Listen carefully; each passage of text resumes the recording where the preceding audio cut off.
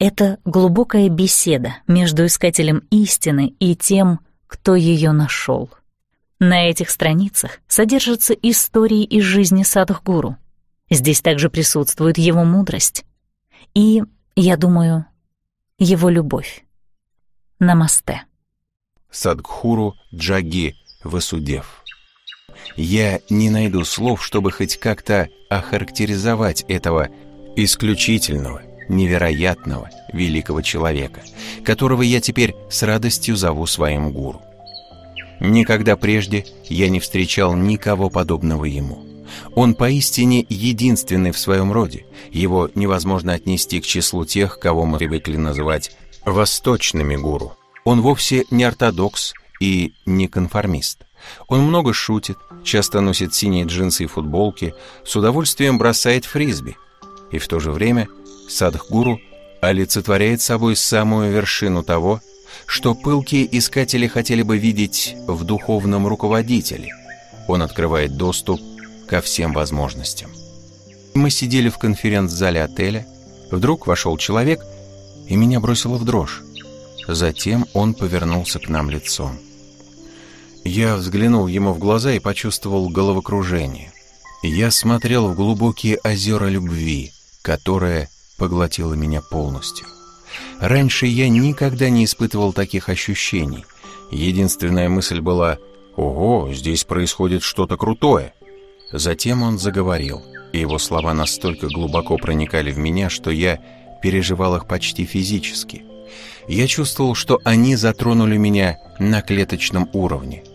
Короче говоря, меня просто унесло. В конце программы я рассказал ему о своих проблемах с сердцем. Помните мою молитву о том, чтобы открыть сердце, о которой писала Лис? То, что привела к коронарному шунтированию. В общем, прошло около пяти лет, и проблемы снова всплыли. Я питался нитроглицерином, как конфетами, перенес инфаркт и всячески увиливал от встречи с ангелом смерти. Врачи сказали, что больше ничего не могут сделать, и предложили мне привести в порядок свои дела. Я спросил Садхгуру, есть ли способ мне помочь.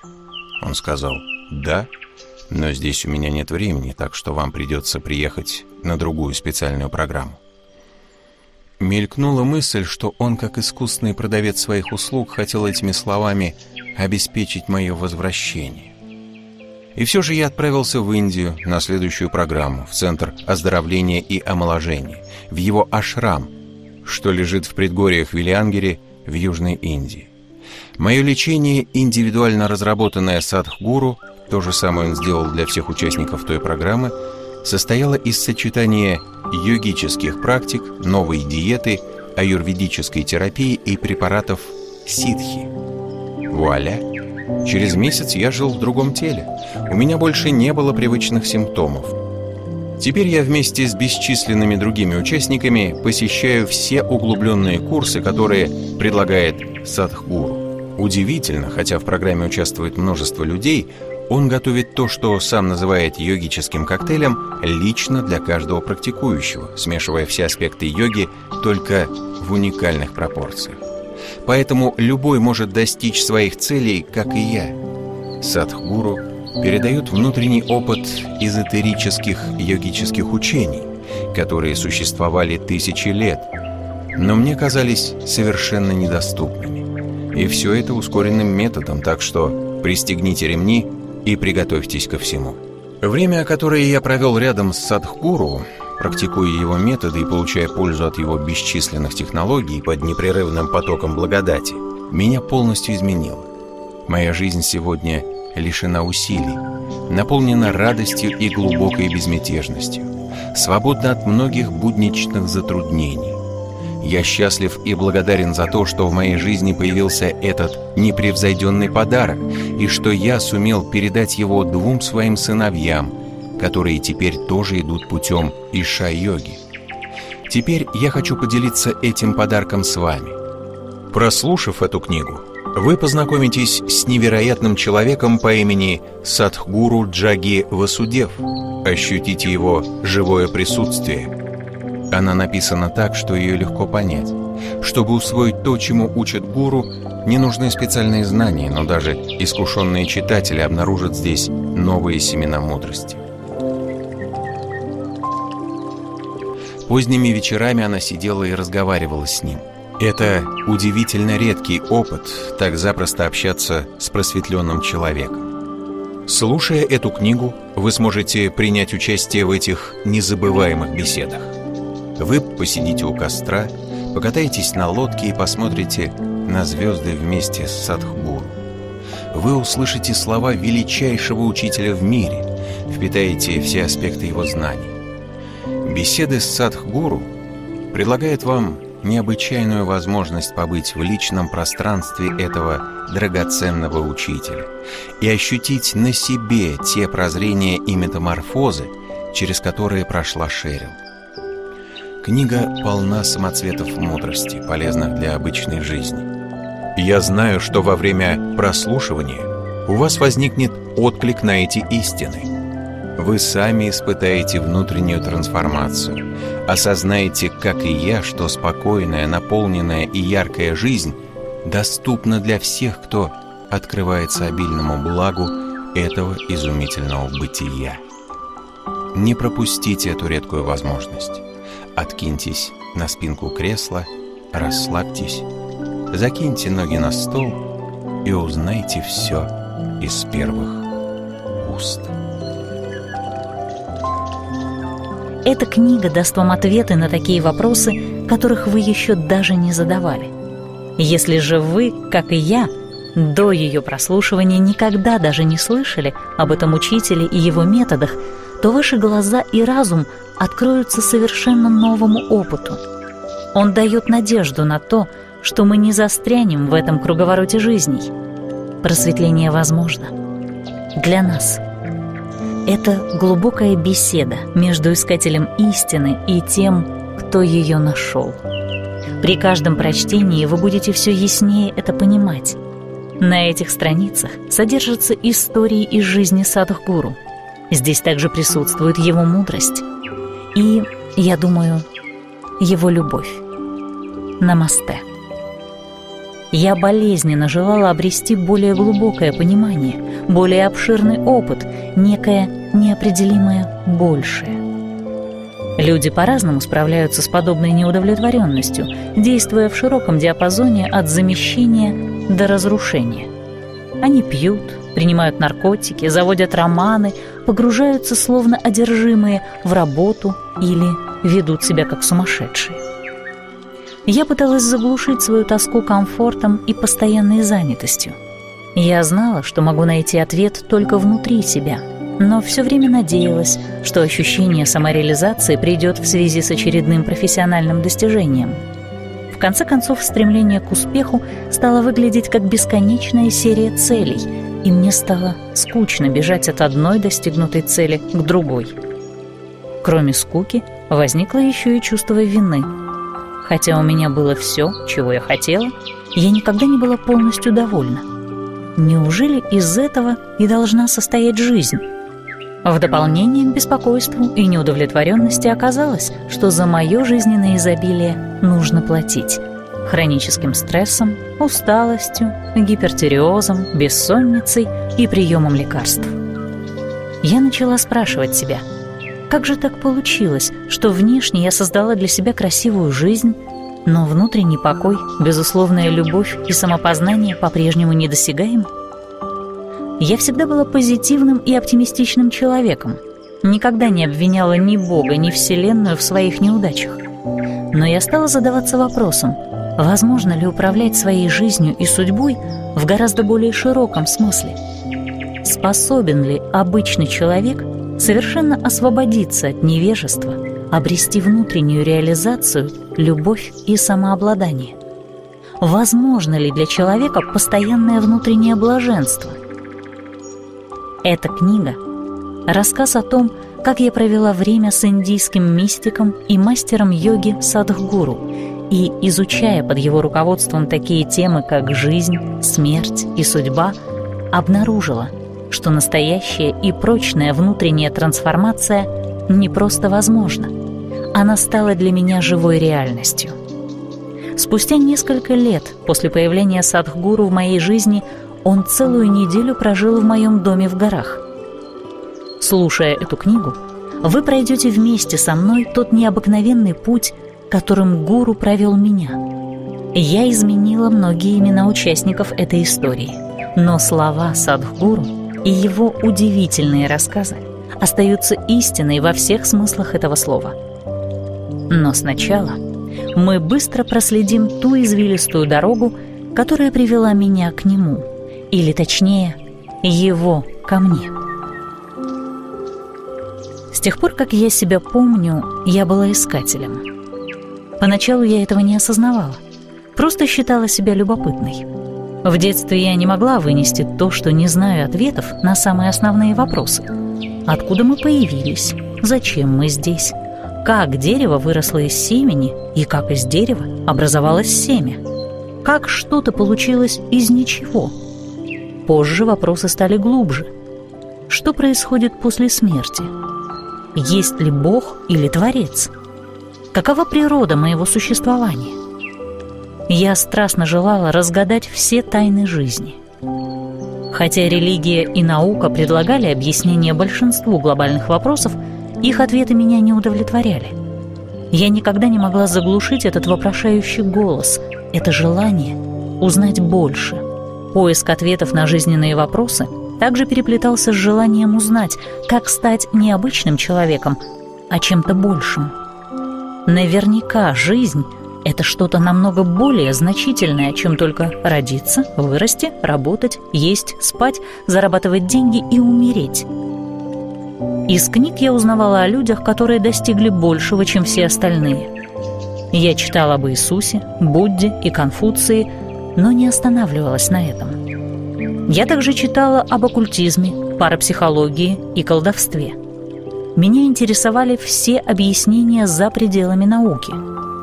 Я очень хотела понять, что могут сказать разные мастера из разных традиций и как они сами об этом узнали. И как они стали мастерами. Отличались ли они от меня? Все люди, с которыми я сталкивалась в молодости, либо через книги, либо лично, просто передавали то, чему их учили, что они слышали или читали, но они не переживали все это на собственном опыте. После долгих лет поисков я начала опасаться, что так и умру, не узнав истины. Это было весьма неприятно, ведь мне говорили, что у меня хороший ум. В школе меня включили в программу для одаренных детей. Вроде бы это означало, что я умна, но я по-прежнему не могла найти ответы на свои вопросы. Была слабая надежда, что я найду их, когда умру. Может быть, чтобы обо всем узнать, нужно умереть. Но подождите, думала я. А что, если это знание не придет даже после смерти? Это еще хуже. Я все время задавалась вопросом, почему нельзя найти эту истину еще при жизни? Очевидно, ее знали Иисус и Будда, но они жили очень давно. Казалось, что все, кто ее познал, умерли и уже ничего не могли рассказать. Затем, когда мне было 15 лет, и я лежала дома с гриппом, у нас на переднем крыльце странным образом появилась книга с коротенькой запиской для Шерил. Я никогда не искала такую книгу в книжном магазине. Я даже не знала, что она существует. И тут внезапно она волшебным образом появляется у меня на пороге. Я так и не выяснила, кто ее там оставил, но очень рада, что это вообще произошло. Книга отличалась от всего, что я когда-либо читала. Речь шла о йогах с Востока, о пути йоги и о том, куда человек с ее помощью может прийти, чтобы полностью реализовать свой потенциал. Это было для меня новостью. Я уже знала о хатха-йоге и видела в ней лишь серию упражнений на растяжку, с помощью которых можно сохранять гибкость тела. Но в этой книге рассказывалось об одном мистике из Индии и о том, как йога превратила его и еще несколько человек высокоразвитых, самореализованных людей. Раньше я ни о ком таком не слышала. Книга называлась «Автобиография йога». Ее написал индийский мистик Парамаханса Йогананда. Благодаря Йогананде я нашла имя той свободы, которую искала – самореализация. Ее также называют просветлением и объясняют как знание истинного «я» вне всякой иллюзии. Там объяснялось, что мы все коллективно страдаем от искаженного взгляда на реальность, думаем, что мы отделены от всех и всего, в то время как в действительности представляем собой единую энергию. Эйнштейн тоже говорил кое-что, связанное с этой концепцией. Например, человек — это часть целого, которое мы называем Вселенной, часть, ограниченная во времени и пространстве — он ощущает себя, свои мысли и чувства как нечто отделенное от всего остального мира. И это своего рода оптический обман, иллюзия, которая стала темницей для нас, ограничила нас миром собственных желаний и привязанностью к узкому кругу близких нам людей. Наша задача — освободиться из этой тюрьмы. Есть и другое его изречение. Реальность — всего лишь иллюзия — хотя и очень упрямая. По словам Йогананды, мы можем выйти из этой иллюзии, познать, понять и переживать мир совершенно по-другому. Это знание приходит только через опыт, а не путем интеллектуального понимания и ощущается каждой клеточкой тела. Йогананда описывает самореализацию как растворение чувства отдельного себя, личности или эго – в блаженном, экстатическом, безграничном единстве, свободном от смерти. Я мгновенно поняла, что искала именно это. Эта книга не только помогла мне назвать словами объект моих поисков, но и дала надежду на то, что самореализации может достичь даже обычный человек, такой как я – она внушила мне веру в то, что я могу по-настоящему на своем опыте узнать жизнь вне тюрьмы моей маленькой отдельной личности. Йога — это путь от ограниченности к безграничности. Я могу найти то, к чему так сильно стремлюсь. Это меня очень воодушевило. Был, конечно, один главный недостаток.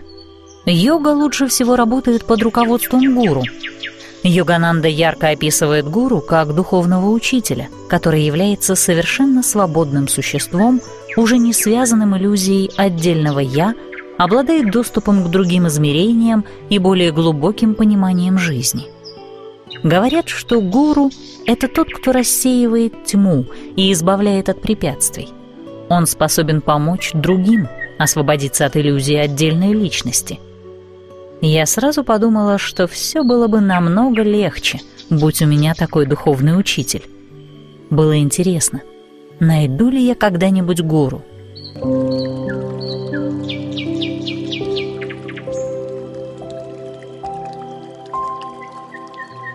На сцену поднялись организаторы-добровольцы и устроили перестановку, из-за чего кресло Садхгуру оказалось прямо передо мной.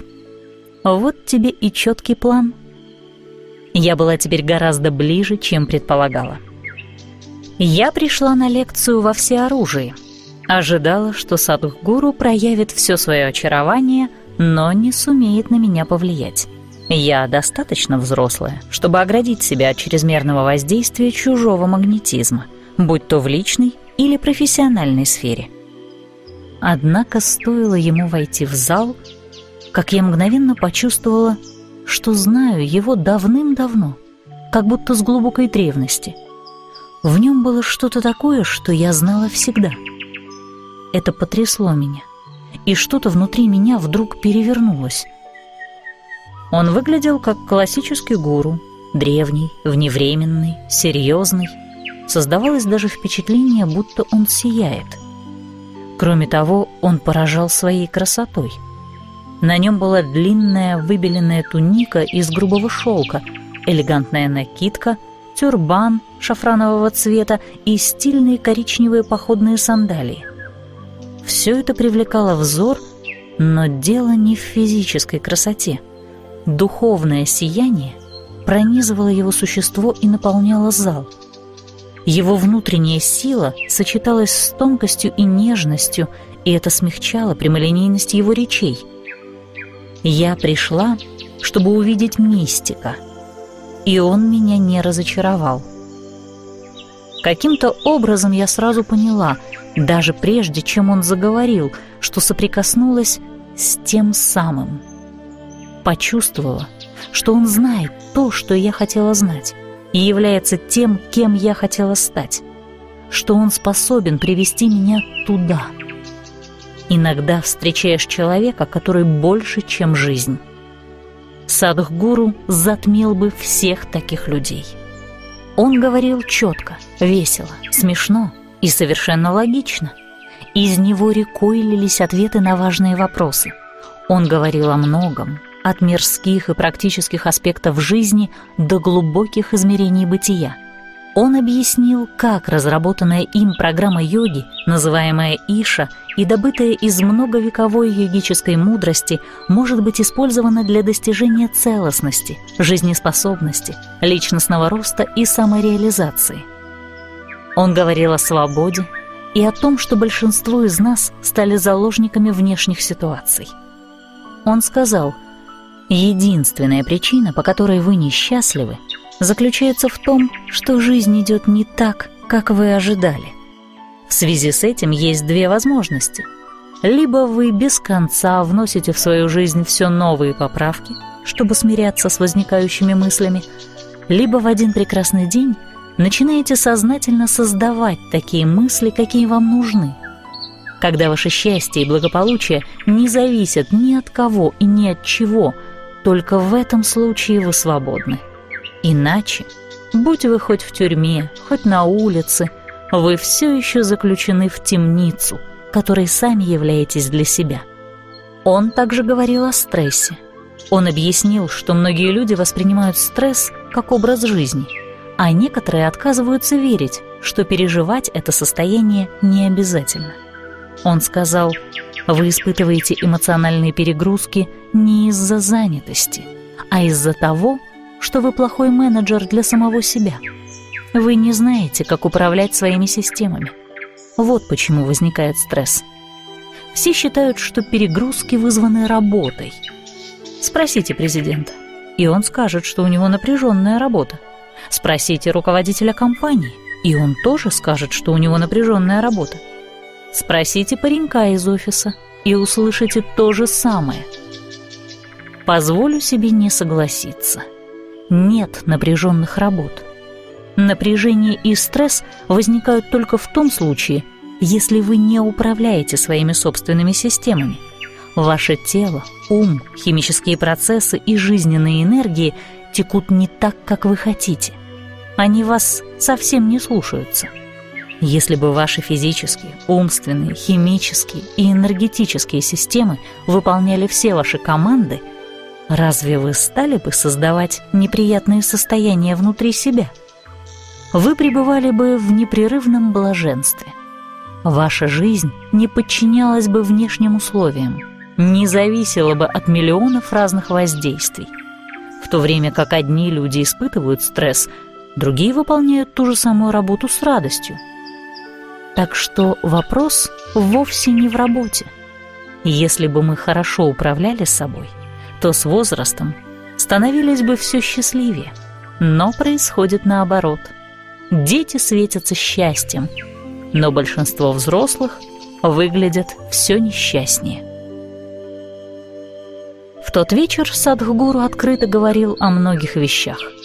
Они казались очевидными – но я никогда не смотрела на жизнь под таким углом. Просто сидя перед ним, я ощущала, как неизвестная сила выпрямляет мой позвоночник. Его слова рассекали слои старых, мучительных мыслей, которые много лет были частью моего психического состояния. С каждым новым прозрением росло желание узнать больше. Его безупречная логика тут же изменила мое мышление. Но это было нечто большее, чем логика. Я до сих пор не знаю, почему сразу же стала доверять Садхгуру, но после того, как он вошел в зал, подозрения покинули меня, и я почувствовала себя как дома. Я была благодарна за это чувство. Мой ум как будто остановился, и я отчетливо помню, как в голове пронеслось громкое и протяжное «О!». Это то, чего я искала. Я много лет тосковала по свободе, и теперь появилась надежда ее обрести. В тот момент я поняла, что все мною же созданные ограничения и удобные убеждения внезапно оказались в опасности. Передо мной находился человек, способный показать мне, что такое настоящая свобода. Не та свобода, которая кичится властью, без проблем ездит автостопом или принимает наркотики ради кайфа, но настоящая свобода, которая раскрепощает тебя изнутри. Я также знала, что если не отнесусь серьезно к желанию освободиться, то мне нечего здесь делать. Это не тот человек, который отведет глаза в сторону и позволит мне оставаться узницей привычек, мыслей и заблуждений, всего того, что меня ограничивало. Его живое присутствие, а еще больше слова, которые он произносил, открыли мне, что Садхгуру одновременно и мягкий, и грозный. С тех пор, как я стала достаточно взрослой, чтобы понять, что мое стремление и беспокойство имеют внутреннее духовное измерение – я открывалась словам бесчисленных учителей и традиций. Почти всегда я обнаруживала, что их драгоценные прозрения, хотя и вдохновляющие, не оказывают на меня продолжительного воздействия. Столкнувшись лицом к лицу с Садхгуру, я увидела его резкий контраст со всеми и всем. Не все сказанное им звучало желанно и приятно, но в этом была истина, и слова резали, как скальпель. Связь с ним ощущалась на новом уровне и показывала мне ограниченность моих представлений. Пришлось признать, я искала живого просвещенного человека. И вот он сидел передо мной и был еще чем-то большим. Чрезвычайно живым. Слова Садхгуру прочно засели в моей памяти. Особенно ярко запомнилось такое высказывание. «Каждое ваше мнение о чем-либо – способна стать ограничением. Вот как.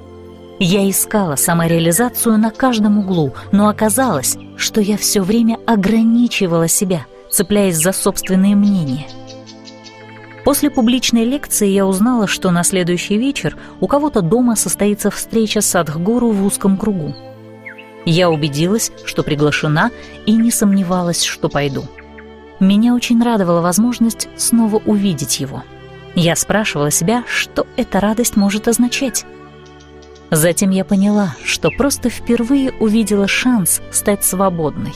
Свободной от тоски почему-то большему, свободной от всяких навязчивых состояний, от самого процесса жизни и смерти.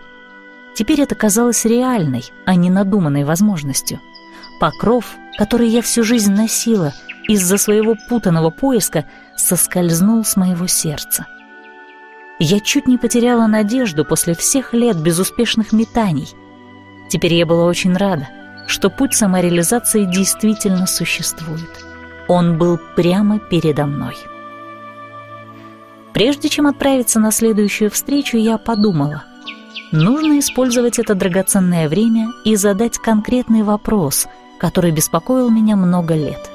В конце концов, часто ли вам удается в частной обстановке побеседовать с одним из самых известных мистиков Индии. Однако, когда все началось, я совершенно забыла о своем вопросе. Многие говорили мне, что это обычное явление. Когда вы общаетесь с Садхгуру, его спокойствие настолько заразительно и его присутствие настолько всеобъемлюще, что вопросы и проблемы часто исчезают сами собой. В то же время как я и подозревала, этот гуру не собирался позволять ни одному из собеседников оставаться пленником неправильных представлений или умозаключений. Я давно научилась скрывать свои мысли. Это полезное качество в деловом мире, но в отношениях с садхгуру оно оказалось помехой. В какой-то момент он указал прямо на меня. «У тебя есть вопрос ко мне». Он не спрашивал, а сообщал. Я удивленно возразила. У меня нет вопросов. Словно видя меня насквозь, он настаивал. «Есть». Я опять покачала головой еще более решительно. «Нет». «Просто задай свой вопрос». Он тоже выглядел решительно. Ну что ж, до этого момента гости вежливо, но довольно расплывчато спрашивали его о всяческих псевдодуховных и мирских вещах – как исправить что-то в жизни, накопить богатство, восстановить здоровье и так далее. Меня не интересовало обсуждение этих тем. Поскольку Садхгуру настаивал, я задала вопрос, который сжигал меня изнутри. Если мой разум способен создать для меня прекрасную жизнь и дать все, что я хочу, почему я не могу создать или найти самореализацию с помощью разума? После всех своих поисков я искренне считала, что к этому моменту могла бы уже стать просветленной. Однако прошли годы, а во мне, к сожалению, мало что изменилось. Без малейшего размышления гуру ответил. «Ты можешь использовать свой ум, но для того, чтобы быть эффективным, он должен быть незагрязненным. Он должен быть острым. Только острый ум – полезный инструмент для твоей трансформации. Есть форма йоги, называемая джняна-йога. Она ведет к союзу через разум – это трудный путь для большинства людей. Достаточно сильный интеллект – это редкость. Чтобы проиллюстрировать сказанное, он поднял нож, выдернув его из торта, который кто-то принес на собрание, и произнес, обращаясь ко всем. Подумайте об этом так. Ум подобен ножу, которым резали торт. Когда вы вытаскиваете нож, на нем все еще есть торт – Точно так же ум сохраняет остатки множества разных впечатлений и переживаний. Все эти отпечатки застряли в вашем уме, как торт, прилипший к ножу. Это имело смысл. Но теперь казалось, будто гуру пытался внушить мне, что мой ум – плохой инструмент, потому что ему недостает остроты. Как это? Мне всегда говорили, что я очень умная, и я с радостью в это верила – Садхгуру снова посмотрел на меня и произнес. «Сейчас ты не можешь использовать свой разум для самоосвобождения, потому что он загрязнен. А нужно, чтобы он был острым, как бритва, и незагрязненным. Тогда ты сможешь прорваться к свободе с помощью разума. Тогда, через какие бы переживания ему не пришлось пройти, ни одно из них к нему не прилипнет. Только тогда разум можно использовать как совершенный инструмент. Выполнение йоги удаляет торт с ножа, но лучше задействовать и другие средства, помимо ума. Ты не только разум. Есть и другие аспекты тебя. У тебя есть тело, эмоции, энергия. Использовать только один из этих аспектов, например, разум, все равно, что ехать на машине с одним колесом, нужны все четыре. Только на всех четырех колесах можно доехать до цели. Конечно, вы можете добраться туда, используя лишь одно средство, но тогда есть опасность стать социально некомпетентным. Невозможно быть эффективным человеком в социуме, управляя автомобилем с одним колесом. Это неизбежно приведет к уходу от мира, к изоляции. Оно того стоит, но сколько людей готовы к такой жизни?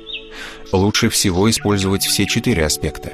Йога, которую мы преподаем, представляет собой сочетание всех этих четырех аспектов – разума, тела, эмоций и энергии. Иша-йога направляет все эти силы в одну сторону. Жизненные энергии – это самый простой и самый мощный аспект в человеке. Большинство людей об этом не знают, но от того, как играют наши энергии – зависит, как действуют наши тела, разум и эмоции. Поэтому, как только энергии основа станут двигаться в одном направлении, мы сможем также направлять туда наши тела, эмоции и умы.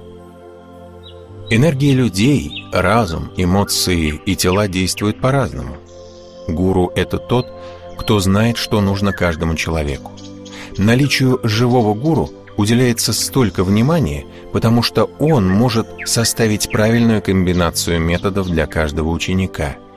Причина, по которой Иша-йога настолько эффективна для всех, заключается в том, что она использует не только разум, но и все прочие аспекты вас, чтобы помочь вам расти. После встречи я задержала гуру на выходе из комнаты. «Садух гуру, как ты узнал, что у меня есть вопрос. все в тебе об этом говорило. Отозвался он. Вот тебе и умение скрывать свои мысли. Пока я пыталась разобраться, что сделало мой вопрос таким очевидным, гуру терпеливо объяснил. Бывают очень сущностные вопросы. Отсутствие ответа на них способно убить человека. В этом мире у большинства людей не возникает настоящих вопросов.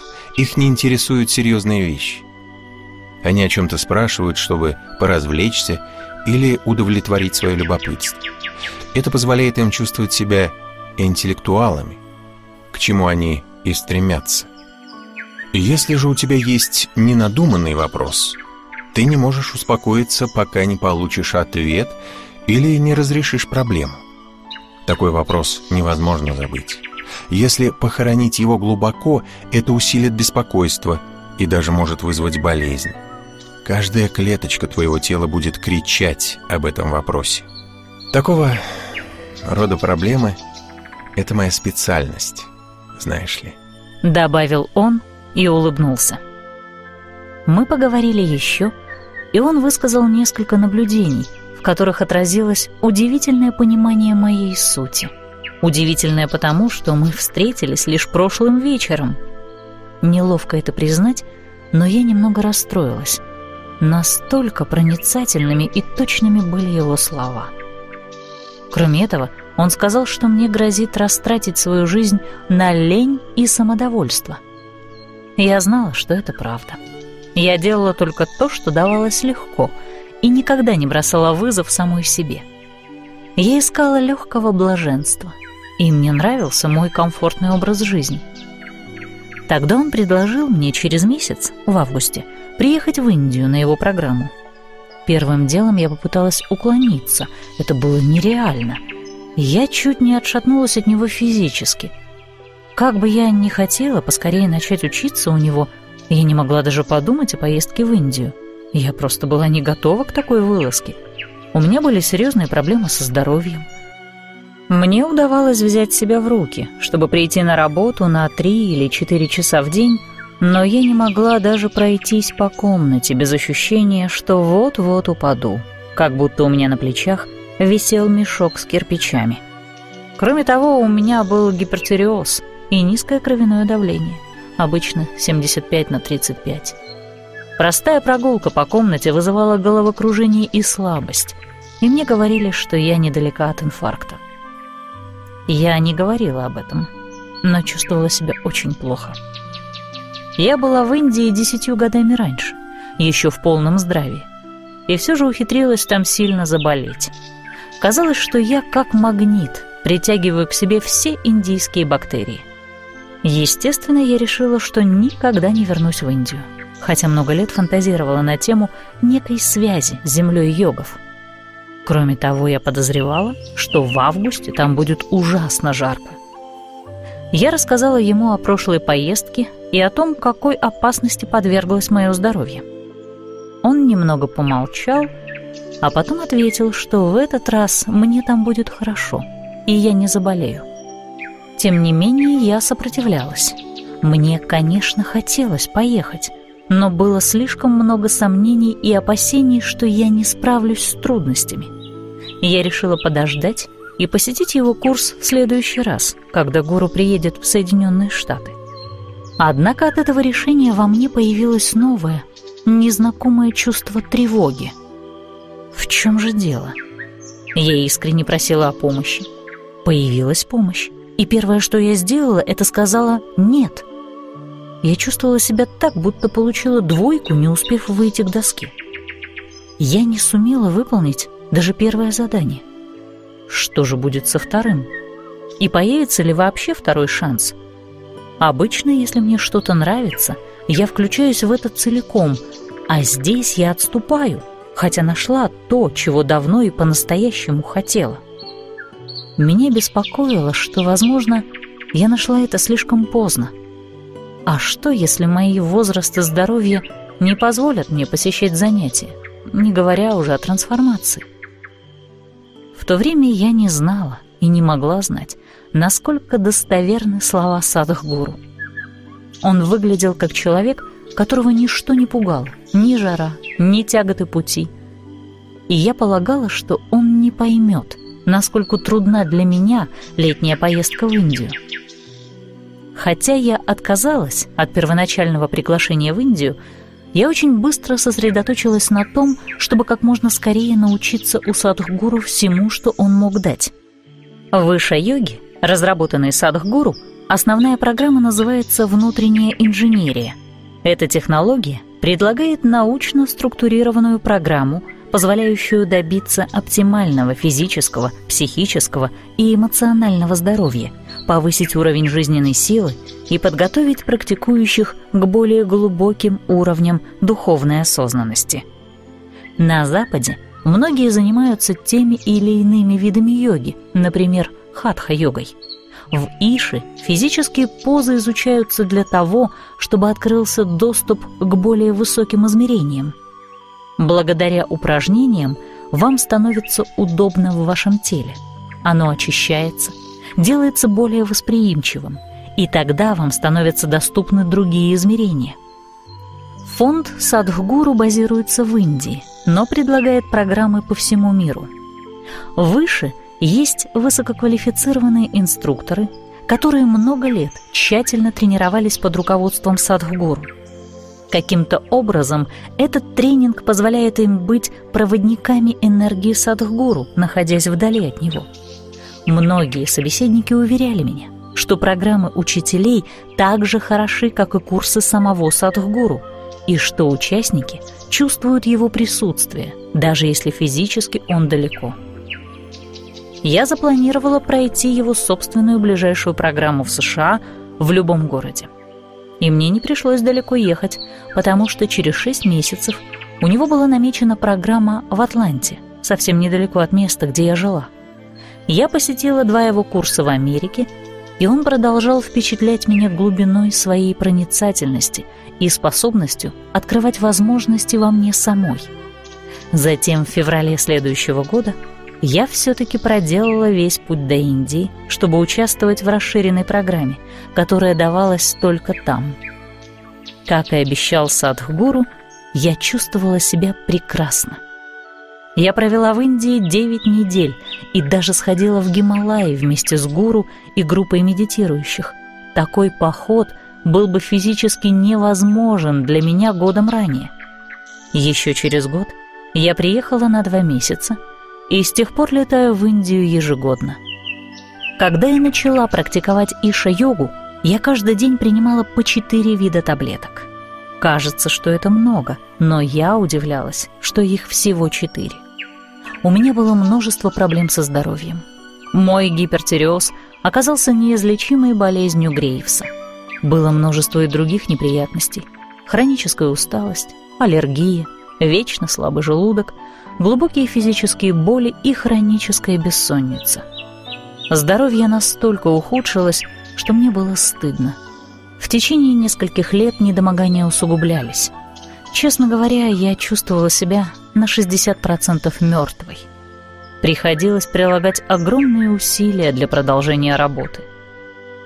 Во время первой программы Садхгуру, которую большинство участников считали легкой и радостной, у меня все так болело, что сложно было даже просто сидеть. Из-за этого я поначалу не могла воспользоваться преимуществами более духовных аспектов практики. Я опасалась, что могу быть тем единственным человеком, которому этот процесс вообще не поможет. Возвышенные ощущения, которые переживали другие люди, у меня не появлялись. Я очень расстраивалась, но почему-то продолжала практиковать.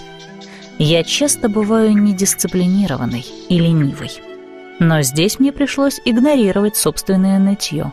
Я знала, если что-то вообще изменит меня — то только это. В методах Садхгуру было что-то правильное, и я знала, что он не стал бы тратить время на свои программы, если бы они не помогали. Эта практика представляет собой уникальную систему, которая придает равновесие и силы телу, разуму, эмоциям и энергиям. Она состоит, кроме прочего, из мощных методов дыхания и медитации – даже в том состоянии здоровья, в котором находилась я, это было выполнимо. Должна признать, что утренние упражнения дают мне столько спокойствия и блаженства на весь день, что я ни в коем случае не хочу их пропускать. Я выполняла их день за днем, и в результате многое изменилось. И изменилось очень быстро. Через три месяца я отказалась от большинства прописанных мне лекарств. Когда доктор увидел мой анализ крови, он повел себя совсем не характерно для всегда сдержанного человека, воскликнув «Потрясающе! Потрясающе! Потрясающе!» Это не преувеличение. Он прокричал это три раза и добавил, что никогда не видел, чтобы больной с таким гипертиреозом, как у меня, так быстро вылечился. И это не какой-нибудь целитель-эзотерик, а уважаемый эндокринолог. Стена в кабинете снизу доверху увешана дипломами и наградами от традиционных академий. Моя давняя аллергия и другие симптомы тоже исчезли. Я не только восстановила здоровье, но также испытала на себе многое из того, что Садхгуру обещал на первом занятии. До этого я была крайне тревожным человеком. Теперь я освободилась от постоянного беспокойства о самых страшных вещах, какие можно себе представить, и это стало невиданным облегчением. Недавно я беседовала с отцом о некоторых его тревогах. Он вечно беспокоится о себе, обо мне и о мире — он спросил, «А тебя сейчас ничто по-настоящему не тревожит, верно?» «Да», — ответила я, — «почти ничто. По крайней мере, меньше, чем в прошлом». «Хотел бы я тоже стать таким», — сказал он. Взрослее, я становилась такой же тревожной, как и он. Мой ум вошел в режим «бей или беги». Он непрестанно искал все новые и новые поводы для волнений — Сейчас я большую часть времени испытываю глубокое и устойчивое чувство радости, хотя ум все еще не так спокоен, как мне хотелось бы. Я меньше сосредотачиваюсь на трудностях и, как правило, делаю все возможное, чтобы меняться, не добавляя к этому личной драмы. Если возникает проблема, просто пытаюсь выяснить, что с ней делать. Я не хочу упускать этот момент — Сложные ситуации все еще бывают, но из-за них я не лишаюсь сна. Садхгуру сказал, что душевное равновесие — только начало, а не цель. Это меня восхитило, потому что, хотя мое здоровье значительно улучшилось и ум успокоился, я все-таки пришла за чем-то большим. Глава третья. Наша неделя начинается. Приезд к Садхгуру. Я хочу, чтобы вы испытали освобождающую силу другого рода науки, внутренней науки, с помощью которой можно стать хозяином собственной судьбы. Садхгуру. В один солнечный августовский день я выехала в аэропорт Атланты, чтобы встретить там Садхгуру. Я собиралась принять его в моем доме в горах Северной Каролины. Я впервые могла получить неограниченный доступ к гуру, чьи поучения так меня изменили. Я чувствовала невероятное возбуждение, но и предвидела сложности. Как бы человек ни готовился, в присутствии гуру часто происходят самые непредсказуемые вещи. Прошло около трех лет с тех пор, как я познакомилась с Садхгуру в Атланте. Хотя за эти годы я провела с ним довольно много времени, перед каждой встречей я все еще переживала много различных эмоций — волнение, энтузиазм и предчувствие неожиданностей. Но это временная проблема. Как только он оказывается рядом, ситуация меня полностью поглощает.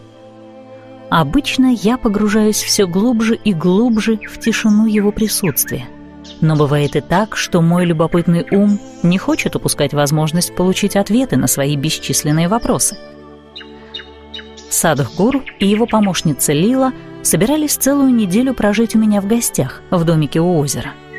За год до этого Садхгуру останавливался у меня на одну ночь, и тогда он впервые познакомился с этим озером.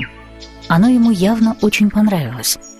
С тех пор я убеждала его вернуться — как выяснилось, он периодически уединяется для определенной внутренней работы.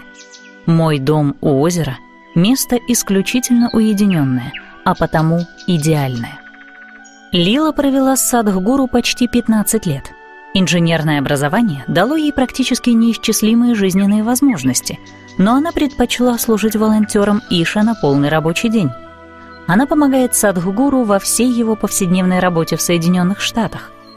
Несмотря на многочисленные обязанности, Лила — одна из самых невозмутимых людей, которых я когда-либо встречала.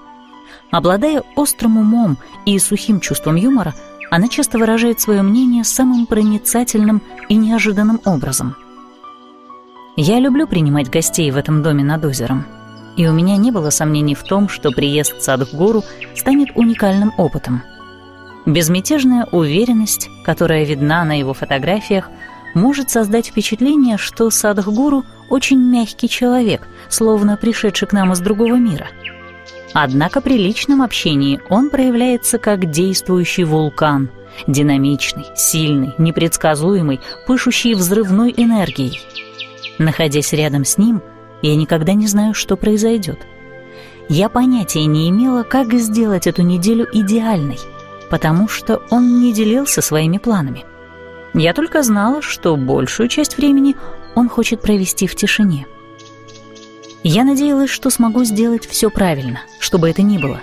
Неисправимая перфекционистка, я не только заранее расспросила обо всем Лилу, но и отправила электронное письмо в индийский ашрам Садхгуру с просьбой дать мне совет. Ответы были обезоруживающе бессодержательными. Хорошо бы предоставить ему что-то простое и удобное. Я искала подробности, списки продуктов и так далее, чтобы подготовиться как можно лучше, но у меня ничего не вышло. Похоже, с ним так всегда. Обустроить все заранее невозможно, как бы вы ни старались, потому что все постоянно меняется. Приехав под вечер в аэропорт, я обнаружила большую и пылающую энтузиазмом группу людей всех возрастов и культур – все эти люди приехали увидеть Садхгуру, хотя официально его планы поездок объявлены не были. В воздухе вибрировало приподнятое волнение, которое привлекло внимание всех, даже обычно невозмутимых охранников. Энтузиазм и сияющие глаза стольких людей, молодых и старых, создавали атмосферу радостного предчувствия. Энергия шипела и потрескивала, как будто мы все были проводниками на обширной линии электропередачи — мне казалось, что в основе этого возбуждения лежало невысказанное, но мощное понимание. В его присутствии всем доступна возможность преодолеть любые границы. Стоя там, я вспомнила. Раньше, еще до знакомства с Садхгуру, эта сцена в аэропорту подействовала бы на меня как заграждение из красных флажков. Многие из присутствующих показались бы мне чересчур благоговейными – и их восторг вызвал бы неловкость. Быстрый радар моего недоверия включился бы и зафиксировал беспокойство. Но сейчас я была счастлива и наслаждалась общим волнением. Это показывало, насколько далеко я продвинулась в понимании того, что этот учитель настоящий. Насколько высоко я оценила знакомство с Садхгуру и его участие в моей жизни я задержалась у края толпы, прежде чем постепенно просочиться вперед. Многие люди держали подарки для мастера. У кого-то были букеты цветов. Один мужчина принес написанный им самим портрет гуру, а другие — какие-то предметы, которые, по слухам, нравились Садхгуру. Я видела банку острых специй, большой пакет специального мыла ручной работы и даже диск фрисби, который этот атлетичный гуру любит бросать в свободную минуту половине пятого, когда подошло время посадки, люди стали искать удобные места, чтобы первыми поприветствовать Садхгуру. Шасси самолета пунктуально коснулись полосы, и вскоре мимо нас потоком пошли пассажиры. А потом мы увидели его. Он шел спокойно, его лицо цвета карамели безмятежно сияло, создавая резкий контраст с усталыми лицами окружающих. Как это часто бывает, я внутренне вздрогнула — он выглядел необыкновенно. Он и стар, и молод. Его седая борода доходила до середины груди, но он был в джинсах и темных очках, какие носят пилоты. Мы из одного поколения. Он, по сути, мой сверстник. Мы оба выросли, слушая The Beatles и Rolling Stones. Не обращая внимания на стремительный поток спешащих пассажиров вокруг него, Садхгуру с теплой улыбкой направился к группе встречающих. Он приветствовал каждого человека. Кого-то улыбкой, кого-то кивком головы, некоторых он обнимал, а другим давал пронзительные характеристики, которые попадали в точку. Длительное путешествие не повлияло на его причудливое чувство юмора. Кто-то спросил, как прошел полет Садхгуру. Он быстро ответил, «Мне не разрешили порулить, я просто сидел в кресле» и, откинув голову, рассмеялся своим обычным глубоким и сердечным смехом. Хотя он находился в пути целых 36 часов, и ему еще предстояло проехать много километров, прежде чем он смог бы отдохнуть, он никуда не спешил и по-настоящему присутствовал, общаясь с людьми. Внимательно отвечал на вопросы и кратко обсуждал с волонтерами свои планы – это был не первый случай, когда я наблюдала взаимодействие Садхгуру с публикой в общественных местах. Я ни разу не видела, чтобы он отвернулся от кого-нибудь и занялся своими делами. Когда окружающие нуждались в руководстве и обучении, казалось, что у него нет личных забот. Я видела, как терпеливо он выслушивал каждого, кто ждал его в длинной очереди – Неважно, что перед встречей у него не было времени поесть и поспать, а по ее окончании предстояло еще много часов работы. На каждый вопрос, даже тривиальный, он отвечает словами, в которых проявляется его подлинная глубина. Люди не раз говорили мне, что задают ему незначительные вопросы только для того, чтобы он своим ответом коснулся их настоящей проблемы, глубоко укорененной и невысказанной. Однажды я упомянула об этом в разговоре с ним, и он пояснил, «Я всегда обращаюсь к человеку, а не отвечаю на вопрос». Почти час Садхгуру разговаривал с людьми, обменивался приветствиями, шутил и внимательно слушал. В итоге удовлетворены были все, от дамы с мылом до парня с фрисби. Все радовались этой встрече. Его энергия, подобно сиянию солнца, оставила свет на каждом лице. После последнего прощания мы с Садхгуру неторопливо двинулись к багажной ленте. Пока мы ждали его чемодан, я взглянула на один из подарков.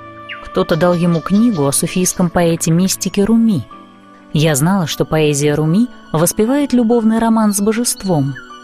Поэтому спросила Садхгуру, является ли любовь наивысшей возможностью из всего, что можно искать. Именно в этот момент на ленте появился его багаж. Гуру потянулся за ним и, как мне показалось, не услышал моего вопроса. Молча мы направились к моей машине. Колеса его чемодана скрипели и постукивали по тротуару, и этот звук эхом отражался от стен ярко освещенной парковочной площадки — Зная, что Садхгуру свойственна подвижность в той же мере, что и покой, я спросила, не хочет ли он сам повести машину. Всем хорошо известно, что он любит водить, и к тому же быстро.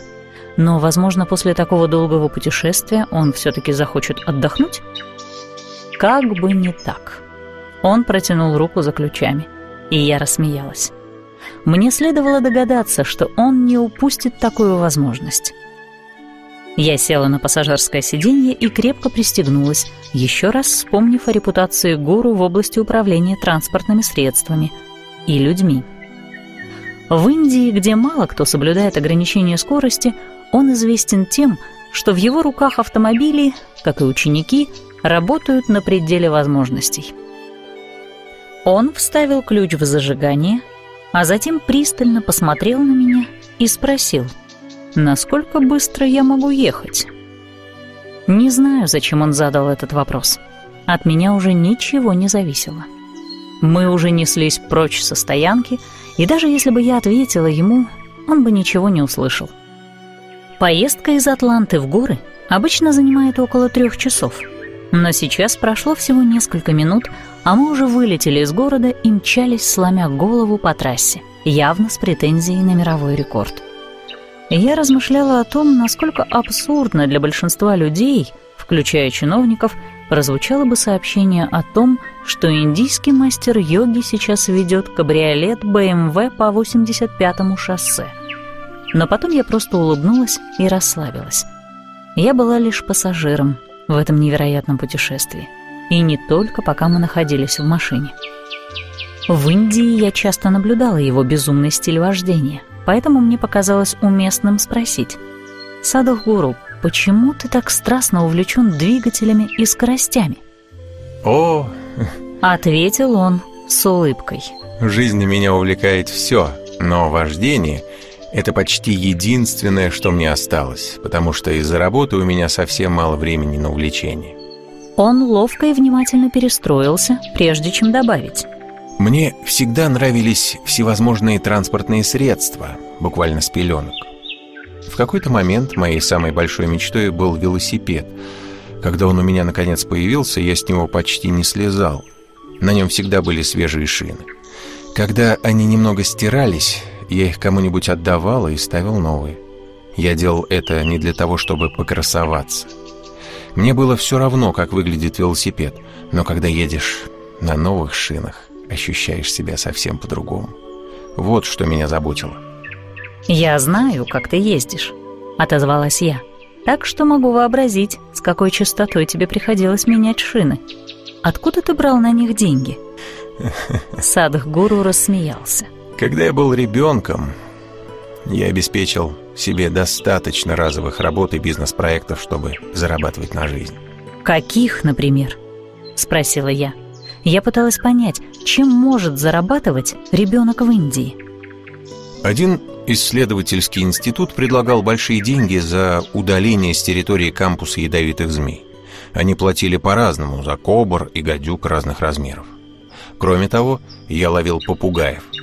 Я хотел, чтобы мой велосипед всегда был на ходу. Я радовался, когда нашел эту работу. Она позволяла оплачивать мои велосипедные экспедиции. Никто другой не сделал бы этого. Я совершал действия, которые считались рискованными, и брался за любые опасные предприятия ради удовольствия или денег. Я была рада, что благодаря вопросу о скорости Садхгуру открыл мне кое-что из своего детства. Но ловить ядовитых змей он продолжал в том же духе. Другие дети частенько подзадоривали меня на то, чтобы я взобрался на что-нибудь высокое я мог взобраться на все, что угодно. Благодаря заработку я ухитрялся оплачивать велосипедные поездки сразу для 10, а то и 15 мальчиков на несколько дней. Это большой доход для десятилетнего ребенка. Вот как я тратил свои деньги.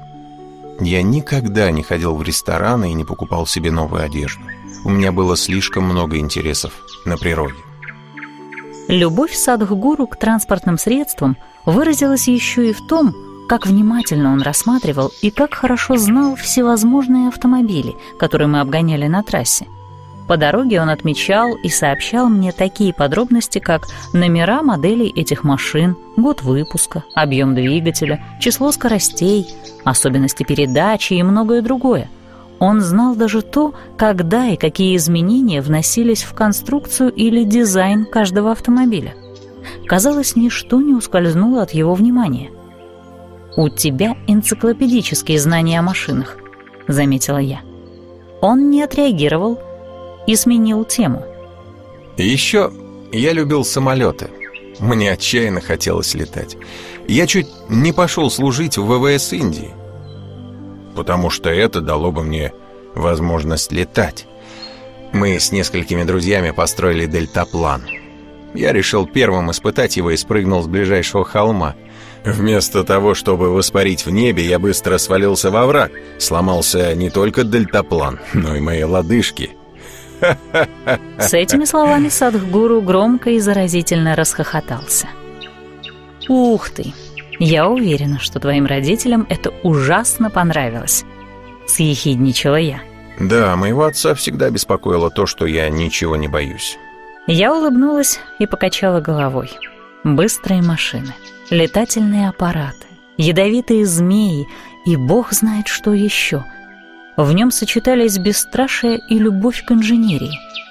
Я думала о том, что его любовь к педали газа сродни той любви, с которой он ускоряет духовную эволюцию своих учеников. Конечно, совершенно ясно, что йога, которую он преподает, это своего рода инженерное дело, духовная инженерия. Жизнь садхгуру подчинена совершенно определенной и четкой цели, какой нет больше ни у кого из всех известных мне людей. При этом в его юности были отчаянные поступки, и он не всегда шел к своей цели прямым путем. Я задавалась вопросом, насколько лучше обычных людей он управлял своей жизнью. Что движет этим гонщиком-мистиком? Так проявляется судьба? Предназначение? И у каждого ли есть предназначение, если уж на то пошло? Белые линии дорожной разметки мелькали все быстрее. Они убаюкивали меня и вводили в своеобразное гипнотическое состояние. «Садхгуру», — произнесла я, — «есть ли такая вещь, как судьба? Насколько мы управляем собственной жизнью?» Я горжусь своей сосредоточенностью и целеустремленностью. Знаю, что эти качества очень помогают мне, особенно в карьере. Но одновременно вижу, сколько всего ускользает от меня, несмотря на всю концентрацию. Мне хотелось понять, далеко ли я могу или должна зайти в попытках контролировать каждую частичку своего опыта. Я привыкла судить о мире с духовной точки зрения, и потому хотела также знать, какие невидимые силы, включая карму, то есть энергию причины и следствия, действуют в нашей жизни, определяя, что в ней произойдет или не произойдет. Находимся ли мы во власти своей судьбы или можем изменить даже ее? Он немного помолчал и произнес. «Сейчас ты на самом деле спрашиваешь, насколько предопределены все события твоей жизни. Вот в чем вопрос. Он возникает из-за того, что в жизни происходят определенные вещи, и ты пытаешься направить их в одну сторону, а они идут в другую. Вот в чем причина этого вопроса. Итак, судьба ли это?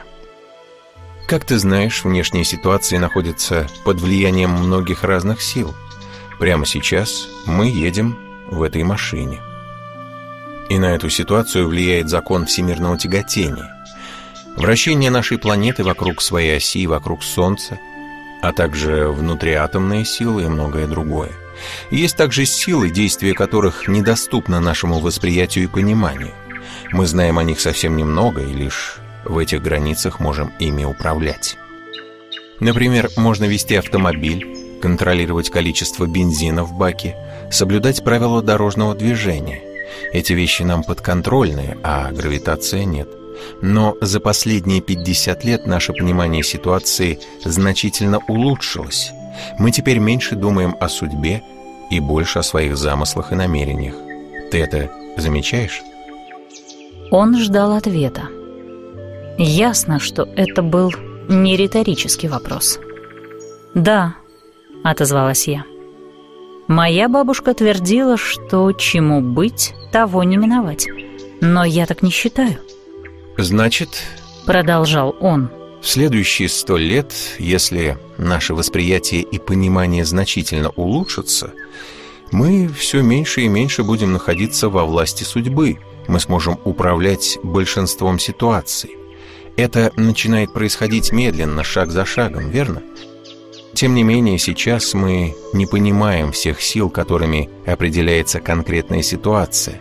Когда мы не понимаем каких-то явлений, мы ссылаемся на Божью волю – это такое детское объяснение всего, что человек не может понять. Несложная отговорка. Мы называем это так, потому что не понимаем реалий жизни. Сейчас мы занимаемся крупным проектом в деревнях Южной Индии.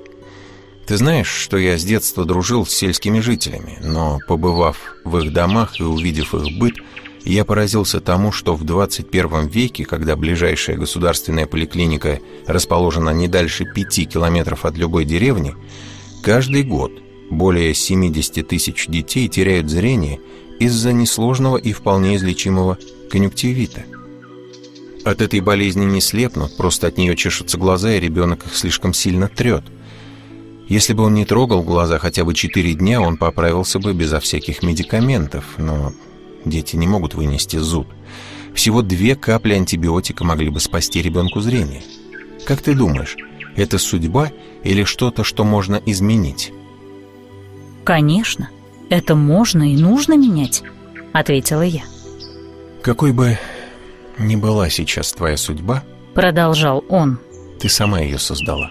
К сожалению, создала неосознанно. Она написана только тобой. Создатель дал тебе полную свободу. Он вложил в тебя твое «я». Ты сама пишешь свою судьбу. Люди так много говорят о судьбе лишь потому, что чувствуют себя беспомощными. Свою судьбу можно также сознательно создавать. Я хочу, чтобы ты испытала освобождающую силу другого рода науки, внутренней науки, с помощью которой можно стать хозяином собственной судьбы. Ты еще не поняла, какой это огромный дар быть человеком. Если поднять человека на всю доступную ему высоту, божественное станет частью его жизни. Если ты овладеваешь своим физическим телом, ты контролируешь от 10 до 15% жизни. Если обретаешь мастерство владения разумом, контролируешь уже от 40 до 60% жизни и судьбы. Если к тому же управляешь своими энергиями, то держишь под контролем 100% жизни и судьбы. Вся наука о йоге – просто работа на этих трех уровнях тела, разума и энергии. Любой человек может в полной мере раскрыть свои возможности только тогда, когда у него нет собственных проблем – нет внутренних проблем ни с телом, ни с мыслями, ни с эмоциями. Только в этом состоянии он сумеет выразить все, что в нем есть. Именно это мы делаем посредством духовного процесса. Ты решаешь, куда идти, выбираешь направление и пункт назначения. Это в твоих руках. Для внешнего благополучия существует физическая наука. Точно так же есть внутренняя йогическая наука. С ее помощью можно взять свою судьбу на 100% в свои руки. Можно полностью управлять процессом жизни. Ты сможешь даже контролировать свои будущие рождения, сознательно выбирая для себя материнскую утробу. Вот до какой степени можно овладеть своей жизнью. Таким образом, ты станешь способной самостоятельно определять свое рождение и смерть, и создавать свою жизнь так, как захочешь. Даже сейчас это твой выбор, но он осуществляется бессознательно. Можно выбирать и осознанно. Если ты не берешь свою судьбу в свои руки, ты живешь как придется.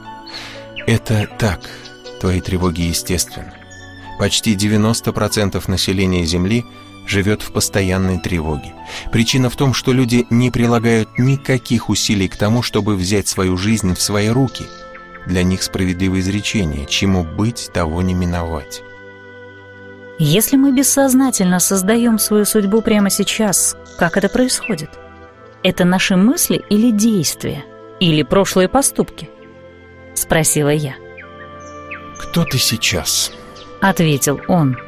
«Твоя личность, все, чем ты являешься, это сложное накопление твоих впечатлений о самой жизни.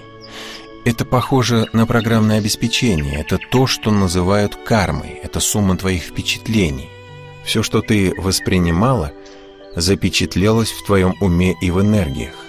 То, как ведет себя твое тело, как ведет себя энергия, это результаты прошлых впечатлений от твоей кармы. Запрограммировано даже то, как движется твое тело. То, что называют кармой, есть сумма огромного багажа впечатлений – которые ты используешь в качестве программного обеспечения.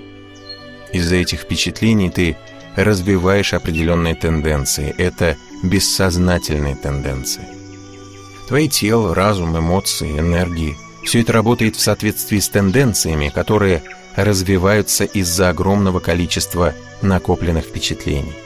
Это влияние кармы на нашу жизнь. Пока человек не достигнет определенного уровня осознания и не начнет владеть собой, его всегда подталкивают и тянут эти тенденции, бессознательно созданные. Они толкают тебя в определенном направлении, но все это создано тобой и только тобой. Если мы сами все это создали, можем ли мы что-то отменить или чего-то избежать?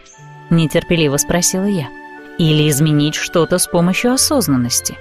И есть ли какие-то события, которым определенно суждено случиться? Садхгуру ответил. Сейчас да, есть.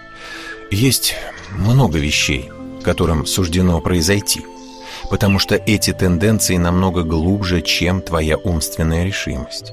Если ты настроена пройти определенный путь, ты сможешь многое изменить. Определенные фундаментальные тенденции проявятся, но если человек обретает мастерство в области жизненных энергий, он может изменить ход своей жизни полностью. Сейчас мы говорим о том, чтобы создать то же самое сознательно. Сам факт, что человек становится духовным и говорит «я ищу освобождение», означает, что он хочет взять штурвал своей жизни в свои руки.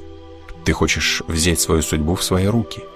С самого первого шага йоги ты пытаешься принять на себя ответственность за какую-то часть самой себя, начиная с тела, дыхания, а затем переходя к разуму и энергии. Движешься шаг за шагом. Это больше, чем просто свобода от страданий. Ты можешь изменить ход своей судьбы. «Садах Гуру», — сказала я, — «во время учебной программы ты говорил о том, что произойдет с нами, если мы последуем твоим практикам. Со мной многое произошло. В жизни появилось определенное чувство легкости. Мне действительно нравятся эти практики. Кроме того, исчезло так много маленьких, да и не таких уж маленьких неприятностей. Пропало постоянное чувство тревоги. Тем не менее, я чувствую, что не приблизилась к полному овладению своей жизнью. Шерил, я уверен, ты близка к тому, чтобы взять ее в свои руки. Когда я встретил тебя, ты была в плохом состоянии. Даже глаза были впалыми. Не начни практиковать, ты была бы уже на пути к серьезной катастрофе. Без практики тебе было бы намного хуже. Спроси своего врача, к чему все шло. Теперь ты другая. Итак, взяла ли ты жизнь в свои руки? Ты твердо знаешь, чего хочешь. Ты умеешь делать все гораздо лучше, чем раньше. Это значит, что часть твоей жизни уже находится в твоих руках. Спроси врача, он подтвердит мои слова. Когда человек до такой степени физически нездоров, все рушится. Теперь здоровье восстановилось, энергия пошла вверх. Посмотри, насколько улучшилось твое здоровье. Итак, сама того не зная, ты многое взяла в свои руки, как только поправила физическое здоровье. С волосами, связанными в хвост на затылке, Садхгуру выглядел молодым и сияющим. Опустив солнцезащитные очки, он посмотрел на меня своими древними всеведущими глазами. Он хотел, чтобы я знала. То, что произошло со мной, не случайно. Он был прав. И такого развития событий не мог предсказать ни один медицинский эксперт. До того, как я начала практиковать Иша-йогу, мое здоровье было в плохом состоянии. Для того, чтобы продолжать функционировать, требовались огромные усилия. Это все, на что я была способна, изо дня в день, делая вид, что все в порядке. Я возвращалась домой по вечерам совершенно без сил. Я была полностью выжатой, без единой капли энергии. Теперь же я чувствую себя прекрасно и легко. Так что же нужно сделать, чтобы полностью взять судьбу в свои руки? Не унималась я. Я слышала, как одна дама спросила тебя, как контролировать мысли. Она призналась, что ее мысли неуправляемы. Они бесконечно мечутся во всевозможных направлениях без какой-либо видимой причины. Похоже, это свойственно большинству из нас. Я слышала твой ответ, что мы не можем контролировать мысли, пока отождествляемся с разными вещами, со своим телом, разумом, работой или семьей. Кажется, ты сказал, что все это имеет отношение к контролю над своей судьбой. Объясни, пожалуйста. Пока вы отождествляетесь со многими вещами, которыми не являетесь, вы не можете остановить мысли – например, с физическим телом, которое есть не что иное, как накопление, а также с разумом, эмоциями, вещами, людьми. Здесь слишком много ложных идентификаций, и они бесконечно множатся. Люди не понимают разницы между тем, с чем они отождествляются, и самими собой. В состоянии отождествления человек тоже способен переживать счастье. Ты можешь испытывать некоторую радость из-за каких-то внешних ситуаций, но просто быть собой и наслаждаться этим большинство людей не умеют. Счастье для них связано с чем-то внешним, и это ошибка. Садхгуру, большинство из всех, кого я знаю, в основном ищут уютной жизни, отозвалась я. Нужен идеальный партнер, красивые пейзажи, неограниченное богатство. Мне тоже все это нравится, но я знаю, что тем самым мы размениваемся по мелочам. Я чувствую, что в мире есть нечто намного большее. Конечно, есть. Когда выполняешь необходимую садхану, духовную работу, появляется определенное мастерство владения телом, умом и энергией. Если человек хочет жить духовной жизнью, ему требуется гораздо больше контроля и намного больше мастерства. Но если ты ищешь только материального благополучия, тебе нужен лишь определенный вид мастерства, и его легко обрести. Я чувствую, что мы недооцениваем себя, пытаясь иметь всего лишь приятную жизнь. Вздохнула я. Таких простых вещей можно достичь даже при небольшом владении разумом и телом – если же активировать и усовершенствовать жизненные энергии за определенными пределами, что позволит энергиям преобладать над телом и разумом, то ты сможешь без усилий создавать все, что хочешь. То, что ты хочешь получить на физическом плане, само упадет к твоим ногам, и тебе не придется вкладывать всю свою жизнь в эти достижения. Это не займет много времени.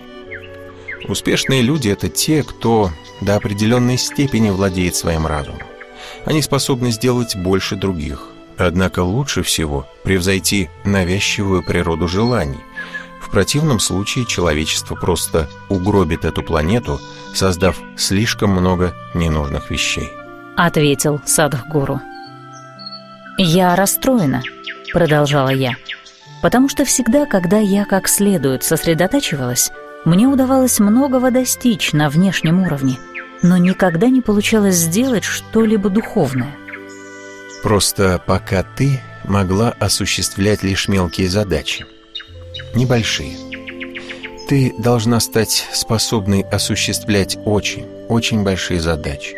Если сумеешь на мгновение ощутить, что источник творения находится внутри тебя, и переключишь все свое внимание на себя – то сможешь переписать собственную судьбу. Конечно, я не могла сделать ничего по-настоящему значительного. Садхгуру напомнил мне, насколько важен тот факт, что мое здоровье так сильно улучшилось. Я и не собиралась преуменьшать значение этого. Болезнь поглощает огромную часть жизни. Поначалу из-за сильной боли и недостатка выносливости мне трудно было выполнять программы Иша-йоги – Сейчас это прошло, и я могу ощущать более тонкие аспекты йоги. Это только усиливает мое желание стать всем, чем я могла бы стать. Я почти не замечала мелькающих вокруг нас пейзажей, когда мы были на главной трассе. Но теперь мы свернули на двухполосную дорогу и приближались к горам Северной Джорджии. Мы миновали пышные зеленые поля, усеянные аккуратными рулонами золотистого сена, и нас окружили мглистые силуэты гор — какой-то момент мы остановились, чтобы набросить складной верх. Когда мы выехали из Атланты, стояла жара, 35 градусов по Цельсию. Здесь же воздух был почти на 10 градусов прохладнее и значительно суше. Небо сияло синим светом. Мы двинулись дальше, и гуру продолжал решать мои проблемы. «Во-первых, нужно понять, кто ты», — произнес он. «Твое сознание рассеяно, поскольку ты называешь собой то, с чем отождествляешься. Это тело, разум, дом, автомобиль, муж, ребенок, собака, образование, бизнес, а также власть и все прочие накопления. Если тебя лишить всех этих идентичностей, ты будешь чувствовать себя никем. Итак, то, что ты называешь своим «я», сейчас размазано вокруг тебя.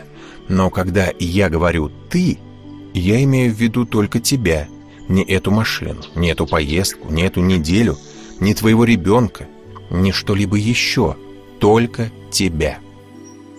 Если перестанешь отождествлять эту себя с чем угодно, кроме того, чем являешься на самом деле, сможешь переписать свою судьбу так, как захочешь. Прямо сейчас ты разрозненное существо, тебя нет. Есть только накопленное прошлое. Тебе необходимо собрать весь этот беспорядок и отложить в сторону. Пока ты отождествляешься со всеми этими вещами, которые накопила, ты являешься толпой, а судьба толпы всегда предопределена. Как только ты становишься человеком, тебя больше невозможно разделить на части. Неделимость означает бесконечность. Разбить на фрагменты можно все, кроме бесконечности. То, что разбито на фрагменты, не узнает абсолютной стабильности. Если ты состоишь из частей, то просто держать все это вместе уже подвиг – Неудивительно, что люди тревожатся, когда ты станешь истинным человеком, не отождествляемым ни с чем. Твоя судьба будет твоей. Я хочу, чтобы ты это поняла. Я тоже очень хотела это понять. Слушая его объяснение, я спрашивала себя, как я ухитрялась рассеивать свой ум, не осознавая этого. Я больше не погружалась в тревожные состояния но моя духовная судьба все еще определенно не была в моей власти. По его словам, Садхгуру не отвечает на вопрос, но говорит с человеком. Я знала, что все это однозначно относится ко мне, и подумала, действительно ли я все еще слишком отождествляю себя с телом, разумом, домом, автомобилем, мужем, ребенком, собакой, образованием, бизнесом, властью, всем списком того, что он упомянул – но как я могу полностью участвовать в жизни, если откажусь от этого отождествления? Некоторые люди уходят от мирской жизни, чтобы стать йогами. Я хотела стать просвещенной в той структуре, которую создала. Возможно ли это? Он говорит, что можно жить в мире и быть освобожденным. Как? Как получить этот опыт неделимого? Садхгуру продолжал – чем больше тебя порабощают логические процессы разума, тем больше ты стремишься быть исключительной. Сегодня все общество поощряет исключительность, но она означает, что ты отделяешь себя от жизни. Создаешь себе кокон. Потребность в исключительности происходит из глубокого чувства незащищенности. Эти два состояния питают друг друга. Весь этот феномен исключительности и неуверенности, управляющий значительной частью человечества, обладает чисто психологической природой. Он не имеет отношения к жизни. Я подумала, насколько это верно для нашей культуры здесь, в Соединенных Штатах. Мы живем в своих отдельных мирах, в изолированных домах, подальше от тех, кого не любим и не хотим видеть. Так поступают не только богатые люди – даже в бедных кварталах опасно быть чужаком. Мы допускаем в свой круг очень ограниченное число людей. Может ли эта самоизоляция лишить нас истинной жизни? Физическое тело и жизнь в нем не требуют внимания. Физическое тело ты взяла на прокат у этой планеты, но превратила его в себя. При каждом вдохе и выдохе ты взаимодействуешь со всем миром. Энергия внутри всегда едина со всем, поэтому твоя исключительность – ментальное ограничение. Другими словами, твой взгляд на мир не соответствует истине. Когда разум противоречит жизни, человеку не хочется, чтобы процесс его жизни достиг своего пика. Это чисто психологическое нежелание. Каждая клеточка в тебе стремится к существованию и процветанию. Не зная этого, ты чувствуешь себя угнетенной. Возможно, даже хочешь умереть. Закрой рот, зажми нос и посмотри, что произойдет. Все твое существо однозначно заявит, что хочет жить. Жизненный процесс – это процесс включенности. Если же ты погружаешься в психологический процесс самоизоляции и вырабатываешь глубокое чувство нелюбви к самому жизненному процессу – то мысленно ты работаешь против самой жизни, против себя. Это коренной источник всех страданий. Если ты приведешь свой разум в гармонию со всем остальным, то он сможет включить все, Тогда и возникает продолжительное блаженство. При этой включенности процесс жизни становится абсолютно желанным. Все, что ты делаешь по доброй воле, это твой рай, а все, что против воли – ад. Когда человек становится всеохватывающим, его не покидает естественное состояние блаженства. Йога означает знать и переживать все как часть себя. Вне всякого сомнения, современная наука доказала, что все существует как одна энергия. Религии кричат, что Бог повсюду. Утверждать, что Бог повсюду или что все есть одна энергия, значит говорить то же самое, просто в двух разных контекстах. Ученый математически вывел эту реальность. Он не испытал этого на опыте. Его реализация интеллектуальная. Это не трансформирует его жизнь. Религиозный человек в это просто верит. Йог – это тот, кто не желает соглашаться ни на вычисления, ни на системы верований. Он хочет сам все испытать и узнать. В этом смысле йога – это технология, которая ведет человека от индивидуальности к универсальности, к познанию и переживанию жизни как самого себя – Патанджали, который считается отцом йоги, сказал это очень красиво. В начале его «Йога-сутра» написано, а теперь «йога». Он имел в виду, что до сих пор вы пробовали все. Знаете, что такое деньги, власть, богатство, любовь, удовольствие и, возможно, даже наркотики, хм, как ты. Смеясь, добавил Садхгуру. И ничто по-настоящему не сработало. Все это было неплохо, но не принесло большого удовлетворения. Когда ты это знаешь, ты готова к йоге. Я подумала обо всем, что испытала в жизни. Вспомнила множество приятных и веселых минут. Например, был момент, когда я поняла, что мой бизнес станет успешным. У меня долго не было денег, и вот, наконец, я могла купить себе дом, ходить в любые рестораны – отправиться в путешествие и вообще делать все, что захочу. Я думала, что жизнь удалась. Но мне всегда чего-то не хватало. Ничто в жизни, каким бы чудесным оно ни было, не удовлетворяло меня полностью. В большинстве своем люди наслаждаются всеми этими вещами только потому, что они не всем доступны. Такова единственная причина, по которой они считают себя особенными. Если бы все в мире были миллиардерами, не было бы ничего особенного в том, чтобы быть миллиардером.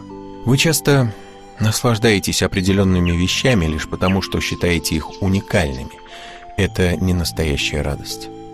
Если однажды человек понимает, что все эти вещи, какими бы они ни были, не приносят настоящей радости в абсолютном смысле, значит он готов к йоге. Вот почему Патанджали – начинает йога-сутру такими словами. Можно идти по жизни свободными. Мы все хотим ходить по приятной улице, нет проблем. Давайте гулять по приятной улице, но не нужно вкладывать себя в нее. Если вы вкладываете себя в нее, вы станете тротуаром, по которому будут ходить все остальные. Вкладывайте себя только в себя. Если твоя судьба в твоих руках, что ты выберешь? Рабство или свободу. Ты выберешь свободу, потому что глубочайшее стремление каждого существа быть свободным от тех процессов, которые мы называем жизнью и смертью. Когда твоя судьба строится осознанно, следующий шаг совершается сам по себе, потому что жизнь внутри тебя обладает разумом, позволяющим выбирать свободу, а не рабство. Но если твоя судьба создается в неведении, ты куешь себе оковы. Я кивнула, молча погружаясь в свои мысли. Я всегда отождествлялась с телом и умом. Большинство из нас верят в какое-то существование после смерти, но мы все еще отождествляемся с телом. Я понимала это, но это понимание, похоже, не меняло моего опыта. Я даже знала, что мой разум не может быть мной — ведь я не всегда могу доверять его голосу. К этому я добавляла еще больше ошибочного отождествления, сама того не сознавая. Прежде чем я успела прийти к какому-либо выводу, мы достигли гор Северной Каролины. У меня еще оставалось много вопросов к Садхгуру относительно судьбы, но мне также хотелось быть ему полезной, пока он здесь. Поэтому я поинтересовалась, что ты будешь делать всю эту неделю? Могу ли я тебе чем-нибудь помочь? Ты хороший кулинар? Со смехом спросил он. Я нахмурилась и призналась, что не совсем. Я могу смешать в одной посуде несколько продуктов, но вряд ли это можно назвать кулинарией.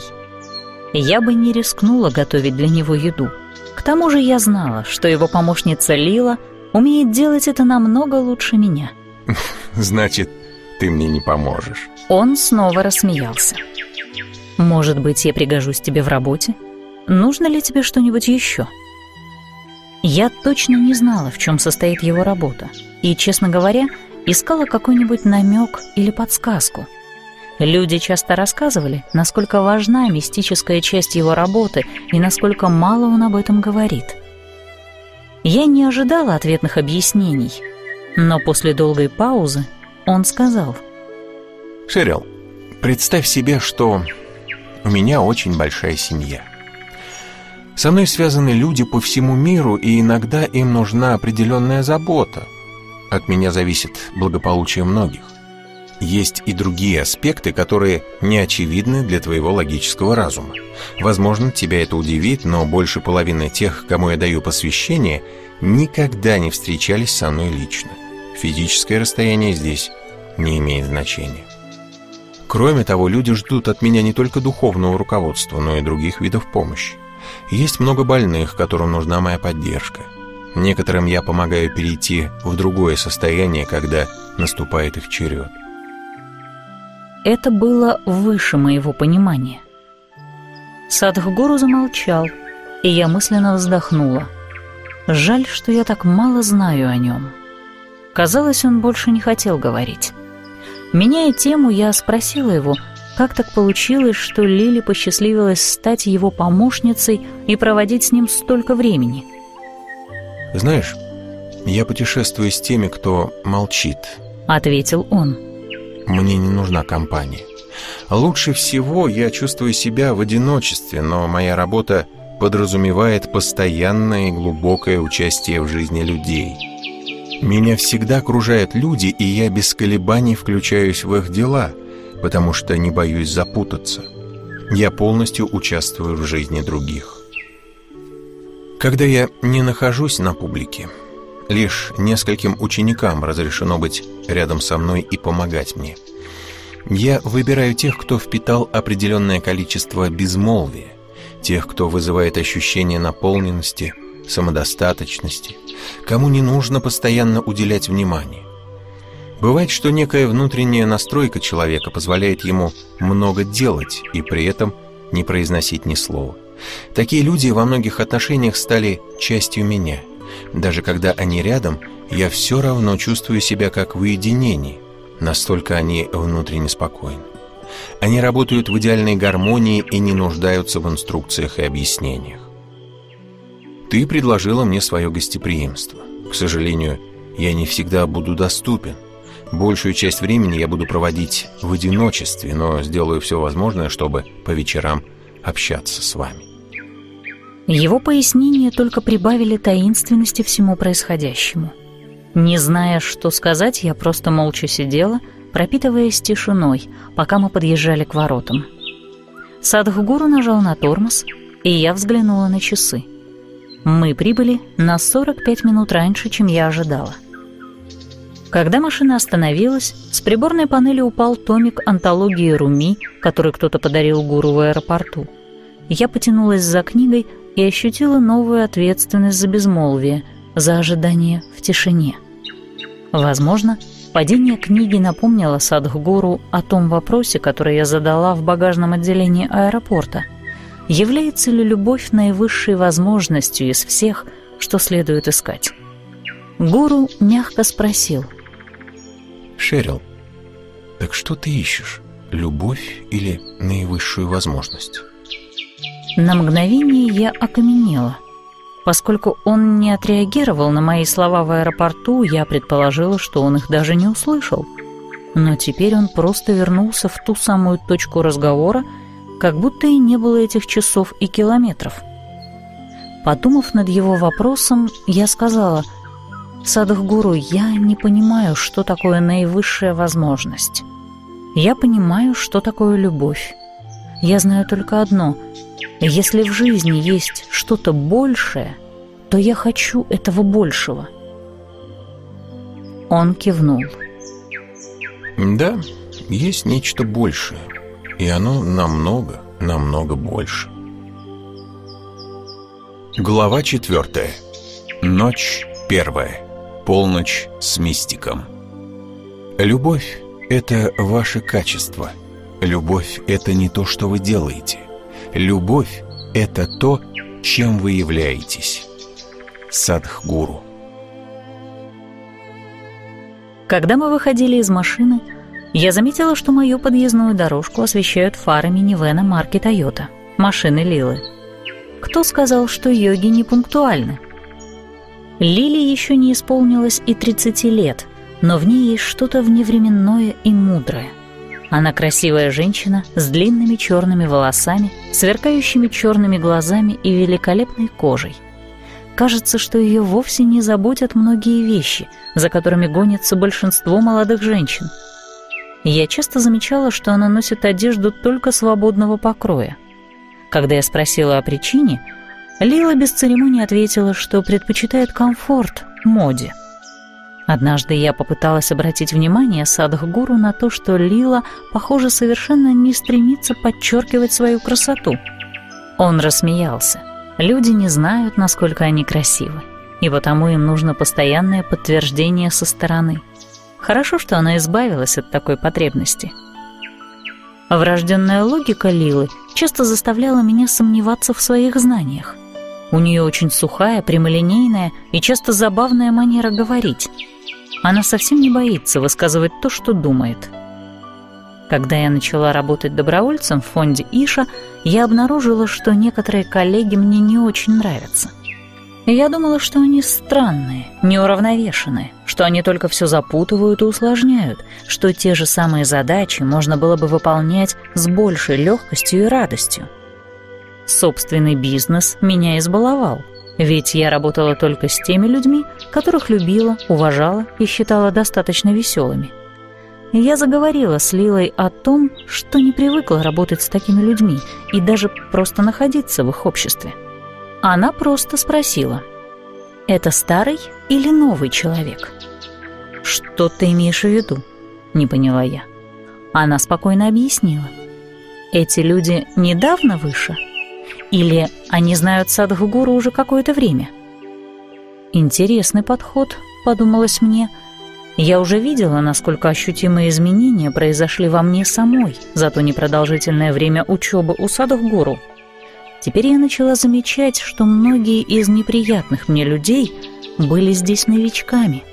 А самое хорошее впечатление производили давние ученики Садхгуру – даже за короткий период моего знакомства с фондом Иша я наблюдала, как быстро развиваются практикующие. Я когда-то слышала, что не стоит судить о Будде по буддистам. Однако, сравнивая мое первое впечатление от некоторых людей с тем, какими они стали сейчас, после избавления от многих внутренних проблем, я подумала, что это хорошо говорит о садхгуру и о той йогической технике, которую он преподает. Однажды Садхгуру сказал, что для него не важно, каким был человек в момент первой встречи с ним, и пояснил, здесь все обязательно изменятся. Какими бы они ни пришли, если захотят, они станут здесь прекрасными людьми. Еще он говорил, что хороший садовник не станет жаловаться на состояние почвы или семени. Вместо этого – он вложит все силы в то, чтобы вырастить цветок, ведь именно в этом и состоит мастерство садовника.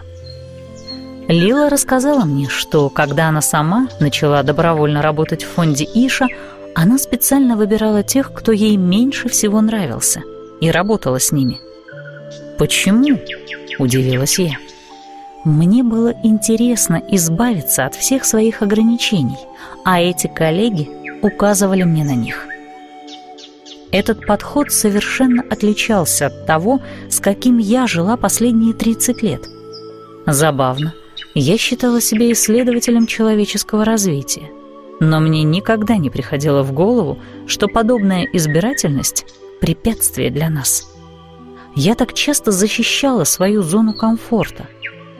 Лила несколько раз говорила мне, что небольшой дискомфорт полезен. У Лилы замечательное чувство юмора, и когда встречаемся, мы постоянно смеемся. Тем не менее, я не знаю, как она поспевает за Садхгуру. Его темпы абсолютно сверхчеловеческие. Я не представляю, как можно жить с таким графиком. Если в мире вообще есть пример того, насколько можно преодолеть свои границы, то это вся жизнь Садхгуру. Он носится по всему земному шару с большей легкостью, чем обычный человек по родному городку. Однажды в Индии я немного проехала с ними в машине. Садхгуру, конечно, был за рулем. Педаль газа не поднималась от пола, а стрелка спидометра не опускалась ниже 120 км в час – когда я спросила Садхгуру, не слишком ли близко от нас проехал встречный грузовик, он отозвался целых 10 сантиметров. Вот это облегчение. За время этой поездки он дважды останавливался в разных городах, чтобы устраивать сатсанги, духовные встречи. На эти собрания пришли в общей сложности несколько тысяч человек. Он совершенно неподвижно сидел и общался с ними почти два часа. Затем мы возвращались в машину и снова мчались по шоссе. Так прошел весь день. Быстрая езда в полной безмятежности и полное присутствие во время сатсангов. Наконец мы прибыли в пункт назначения в два часа ночи. Через четыре часа он уже играл в футбол. Он поддерживает этот темп изо дня в день, год за годом – Хотя после практики Иша-йоги мой энергетический уровень значительно улучшился, скорости садхгуру для меня немыслимы. Я провожу рядом с ним всего лишь несколько дней, максимум неделю, подстраиваюсь под его расписание не более трех-четырех часов ночного сна и настолько устаю, что не могу сложить слова в осмысленную фразу. А Лила непрерывно ездит с ним целыми неделями и не испытывает явных трудностей – хотя очень мало спит. Наконец мы прибыли в мой дом, и мы с Лилой выгрузили вещи из машины. Садах Гуру исчез в отведенной ему комнате. Как и весь дом, она оформлена деревянными панелями, обставлена деревенской мебелью, а стены в ней завешаны индийскими одеялами. Камин в гостиной добавляет ощущение уютного тепла и непринужденного комфорта. Я разожгла в нем огонь, а Лила начала оборудовать для себя кухню, которой собиралась пользоваться ближайшую неделю. Через несколько часов, незадолго до полуночи, она накрыла на стол. То было первое из длинной череды невероятных южноиндийских яств, которые она готовила, не заглядывая в рецепты и почти не повторяясь. Садхгуру вышел к нам на ужин, и мы сели за стол, предвкушая долгую ночь волнующих открытий. Я поставила чайник. Когда он засвистел, Садхгуру спросил. «А скажи-ка, Шерил, у тебя все еще есть лодка?» По блеску в глазах было видно, что он готов немедленно отправиться в плавание. Я улыбнулась. Он весь день летел и ехал, и после этого ему больше всего хотелось покататься ночью на лодке. Да, лодка у меня была, но ни разу за несколько лет мне не приходило в голову вытащить ее в темноте, а тем более в полночь. У меня появился еще один повод восхититься высоким уровнем его физической энергии. Обычно в полночь я ложусь спать, но сейчас мне передался энтузиазм Садхгуру. Я вскочила и провела их с Лилой через раздвижные стеклянные двери по тропе к пристани. Вот она, в полной боевой готовности», — похвасталась я, мысленно радуясь тому, что догадалась заранее собрать лодку и оснастить ее. Тут мне пришло в голову, что ключи от нее и еще несколько полезных вещей остались дома. Я бегом вернулась, схватила ключи, пару одеял, большой фонарик, спички и пару очков ночного видения. Восхитительная летняя ночь, типичная для Северной Каролины, дышала приятной прохладой после жаркого дня. На пристани я на минуту задержалась с охапкой вещей в руках, чтобы заметить и оценить свежесть горного воздуха и обилие звезд в безоблачном темном небе. Сверчки и цикады играли свою симфонию, и все пронизывали тонкие ароматы озера и леса. Садхгуру уже расположился за штурвалом. Мы с Лилой сели, он отвел лодку от пристани, и мы поплыли в глубокую темноту полночного озера Гленвью. Садхгуру вел мою лодку так же привычно, как и машину — Казалось, что он управляет ею не в первый раз. Вода мягко огибала гладкие серебристые поплавки, которые позволяют лодке держать равновесие. Улыбка Садхгуру освещала глубокую ночь вокруг. С трепетом я отметила про себя, что мы на озере одни. Чудесно. Вскоре мы достигли небольшого необитаемого острова — Садхгуру искусно направил лодку в песчаную зону вдоль лесистого берега. Там обнаружилось упавшее дерево, которое мы использовали как импровизированный причал. Пока мы с Лилой привязывали лодку, Гуру ушел на поляну и там быстро развел большой костер.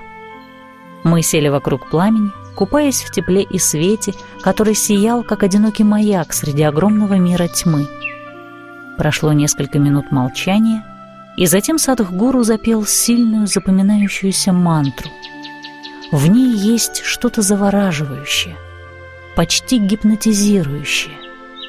Нада Брамха Вишвасварупа, Нада Хисакала Дживарупа, Нада Хикарма Нада Хидхарма, Нада Хибандхана, Нада Химукти, Нада Хи Шанкара, Нада Хи Шакти — Надам, надам, сарвам надам, надам, надам, надам, надам.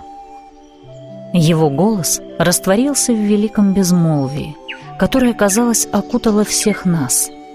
И какое-то время мы сидели в бесшумном, блаженном мире. Потом я попросила Садхгуру объяснить, что означает эта прекрасная песня. «Если перевести дословно», — ответил он, — это значит следующее. Звук есть брахман, проявление Вселенной. Звук проявляется в форме всей жизни. Звук — это рабство. Звук — это средство освобождения. Звук есть то, что связывает. Звук есть то, что освобождает. Звук дарит все. Звук есть сила, стоящая за всем. Звук есть все. Я задумалась над тем, что это может означать. И вспомнила, что в Библии тоже есть места, где говорится о Слове и его всеобъемлющем значении. В начале было Слово, и Слово было у Бога, и Слово было Бог. Мелькнула мысль, что различные духовные традиции во многом перекликаются друг с другом. Снова воцарилась тишина — и через некоторое время Лила заговорила о двух влюбленных, которые хотели, чтобы Садхгуру их поженил. Улучив момент, я спросила у Садхгуру, есть ли такое явление, как родственные души. Я сама так не думала, а причиной моего вопроса был недавний разговор с сыном о том, найдется ли в мире идеальный партнер для каждого человека – когда я выходила замуж в 19 лет, я всерьез считала, что предназначенная мне вторая половинка существует и что я нашла ее. Однако после развода быстро отказалась от этой идеи. Некоторые мои друзья даже в моем возрасте все еще искали себе идеальную пару. Я задавалась вопросом, действительно ли возможен гармоничный союз? Возможно, мой цинизм, вызванный ранним неудачным браком, так и не развеялся, хотя позже у меня сложились по-настоящему счастливые партнерские отношения. При всей благодарности этому мужчине я никогда не обременяла наше партнерство ожиданием идеальной гармонии. Садхгуру переспросил. «Ты имеешь в виду, каждому ли предназначена некая родственная душа?» Я кивнула. На его лице плясали отблески огня, и глаза блестели живо и ярко. Он объяснил. «Попробуй понять следующее. В пары соединяются наши тела. Это требование тела. Может быть, это также разум и эмоции. Таким образом, процесс союза в некоторой степени относится к телу и разуму. Душа не может соприкасаться ни с чем, и она не нуждается в партнере, потому что абсолютно и безгранично. Только нечто ограниченное ищет помощника, чтобы чувствовать себя немного лучше. Эта линия рассуждений, будучи логичной, звучала довольно резко, без тени романтики или шутки. «Зачем ты выбираешь партнера?» — спросил он. «Наверное, чтобы реализовать себя?» — ответила я. «Ты хочешь, чтобы твое тело чувствовало себя немного лучше?» — возразил он с улыбкой. «Мы называем это сексуальностью, и она может быть довольно красивой. Мы хотим, чтобы наш разум чувствовал себя немного лучше. Мы называем это общением. Мы хотим, чтобы наши эмоции чувствовали себя лучше — и мы называем это любовью. Эмоциональная совместимость придает такой любви красоту и комфорт, но не более того. Хорошая физическая совместимость, сходство взглядов и сильное чувство любви может сделать твою жизнь замечательной во многих отношениях. Но если ты готова внимательно и честно взглянуть на все это, ты не сможешь отрицать, что таким отношениям всегда сопутствует ограничения и беспокойство. Найти человека, который физически, умственно и эмоционально совместим с нами – большая удача. Но если ты не согласна оставаться в каких-либо рамках, то ограниченность этой схемы со временем начинает душить. Приятные взаимоотношения подобны жизни в красивом саду. Каждый человек желает их, но это не вопрос души. Все связи, которые вы таким образом создаете, это тело, разум или эмоции. Больше ничего так соединить нельзя. Возможно, если вы подниметесь в своем осознавании и достигнете определенного мастерства во владении энергиями, вы сможете соединить и свои энергии. Крайне важно понимать ограничения, с которыми мы живем, и пытаться выжать из них все самое лучшее сейчас – чтобы завтра выйти за их рамки. Если не понимаешь, какие ограничения связаны с партнерством, то оно иногда выглядит очень красиво, но к концу становится настолько уродливым, что ты не можешь даже изящно из него выйти. Оно становится уродливым просто потому, что ты много лжешь себе и другому человеку. Лучше быть честной, по крайней мере, с собой, если у партнера не хватает необходимой зрелости, чтобы выдержать стопроцентную прямоту. Хотя бы перед собой нужно быть честной. Это очень важно. Если хочешь жить разумно и радостно, очень важно не обманывать себя. А дурачить другого человека не страшно. Ты уже знаешь, что он дурак. Он доказал это тем, что связался с тобой. Закончил гуру и расхохотался. Большое спасибо сказала я и тоже рассмеялась. Хотя и обнаружила, что его юмор звучит куда смешнее и обаятельнее, когда направлен не на меня. Только если ты честна с собой, ты знаешь цену тому, что можешь предложить другому человеку. С ним делай все, что считаешь наилучшим. Чем ты занимаешься с кем-то другим, это не мое дело, это просто социальное явление. Меня заботит, что ты делаешь с собой, и с собой нужно быть честной. Честность с собой очень важна, иначе жизнь не будет течь правильно. А если ты умеешь быть честной с собой, ты легко обретешь большую мудрость. Многие вещи, которые люди считают важными, покажутся тебе незначительными или даже бессмысленными.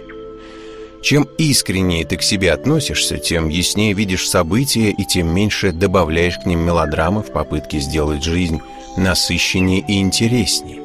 Без этой мелодрамы ты будешь становиться все свободнее и свободнее, а запутанность начнет уходить. Ты будешь рассекать одну мешающую тебе веревку за другой и неуклонно подниматься к возвышенной реальности.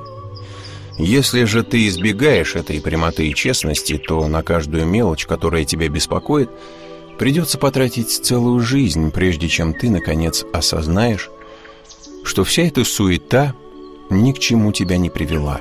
На это уйдет жизнь. Это пустая трата времени и сил. Но если быть очень прямолинейной с собой, можно увидеть, что большинство ценностей, романтизированных миром, фактически ничего не значат, в них нет смысла. Все они совершенно пусты. Жизнь полна по своей сути. Она не нуждается в дополнительном украшении. Только те, кому не хватает насыщенности жизни, те, кто не воспринимает величие внутренней жизни, лелеют эту юношескую идею о том, что они должны улучшать жизнь.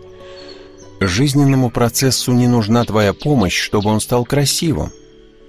Главное — хотеть слиться с ним и познать его красоту. С этими словами Садах-гуру поднял ветку, чтобы пошевелить пару бревен в костре. Затем добавил еще одно большое полено, и вскоре пламя с гулом взметнулось к небу. Он продолжал. Означает ли это, что нельзя наслаждаться простыми аспектами жизни? Нет. Возьмем для примера настоящий момент. Если вы поужинаете, вы достигнете просветления? Нет. Но это не значит, что нам нельзя ужинать, и мы это делаем. Почему бы нам не наслаждаться простым процессом жизни – мы едим, потому что испытываем голод. Ужин не приведет нас к наивысшему достижению, но мы, тем не менее, с удовольствием утоляем голод своего тела. Точно так же, если ты испытываешь эмоциональный голод или тебе не достает чего-то для тела и разума, ты вступаешь в брак. Но ты прекрасно знаешь, что это не высшее достижение. Это хороший и разумный способ не остаться в одиночестве – если ты веришь во множество причудливых идей о браке, то непременно будешь разочарована. Однажды все это рухнет на тебя тяжелым грузом. Даже если ты замужем за самым прекрасным человеком на свете, ты потерпишь крах, потому что не сможешь дурачить себя вечно. Все это призвано сделать нашу жизнь приятной для нас самих и окружающих. То, что ты называешь покоем, радостью и любовью, просто разные уровни удовольствия. Садух Гуру, думаешь ли ты, что некоторым людям стоит вообще отказаться от брака, если они не уверены, что этот путь им подходит? Спросила я. Вполне возможно, если у тебя нет такой необходимости, не выходи замуж. Если ты не голодна, то не станешь ужинать. И тот факт, что все остальные люди ужинают, не будет для тебя важным. То же самое касается всего остального в жизни. Если у нас есть потребность, мы делаем определенные вещи. Если ее нет, не стоит это делать, даже если это делают все. Пока он говорил, я спрашивала себя, насколько еще поддаюсь чужому влиянию. В тот период я была уже уверена в том, что не обманываю себя, но мы не всегда знаем, каким коварным образом влияют на нас мнения других людей – я отчетливо помню тот момент, когда перестала себе врать. Одним холодным дождливым вечером, вскоре после развода, я возвращалась с работы, и моя машина заглохла на дороге. Было три часа ночи, и я ехала забирать Криса из дома няни. Я отправилась искать телефонную будку под проливным дождем, думая о том, что мне на самом деле некому позвонить. Вот тогда я действительно поняла, что абсолютно одинока. Уже какое-то время я жила отдельно от семьи и друзей. Но как только я начала погружаться в жалость к самой себе, что-то внутри сказала. «Ну что ж, ты пришла в эту жизнь одна и уйдешь из нее одна, а все, что ты делаешь в промежутке между этими событиями, зависит только от тебя». Впитывая это одиночество – я поняла, что нахожусь очень близко к обочине жизни. Я больше не чувствовала, что у меня может быть защита в виде семьи или даже близких друзей. Я поняла, что защищенность, которую я ощущала раньше, была ложной. На самом деле все может случиться с кем угодно, есть у тебя семья и друзья или нет. Почему-то это помогло мне подружиться с собой. До этого я гораздо сильнее зависела от других людей. Я приняла себя и внезапно стала очень честной с собой. То был решающий момент, и с тех пор я пытаюсь говорить себе правду без прикрас – Начав практиковать Иша-йогу под руководством садхгуру, я обнаружила, что благодаря этим упражнениям начинаешь видеть себя намного яснее, лучше осознаешь свои действия, чувствуешь себя неловко, когда замечаешь в себе эгоцентризм. Чем больше ясности и чем меньше драмы привносишь в свою жизнь, тем быстрее испаряются твои личные потребности. Смущает тебя это или нет, но начать осознанно менять себя – абсолютно полезно и важно. С этими мыслями я взглянула на часы и удивилась, обнаружив, что уже 2.20 ночи. Время пролетело незаметно, пока мы сидели на уединенном островке, греясь у пылающего костра. Слушая Садхгуру, мы подбрасывали поленья в огонь. Я глубоко осознавала все вокруг — легкий ветерок, танцующий на наших лицах, запахи озера и костра, восхитительные в их земной простоте. Огонь давал тепло и умиротворение. Я посмотрела на Садхгуру. Казалось, он был уверен, что еще не время возвращаться домой. Я рискнула задать еще один вопрос в продолжении недавнего разговора. Садхгуру, я всегда думала, любовь — это высшая цель. Но ты сказал, есть нечто большее. Что это такое? Есть ли такая вещь, как божественная любовь? Через несколько мгновений он ответил. Любовь — это человеческая эмоция. Это одна из самых красивых эмоций, на какие способен человек. Многие культуры или так называемые цивилизации подавляют любовь. Многие люди приложили огромные усилия, чтобы экспортировать любовь на небеса. Но она принадлежит земле, возникает в сердце, которое является тобой. В мире бывает слишком много разговоров о том, что любовь — это Бог. В этом мы убедиться не можем, но если пожелаешь, ты сама можешь быть любовью. Любовь — это человеческая эмоция. Люди способны на огромную любовь. Не нужно отправляться на небеса, чтобы это узнать. Это нежность сердца. Даже твоя собака — это любовь. Приучая людей думать, что любовь приходит свыше, мы постепенно лишаем их способности любить. Любовь приходит изнутри, а не сверху. Если ты освободишь свой ум от сложных предрассудков, которые накопила, отождествляя себя с тем или иным, ты увидишь, что для человека очень естественно любить. Если ты разделяешь мир на правильное и неправильное, на свое и чужое, на Бога и дьявола, то твоя любовь очень обусловлена. Она раба внешних ситуаций. В этом случае любовь не твое качество, а то, что может случиться, только когда ты встречаешь замечательного человека или прекрасное явление. Проще говоря, как любой человек, ты отождествляешься с четырьмя аспектами – телом, разумом, эмоциями и энергией. Их сочетание ты называешь «я». Лучшее, чего может достичь тело, это здоровье и удовольствие. А лучшее, чего может достичь разум, это радость и покой. Пик твоих эмоций – любовь. Энергии могут проявляться либо с мирской беспомощностью, либо с большой силой экстаза. Это единственные области опыта, доступные тебе на данный момент. Как правило, людям не знакома сила тела, разума и энергии, но они способны к сильным эмоциям, гневу, ненависти, ревности, любви или состраданию. У большинства людей эмоциональность – самая сильная часть их существа. Она доминирует и определяет общее качество жизни. А любовь – самая сладкая из всех эмоций. Чего обычно хочет человек – чтобы его тело было здоровым или нездоровым, чтобы ум был счастливым или несчастным.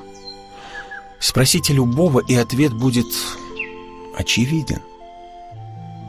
Ну а в плоскости ваших эмоций хотите ли вы любить или ненавидеть, или злиться, или вам близок здравый смысл. Вы, естественно, выбираете любовь. Когда я произношу слово «любовь», ты, возможно, думаешь о любви к другому человеку, но любовь не связана с другими, это твое качество. Так же, как здоровье относится к телу, а счастье к уму, любовь — это твои эмоции.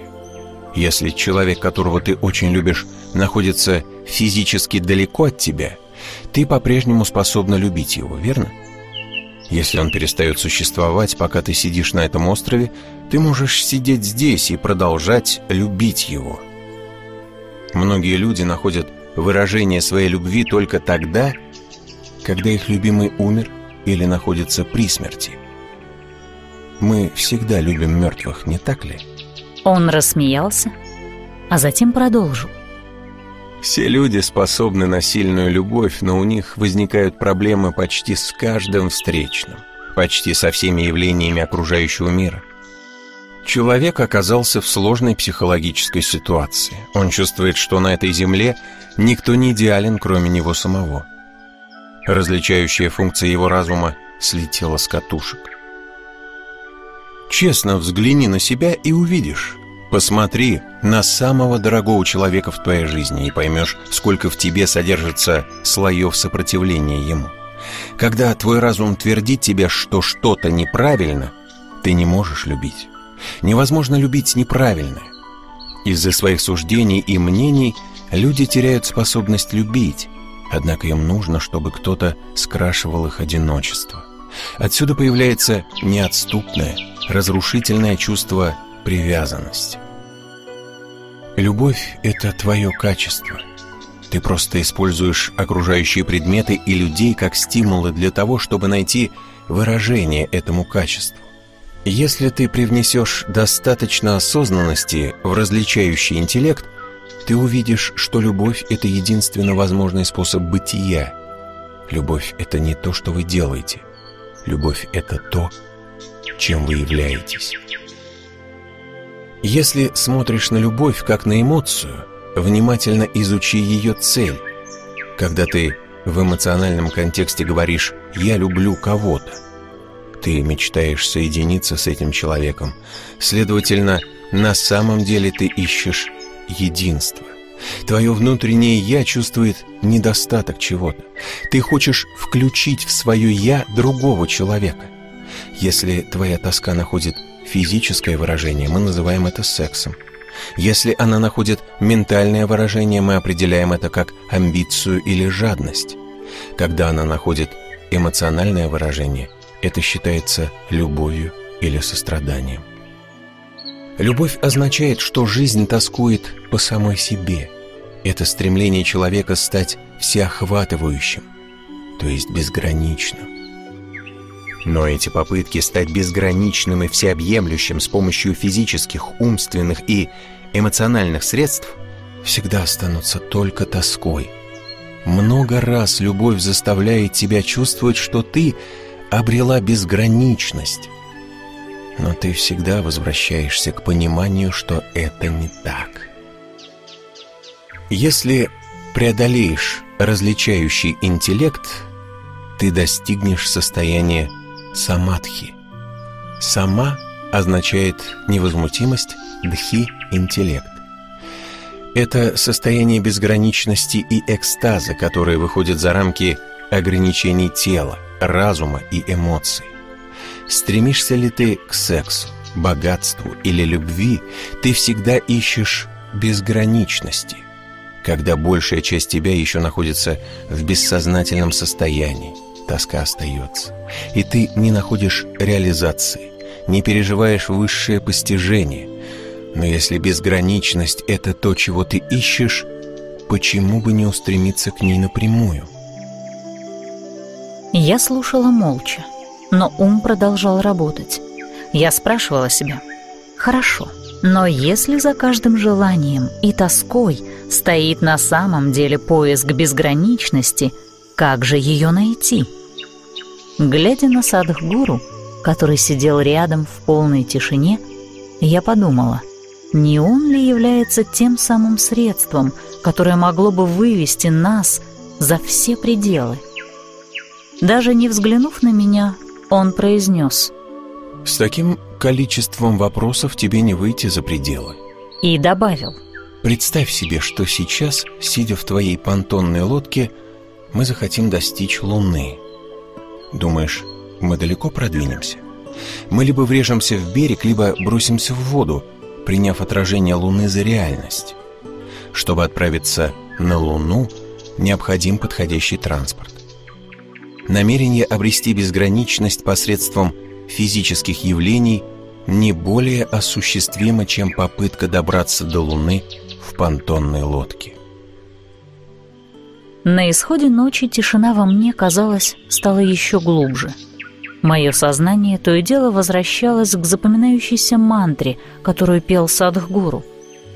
Когда я об этом думала, все сразу — огонь, звездное небо, покой, тишина и общение — помогало мне легко и естественно погружаться в медитацию. В этом медитативном состоянии мне было радостно и уютно, как никогда. Невероятный опыт — просто быть. Чистое, беспредметное сознание вне времени и пространства, неописуемо радостное.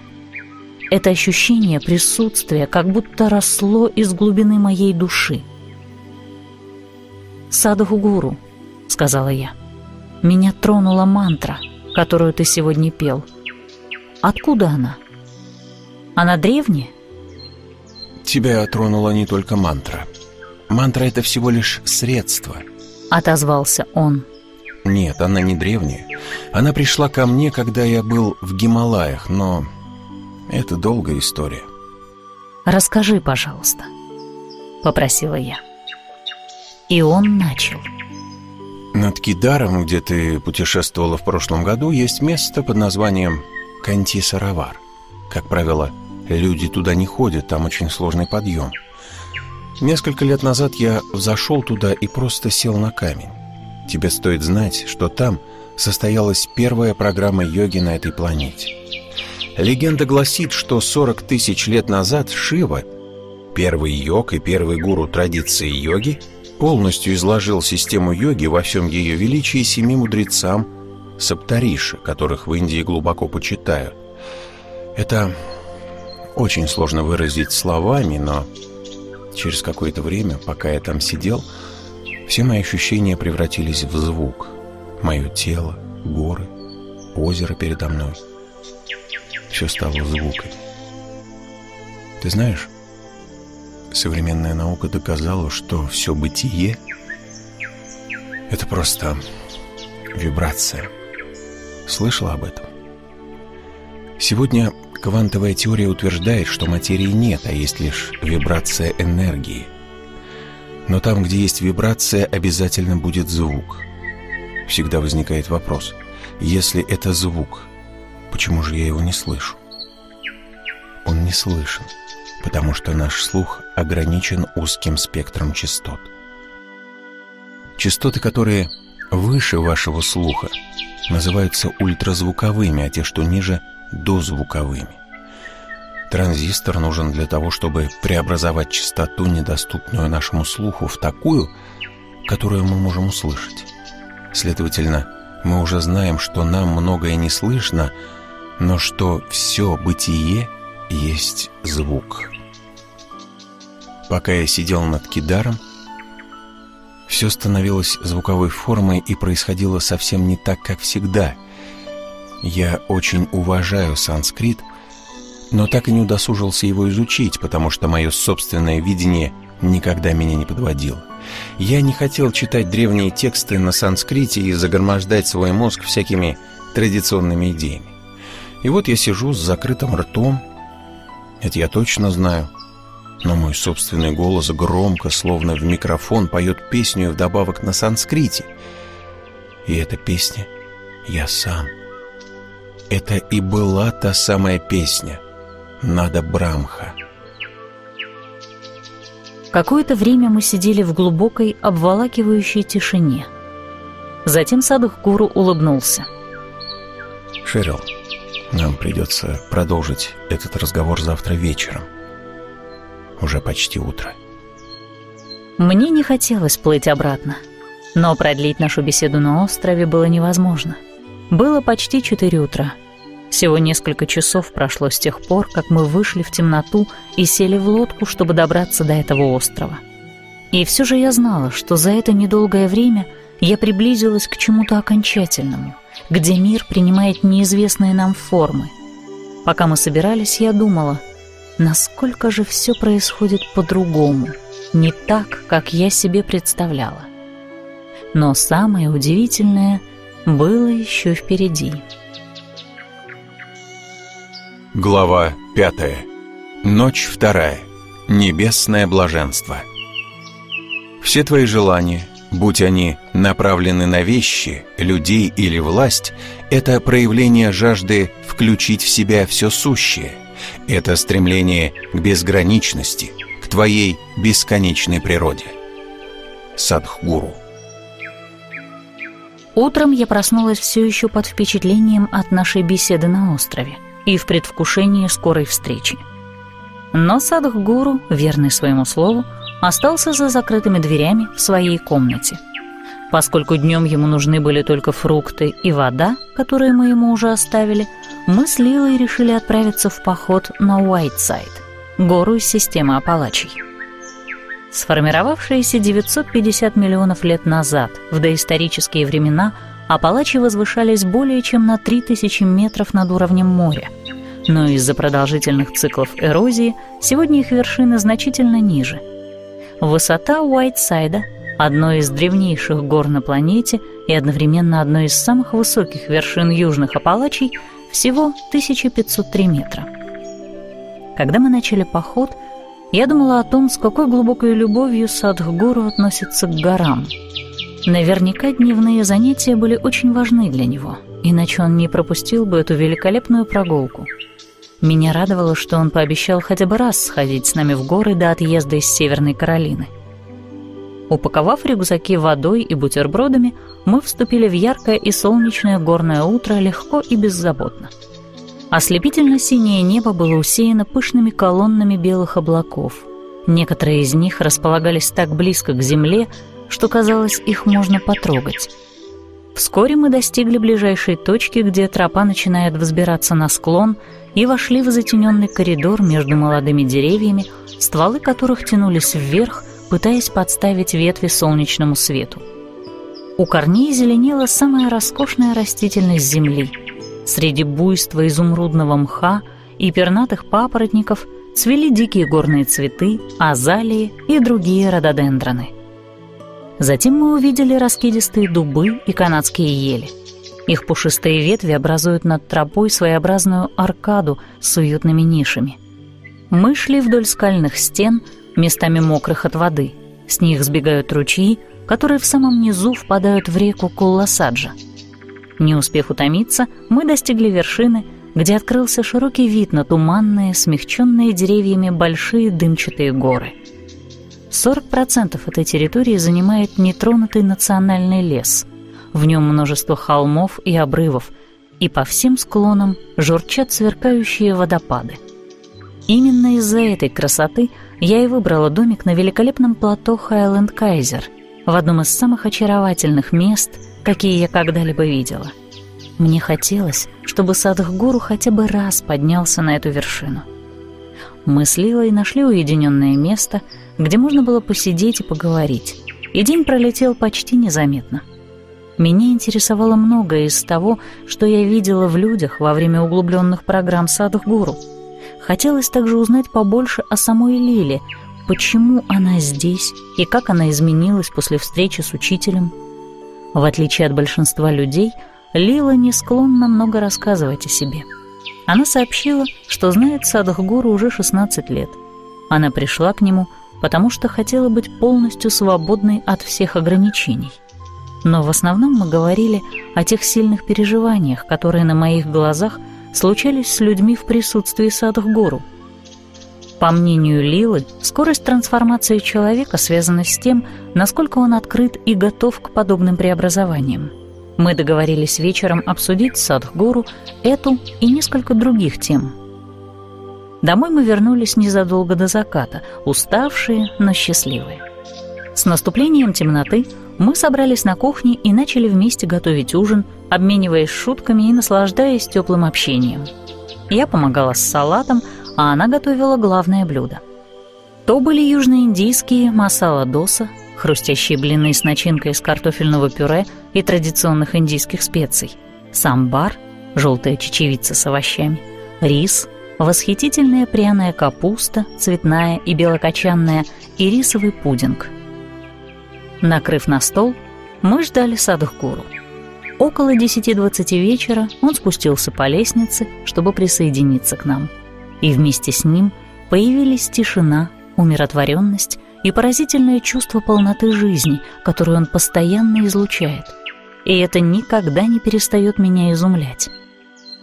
После ужина я увильнула от мытья посуды, а затем, как военный командир, вытолкала гостей в прохладный ночной воздух. Эти места окружены тропическими лесами, и погода здесь меняется так же быстро, как и в тропиках. Днем мы наслаждались теплым солнцем и ярким синим небом, но к ночи над озером повисла плотная пелена тумана, а луну и звезды над головой скрыли облака — Найти остров на этот раз было труднее, и мы справились только с помощью тусклой лодочной фары, цепкой памяти Садхгуру и большого фонарика, который я захватила с собой. Садхгуру отнесся к туману с такой же невозмутимостью, с какой он встречал другие трудности. Он снова провел лодку по озеру на полной скорости. На этот раз у меня возникли две мысли относительно его страсти к скорости — я волновалась из-за низкой видимости, но его уверенность меня успокоила. Я обрадовалась тому, что мы быстро доберемся до места и сможем снова поговорить. Когда мы бросили якорь возле острова, мы с Лилой помогли Садхгуру собрать валежник, и он начал разводить костер. Мы выгрузили из лодки одеяло, фонарик, чипсы, тортильи и сальсу. Когда мы подошли, Садхгуру уже сидел, скрестив ноги, перед бушующим пламенем, от которого летели искры, устремляясь в непроглядную ночь. От этого зрелища меня охватило ощущение дежавю. Мы снова были здесь, как будто и не уходили, внутри круга, образованного пылающим костром. Мы прислушивались к кухонью совы и плеску воды вокруг лодки. Мы сидели рядом с человеком настолько основательным, что мне показалось, будто его след навсегда останется на этом маленьком кусочке земли. Как здорово быть здесь вместе с ним! Пока мы молчали, я подумала о вчерашнем разговоре и вспомнила, что гуру упомянул о самадхи. Собственно, мысли о самадхи возвращались в мое сознание весь день. Я знала, что это означает состояние блаженства — но предполагала, что за этим понятием стоит нечто более сложное и глубокое. У меня было много вопросов. Я все еще не понимала его качеств или, точнее, пути к нему. Казалось, что слово «самадхи» используется для описания многих разных состояний бытия. Переживал ли их кто-нибудь из участников углубленных программ? Вело ли это к просветлению – давало ли это вкус просветления или было самим просветлением? Было ли это временным слиянием с Богом или постоянным? Когда Иисус сказал «Царство небесное внутри вас», не это ли блаженство он имел в виду? «Садхгуру», — сказала я, — «ты еще поговоришь с нами о самадхи? У меня много вопросов». Помимо того, что я читала, я также видела в Индии могилу, на которой было написано слово «самадхи». Что это значит? Нужно умереть, чтобы достичь состояния самадхи? Последние слова я произнесла наполовину в шутку и знала, что, по мнению многих людей, сам гуру находится в вечном самадхи или состоянии блаженства. Садх гуру громко рассмеялся. Большинство людей переживают мир и трансцендентность только когда умирают. Ответил он. Знаешь, у вас в Америке говорят «покойся с миром», даже когда в беспокойстве проходит целая жизнь. Вы слышали о женщине, которая заказала надгробную плиту для своего мужа с надписью «Покойся с миром, пока мы снова не встретимся»? Он опять расхохотался. К сожалению, для большинства людей отдых и покой возможны только после смерти. Самадхи – состояние, в котором человек преодолел ограничения тела и разума. И это должно произойти в жизни, а не в смерти. Для тех, кто находится в состоянии самадхи, нет такого явления, как смерть. Смерть относится к сфере физического. Ваше тело – это просто то, что вы накопили. Это кусок земли, который вы поглотили с пищей. Всего лишь кусок земли. Он постучал себя по груди. А ходит гоголем. Ты взяла свое тело взаймы у этой планеты. Все бесчисленное множество людей, которые жили на этой планете до нас, стали верхними слоями почвы. И тебе это тоже предстоит. Эта планета, атом за атомом, возьмет обратно то, что нам одолжила, хотя и без процентов. Он подмигнул. Если человек постоянно на опыте осознает, что и тело, и ум, по сути, собранные накопления, то это самадхи. Ты живешь в теле, но не являешься телом. Обладаешь разумом, но не являешься им. Это значит, что ты абсолютно свободны от страданий, потому что все известные тебе страдания приходят через тело и разум. Как только твое осознавание достигает такой высоты, что становится способным создать пространство между этими двумя скоплениями и тем, кто ты на самом деле, наступает конец всех страданий. Корень неведения — это отождествление с накоплениями, которые ты называешь телом и разумом. Твоя ясность видения затуманена всеми твоими отождествлениями и личностью. Именно из-за этого ограниченного отождествления человек проводит черту между собой и другими. Вот корень всей дисгармонии, всех конфликтов и страданий. Самадхи — это состояние, в котором эти различия уничтожены, и ты смотришь за горизонт. Самадхи может стать шагом к просветлению, но это не одно и то же. Пребывание в самадхи, несомненно, ускоряет опыт безграничности, создавая четкое пространство между твоей истинной сущностью и тем, чем ты не являешься. Тем не менее, ты можешь испытывать эти состояния и наслаждаться ими, при этом не переживая сущностную природу бытия и еще не освободившись от всех навязчивых аспектов жизни. Люди, которых я вижу в программах Иша, часами сидят в экстазе, со слезами на глазах. Это и есть состояние самадхи? Да. То, что ты наблюдаешь в углубленных программах, это разные уровни самадхи. Это определенное состояние невозмутимости, когда интеллект выходит за рамки своей обычной различающей функции. Если интеллект нам не мешает – рушится граница между «я» и «не я». Природа гуру, его цель и энергия — это демонтаж и растворение ограничений. В моем присутствии вы всегда будете ощущать незначительность своих физических и психологических потребностей, потому что моя энергия настроена на то, чтобы оттолкнуть вас от них или создать расстояние между вами и вашим разумом и телом. Все, что я делаю или говорю, направлено именно на это. Как только ты позволишь моей энергии в тебя проникнуть, ты окажешься в состоянии самадхи. Далеко ли ты продвинешься? Настолько, насколько сама готова. Все мои слова нацелены на то, чтобы ты позволила мне встать между тобой и твоим телом. Многие люди входят в экстатические состояния, когда я появляюсь рядом, даже если у них закрыты глаза, даже если они не подозревают о моем физическом присутствии. Я сама это видела. Многих моих друзей переполнял такой восторг, что какое-то время им приходилось помогать, как маленьким детям. Их приходилось поддерживать, как будто они пьяны – но это опьянение выглядело таким блаженным, что мне самой очень хотелось пережить это состояние на собственном опыте. Мне было трудно осознать и принять то, что причина, по которой я этого не переживала, заключалась не в стабильности и уравновешенности, а в неуверенности и страхе потерять контроль. Меня смущала абсолютная отстраненность, с которой Садхгуру и некоторые другие в фонде Иша поют, танцуют и вообще проживают каждое мгновение своей жизни. Садхгуру показал мне, что так называемый контроль — это на самом деле подавление. Можно наслаждаться этими состояниями и при этом не знать сущностной природы бытия, не быть свободным.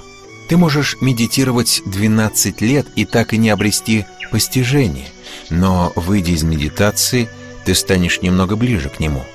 Когда переходишь в другую реальность и остаешься там долгие часы или годы, ослабевает хватка повседневной реальности и возникает эмпирическое понимание того, что существует что-то за ее пределами.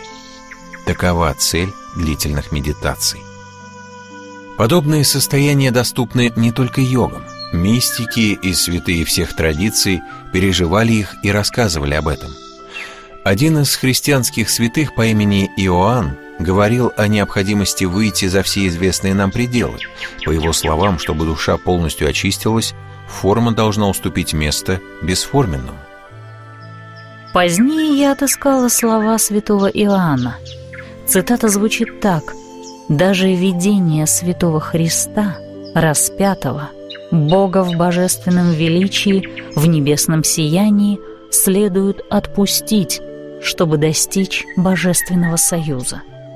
В Иша-йоге, продолжал Садхгуру, мы создали мощно освещенные пространства, где очень часто возникает самадхи. Эти состояния очень приятные, блаженные, экстатические – есть также еще более высокие самадхи. Как только ты освободишься от всего, что считаешь собой, ты узнаешь блаженство творения и Творца. На основе этого блаженства можно узнать измерение вне физического, и это основа истинной любви и сострадания. Тот, кто обеспокоен своими бедами, никогда не узнает истинной любви и сострадания. Любить по-настоящему могут только те, кого личное больше не тревожит.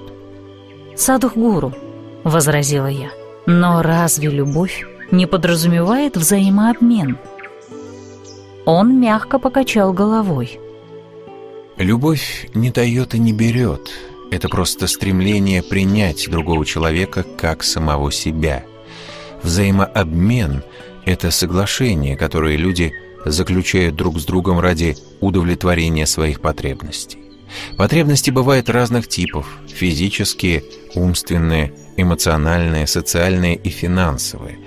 Их выполнение – часть процесса выживания, но это не любовь. «Я рассказывал вам историю о красивой женщине в парке?» – спросил он с улыбкой. Садхгуру с нескрываемым удовольствием делится озорными, часто едкими рассказами. Как правило, в них в равных пропорциях смешана жесткость и сострадательная ясность. Я ответила, что не слышала такой истории. И он начал. Однажды Шанкаран Пилай отправился в парк. Там на каменной скамье сидела привлекательная женщина. Он сел на ту же скамью. Через несколько минут он пододвинулся ближе. Женщина отодвинулась. Он подождал еще пару минут, затем снова немного придвинулся. Она отодвинулась. Когда он еще раз это сделал, дама уже сидела на самом краешке. Он придвинулся совсем близко и обнял ее. Она оттолкнула его руку. Тогда он опустился на колени и протянул ей цветок со словами «Я люблю тебя как не любил никого в жизни. Как ты знаешь, женщину несложно обмануть, так что Пиллай получил все, чего хотел. А без четверти восемь вечера он вскочил на ноги и сказал «мне пора». Она удивилась. «Ты уходишь? Ты же сказал, что любишь меня». «Да, но дома меня ждет жена». Садах Гуру посмеялся. Я вовсе не сочла эту шутку такой уж забавной. А затем перешел к сути. Фраза «Я люблю тебя» стала своего рода мантрой, как «Сезам, откройся». Произносишь эти слова и получаешь все, чего желаешь. Однако на деле эта мантра означает совсем иное. «У меня есть потребности, и я хочу их удовлетворить». Конечно, неудовлетворенные потребности есть у каждого человека. Это неплохо и нехорошо. Если ты ясно это видишь, у тебя есть шанс превратиться в любовь. Главное быть искренней и правдивой по отношению к самой себе. Честно говоря, ты можешь ощутить вкус любви только тогда, когда твой ум нацелен на благополучие другого человека. В противном случае это не более чем схема взаимовыгодной сделки. Тогда вся так называемая любовь испарится, как только вы оба поймете, что ваши потребности не удовлетворяются.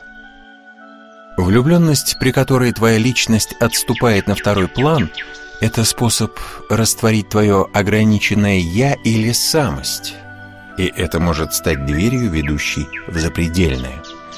Ты недавно спрашивала, существует ли божественная любовь. Любовь всегда божественна. Когда тебя охватывает любовь, ты все еще здесь, но уже не принадлежишь этому миру. Знаешь, очень многие люди утверждают, что Бог любит их. В таком состоянии, до которого они себя довели, любить их может только Бог.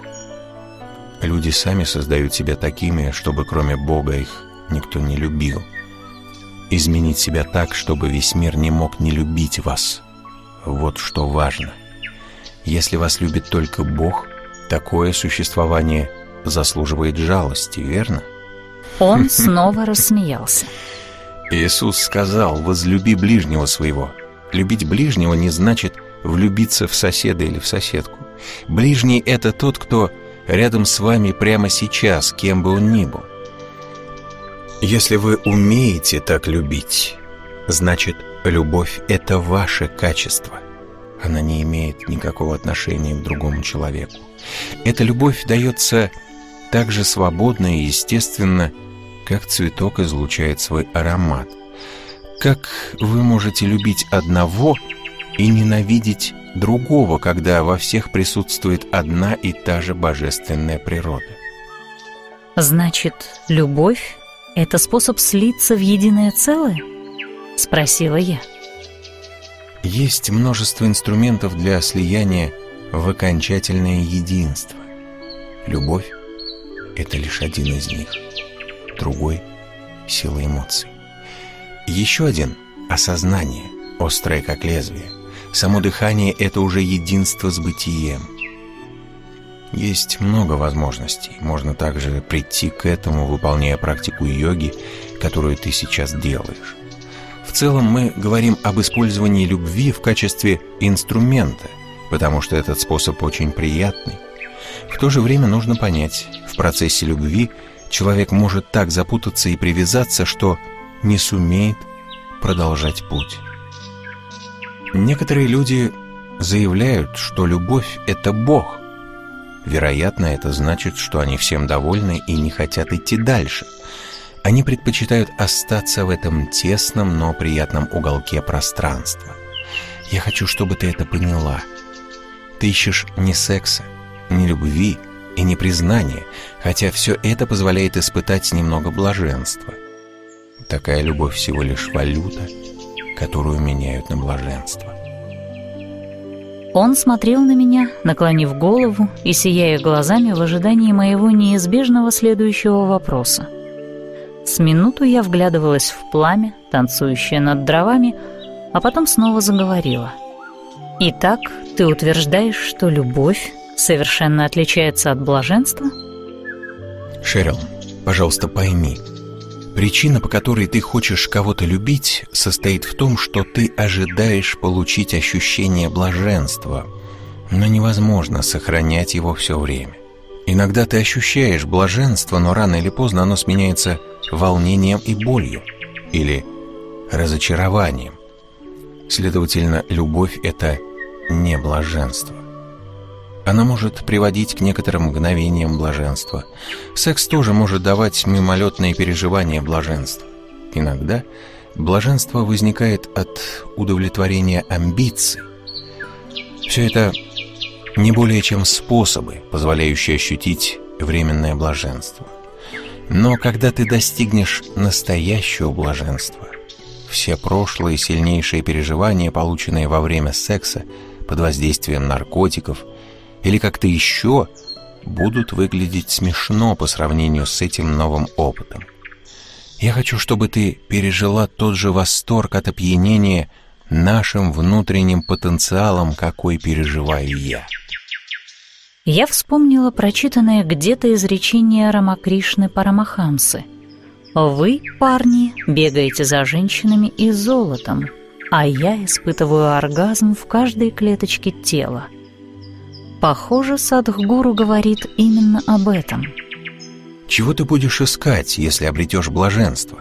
Секса или любви? Ответ прост. Ты будешь действовать так, как потребует ситуация. Дело не в том, что ты не сможешь заниматься сексом, любить или достигать успеха в своей профессии. Все эти возможности останутся с тобой. Просто сейчас ты преследуешь эти цели, потому что не знаешь, как вызвать то блаженство, которое является самой основой тебя. Ты кружишь вокруг цели. Ты называешь это сексом, любовью, успехом или жаждой, но это просто жизнь тоскует по самой себе. Все, чего ты жаждешь, это получить более крупный кусочек жизни. Это все, что ты делаешь на этой земле. Это и есть стремление жизни включать и знать себя во всей своей полноте. Осознанно это или нет, но ты лелеешь надежду, что если стать чуть-чуть больше, то можно обрести покой. Но как только это чуть больше достигается, ты хочешь еще чуть больше, еще и еще. Твоя жажда — это не стремление к вещам, а людям или власти. Это стремление к безграничности, к твоей бесконечной природе. Ты заметила, что в тебе есть что-то, что не любит границ? Твой инстинкт самосохранения постоянно создает или укрепляет границы, но ты все равно их не любишь. Что-то внутри тебя хочет выйти за пределы, охватить и узнать более обширную часть жизни. Но как более обширная часть жизни даст тебе постоянный покой? Ничто никогда не успокаивало меня окончательно — даже если жизнь складывалась как нельзя лучше», — ответила я. «Даже если бы я сделал тебя королевой этой планеты, не волнуйся, я не допущу такой ошибки. Разве ты перестала бы с тоской смотреть на звезды и мечтать о чем-то большем?» Краем глаза я заметила, что Лили мой образ в виде королевы показался очень забавным, и тоже улыбнулась ей. Однако Садах Гуру не обратил на это внимания и продолжил. Пожалуйста, подумай как следует.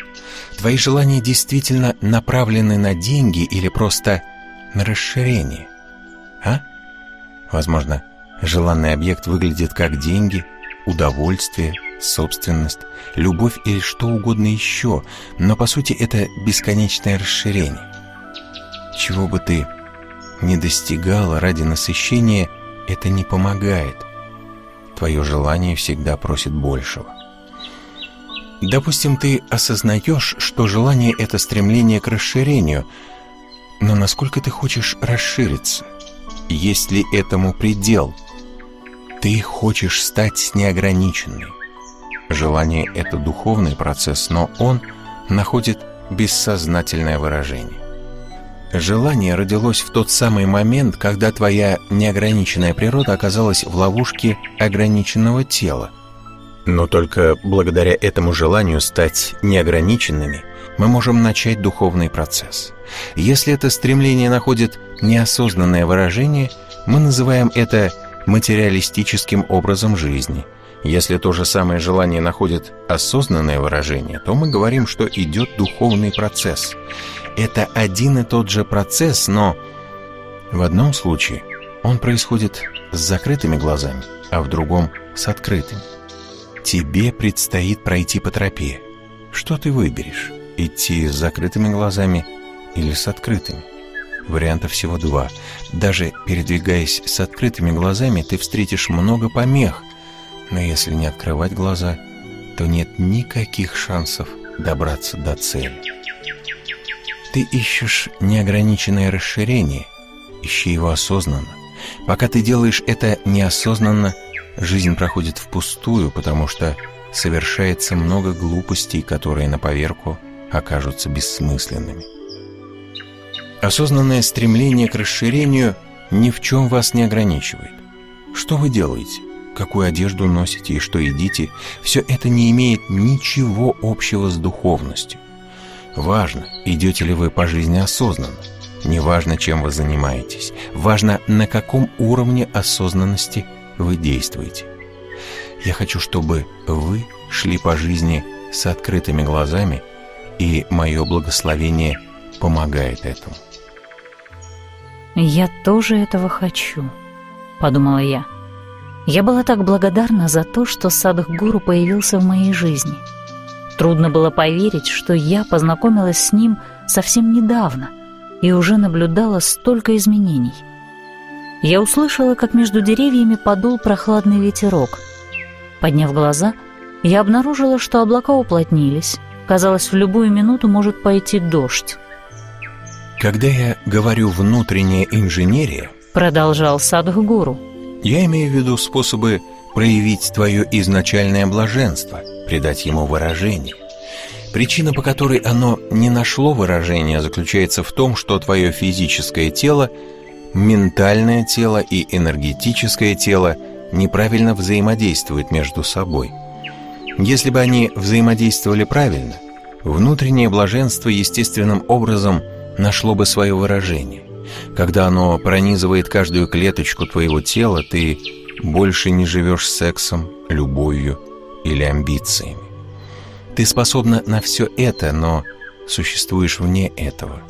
Ты все еще часть мира, но тебя уже коснулось божественное, и оно приведет тебя к возвышенным состояниям изобилия.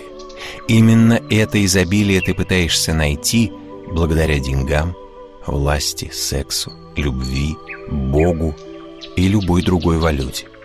Все, чего ты хочешь, это усилить переживание жизни до наивысшей точки. Последовало молчание, и я задумалась об огромном море человечества, частью которого являюсь, и о том, как мы постоянно чего-то ищем, к чему-то стремимся, то и дело ошибаемся и продолжаем свой поиск – я начинала понимать, что это стремление — лишь неосознанное выражение жизни, которое пытается найти путь к своему естественному пику. Я прислушалась к треску огня. Мне казалось, что дрова в костре сгорают, как все мои прошлые причудливые идеи.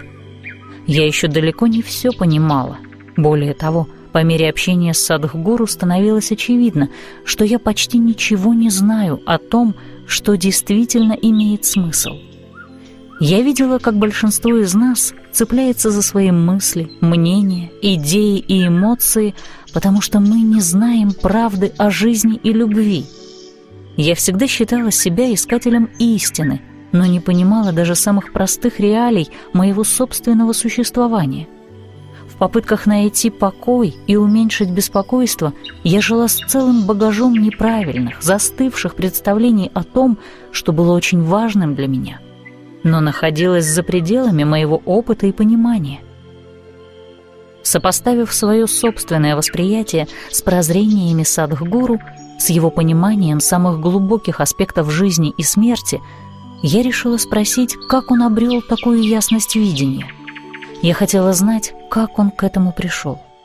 Подумав, я попросила его рассказать историю его жизни и пробуждения – я читала некоторые его истории, но мне очень хотелось послушать его лично. Он заговорил об этом так, будто все произошло вчера. Я не удивилась. Меня, как и многих других, восхищала его яркая память, его способность легко вспоминать имена и подробности жизни тысяч людей. «Я никогда не был ребенком», — начал он. Оглядываясь в прошлое, я четко помню все, что происходило вокруг меня. Я помню даже события раннего детства. Как выглядела комната, кто там был, что говорил и что на нем было надето. Моя мать всегда удивлялась, когда я подробно описывал события и разговоры, свидетелем которых был в трех- или шестимесячном возрасте. Даже в детстве я думал так же, как и сейчас. В детстве Садхгуру все называли Джаги. Это короткая форма имени Джагадиш, данного ему при рождении.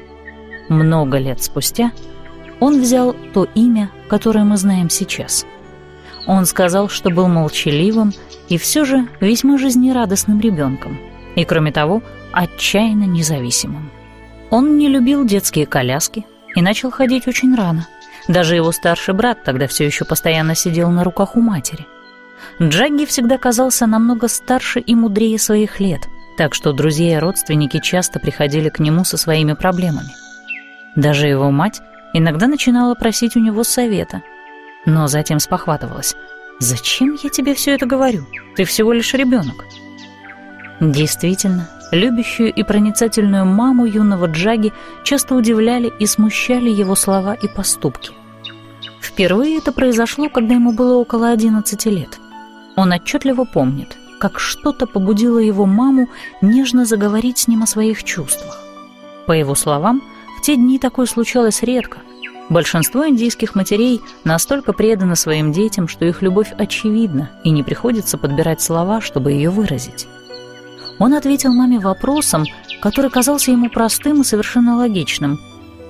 «Если бы я родился у соседей, ты бы любила меня точно так же?» Мама очень смутилась. Ее глаза наполнились слезами, и она вышла из комнаты. Его невинный вопрос прозвучал для нее обидно. Полчаса спустя мама вернулась все еще в слезах. Она молча прикоснулась к его ноге и снова исчезла. Джаги понял, что он причинил ей боль, но она пытается примириться с правдой, стоящей за его вопросом. Конечно, родись он у соседей, она не питала бы к нему таких чувств. Он знал, что это заставило ее переосмыслить свою любовь к детям, мужу, отцу, матери, ко всем своим. Он утверждает, что единственным членом его семьи, которого он никогда не мог удивить, была бабушка. Иногда он заставал ее танцующей в экстазе – Многие родственники считали ее странной или сумасшедшей, но он так не думал. Он очень любил ее и тянулся к ней. Она пела, танцевала, плакала и ногами бросала цветы богам.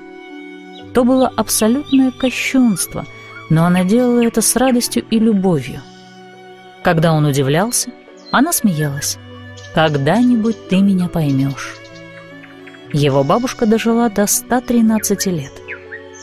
Неудивительно, что у Джаги было столько вопросов, что он почти не мог усидеть на школьных уроках.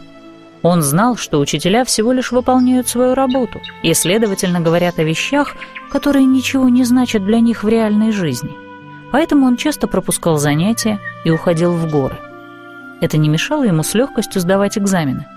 Он быстро читал и усваивал все, что необходимо было знать. Когда Джаги исполнилось 10 лет, он стал часто наведываться в ту точку на Земле, которая позднее стала местом его просветления.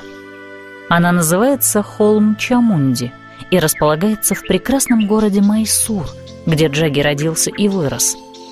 Для него и его друзей этот холм служил площадкой для гонок на мотоциклах и веселых вечеринок. Позже он даже устраивал там деловые встречи. Но иногда – Бродя в одиночестве, он отправлялся в густые леса. Там он проводил по несколько дней, питаясь прихваченными с собой припасами. Обычно это было несколько тайком сваренных яиц и лепешек.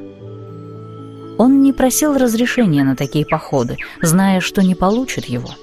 Однако всегда оставлял родителям записки с обещанием вернуться в определенный день и никогда не нарушал своих обещаний. Пропадая в лесу, он целыми днями гулял или сидел на верхушках деревьев, покачиваясь на ветру. Спустя несколько лет, сидя на деревьях, он начал переживать восторг и блаженство. Однако лишь в зрелом возрасте он понял, что это была медитация. Прошли годы, и он начал учить других людей медитировать, точно так же покачиваясь. Часто он возвращался домой с сумкой, полной змей, которых ловил в лесу. Эти существа его очаровывали. Он любил их ловить и очень хорошо умел это делать.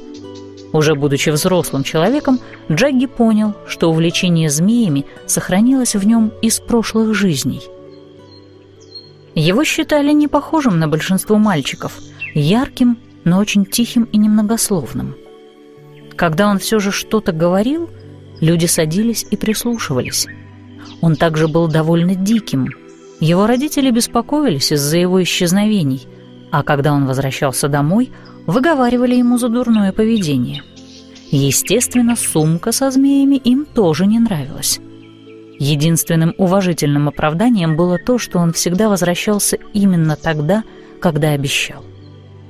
Родители Джаги всячески старались не дать ему те пять или десять рупий, на которые он покупал хлеб и яйца для своих походов, но он всегда находил способ заработать эти деньги.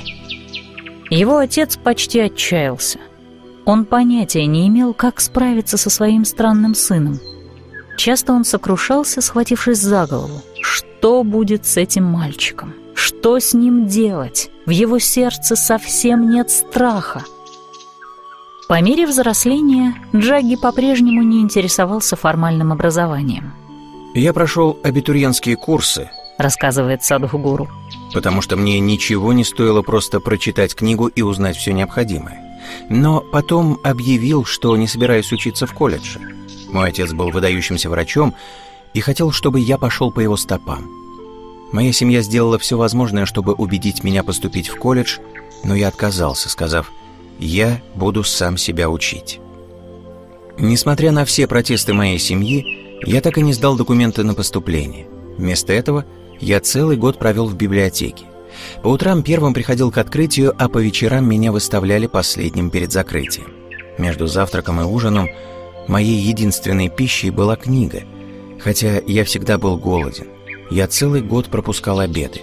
Я читал множество разной литературы, от физики до философии, географии и истории, от Гомера до популярной механики, от Кавки до Калидасы, от Данте до несносного Денниса. Этот год дал мне больше академических знаний и эрудиции, чем любые школы и институты.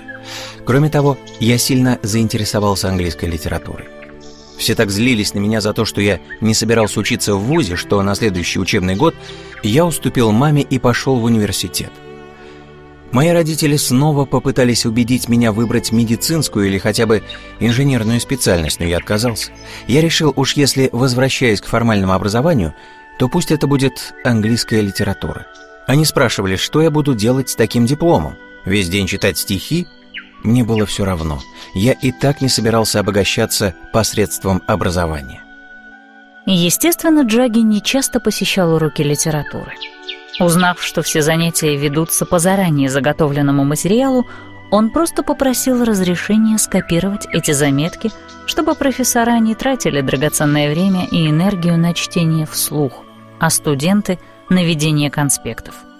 Преподаватели были не в восторге, но, учитывая его высокие оценки, позволили Джаги посещать университет в таком неортодоксальном режиме все оставшиеся годы. Его присутствие больше не требовалось. Поэтому я обосновался в университетском саду, вспоминает он. И люди начали приходить ко мне и делиться своими проблемами. Меня удивляло то, сколько у всех проблем. Я никому не предлагал помощь, это просто произошло само собой. По сути, в университете он занимался примирением людей. Своих проблем у него никогда не было, но чужие трудности пробуждали сочувствие. Когда пришло время защиты диплома, Джагги представил сразу 15 письменных работ и получил высокие оценки. Воодушевленный этой демонстрацией академического мастерства, его отец пытался убедить юношу получить степень магистра. Джаги отказался, объяснив, что ему этого достаточно. Кроме того, он уже прочитал все материалы, которые изучаются в магистратуре.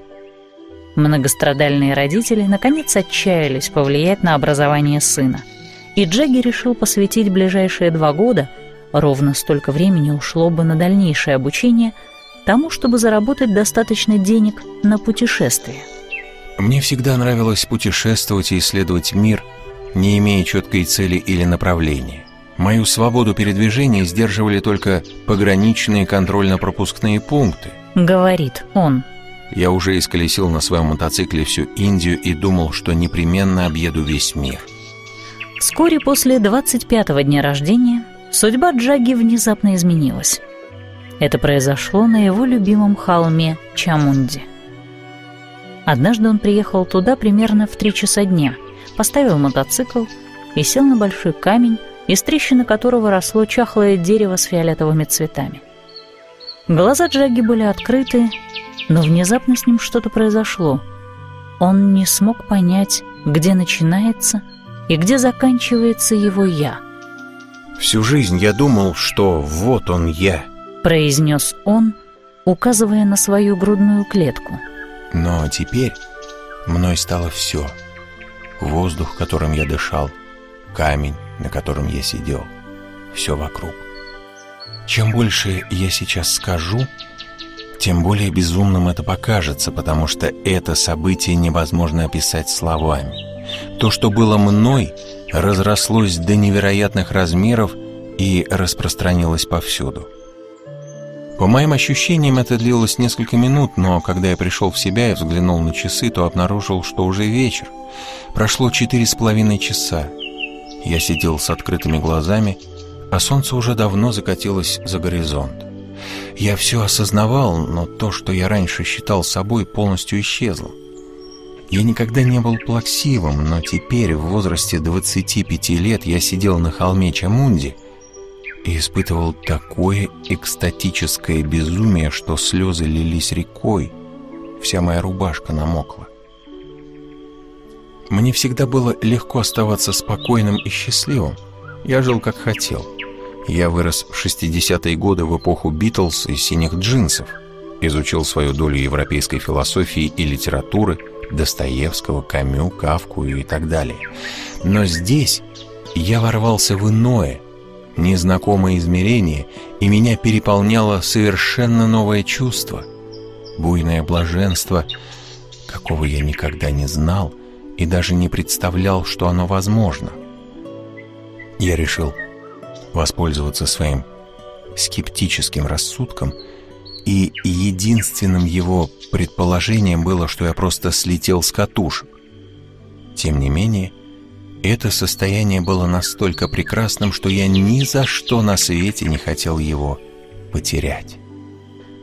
Через шесть дней после озарения, пришедшего на холме Чамунди, переживание вневременного повторилось.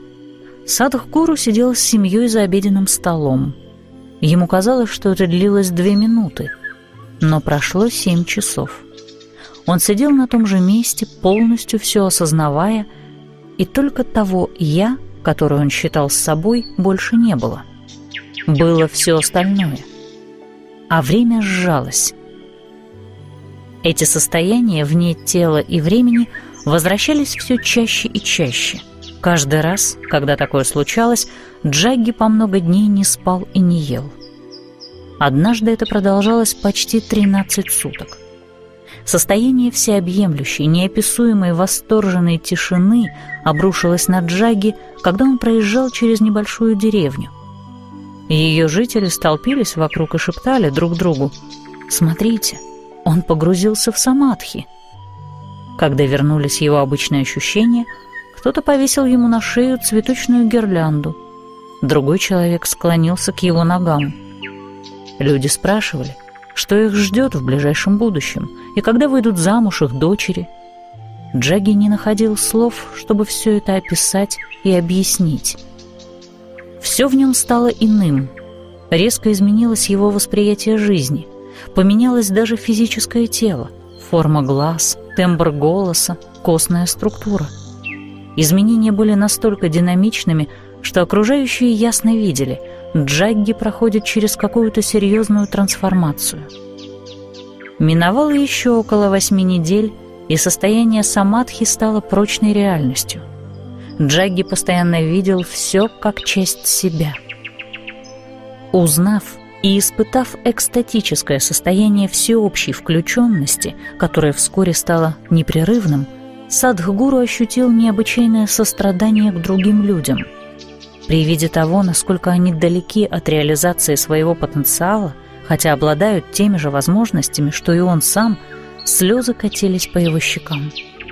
Эти слезы сострадания постепенно преобразовались в решимость преодолеть все личные ограничения, выйти из зоны комфорта и предложить путь развития как можно большему числу людей.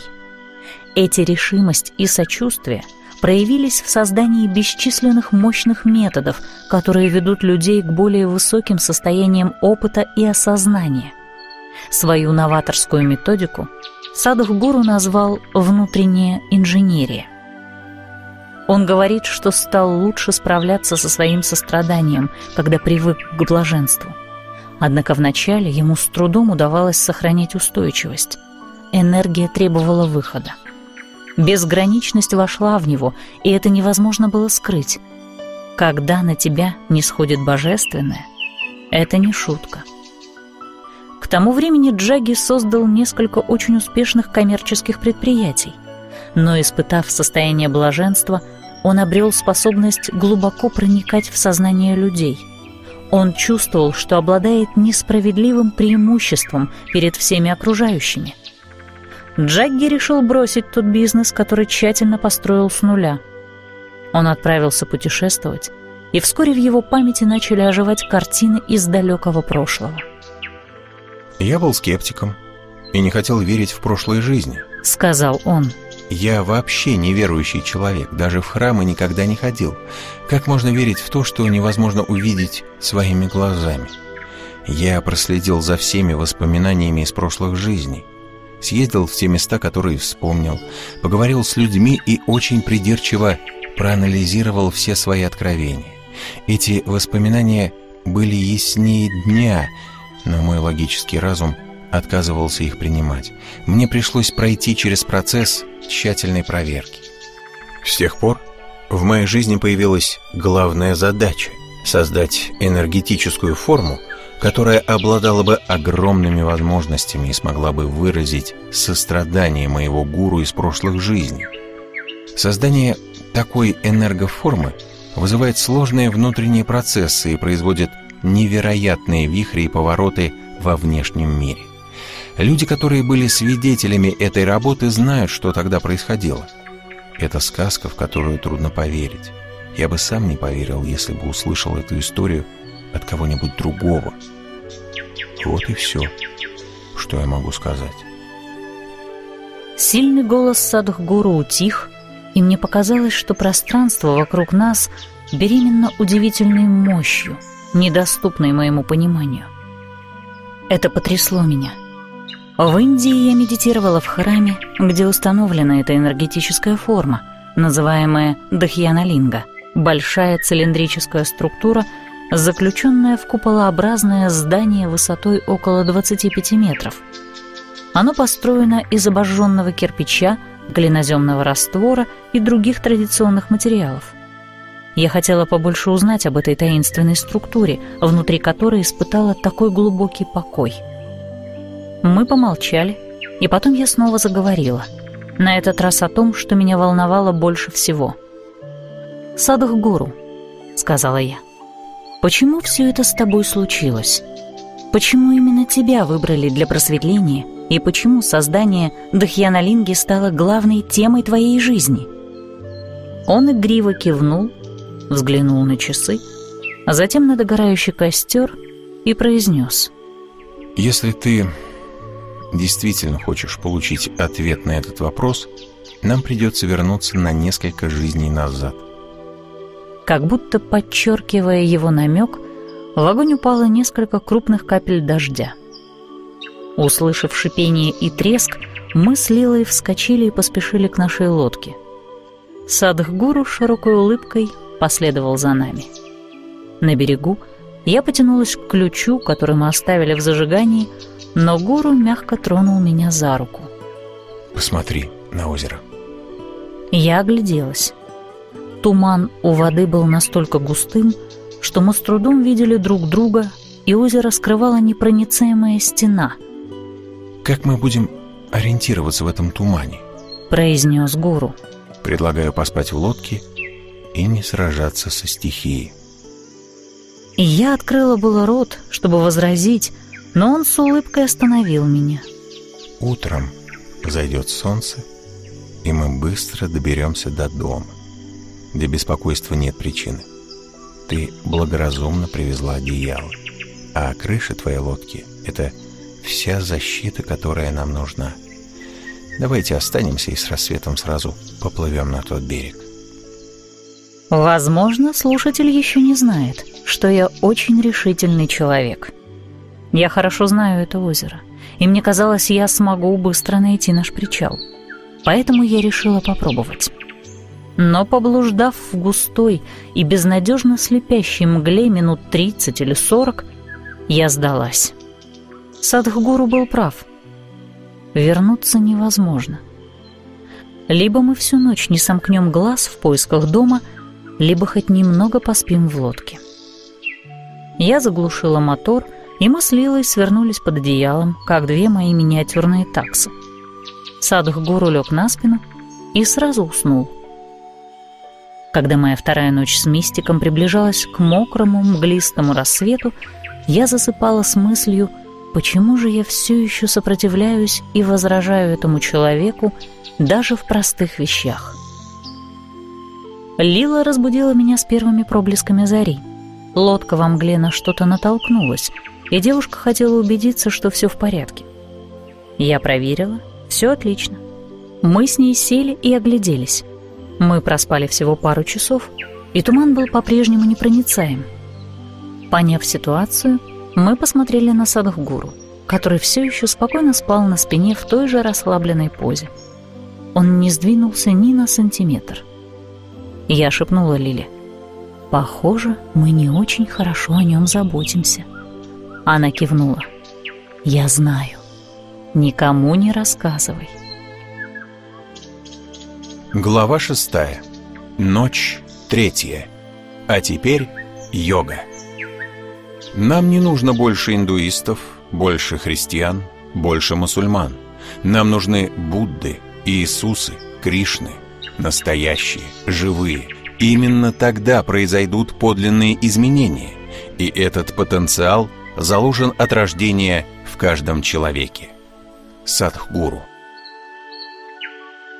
Утром, вглядываясь в туман, покрывающий озеро, мы с Лилой чувствовали себя утомленными. Садхгуру же, как всегда, проснулся полностью отдохнувшим и теперь искрился энергией. Часы показывали четверть седьмого.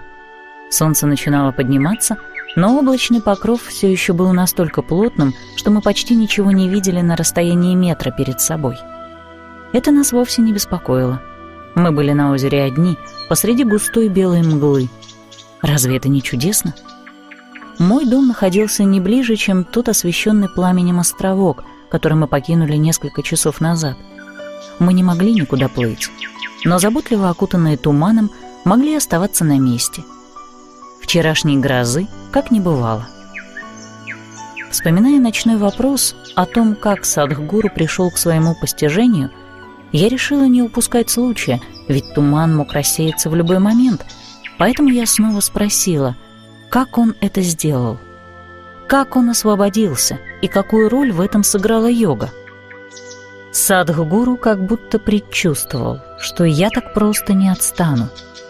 Он ответил, йога впервые вошла в мою жизнь давным-давно, задолго до рождения моего нынешнего тела.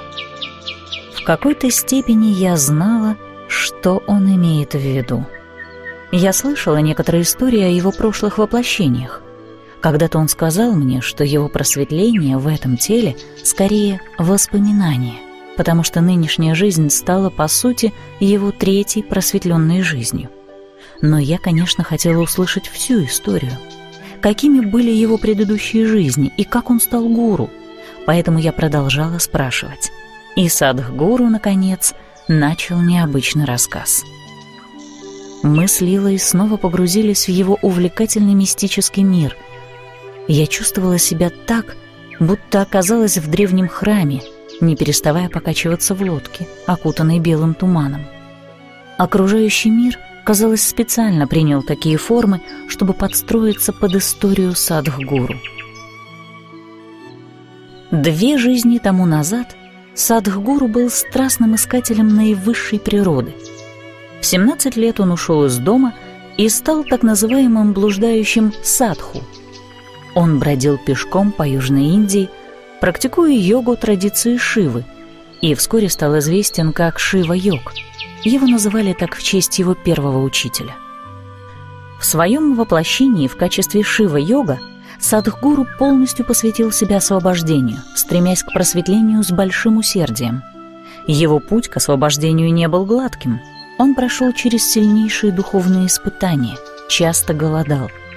Благодаря своей целеустремленности он достиг в йоге совершенства.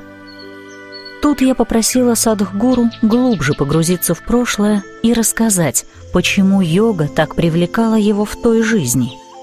Я получила желанный ответ – Невероятно, но он вернулся в прошлое почти на 400 лет, к началу 1600-х годов. Тогда он жил в Центральной Индии и был энергичным юношей по имени Бильва. Я снова перебила, чтобы полюбопытствовать, почему все его жизни прошли в Индии, и он довольно загадочно ответил, что это не совсем так. Он пояснил, что рождался там только последние три раза – а за 12 воплощений до этого его родиной была Африка. Но именно три жизни, прожитые в Индии, стали для него духовно значимыми. Затем он вернулся к рассказу, а я задумалась над тем, сколько раз возвращалось в мир это древнее существо. Бильва, по словам Садхгуру, был независимым и сильным человеком, непоколебимо преданным духовному пути. Кроме того, Благодаря определенной ясности видения он умел заглядывать в сердца других людей. Одной из страстей Бильвы были змеи. Он даже выступал как заклинатель змей в одном лесном племени. В то время такие чародеи считались святыми людьми, которым покровительствуют боги. Они были волшебниками, целителями и прорицателями.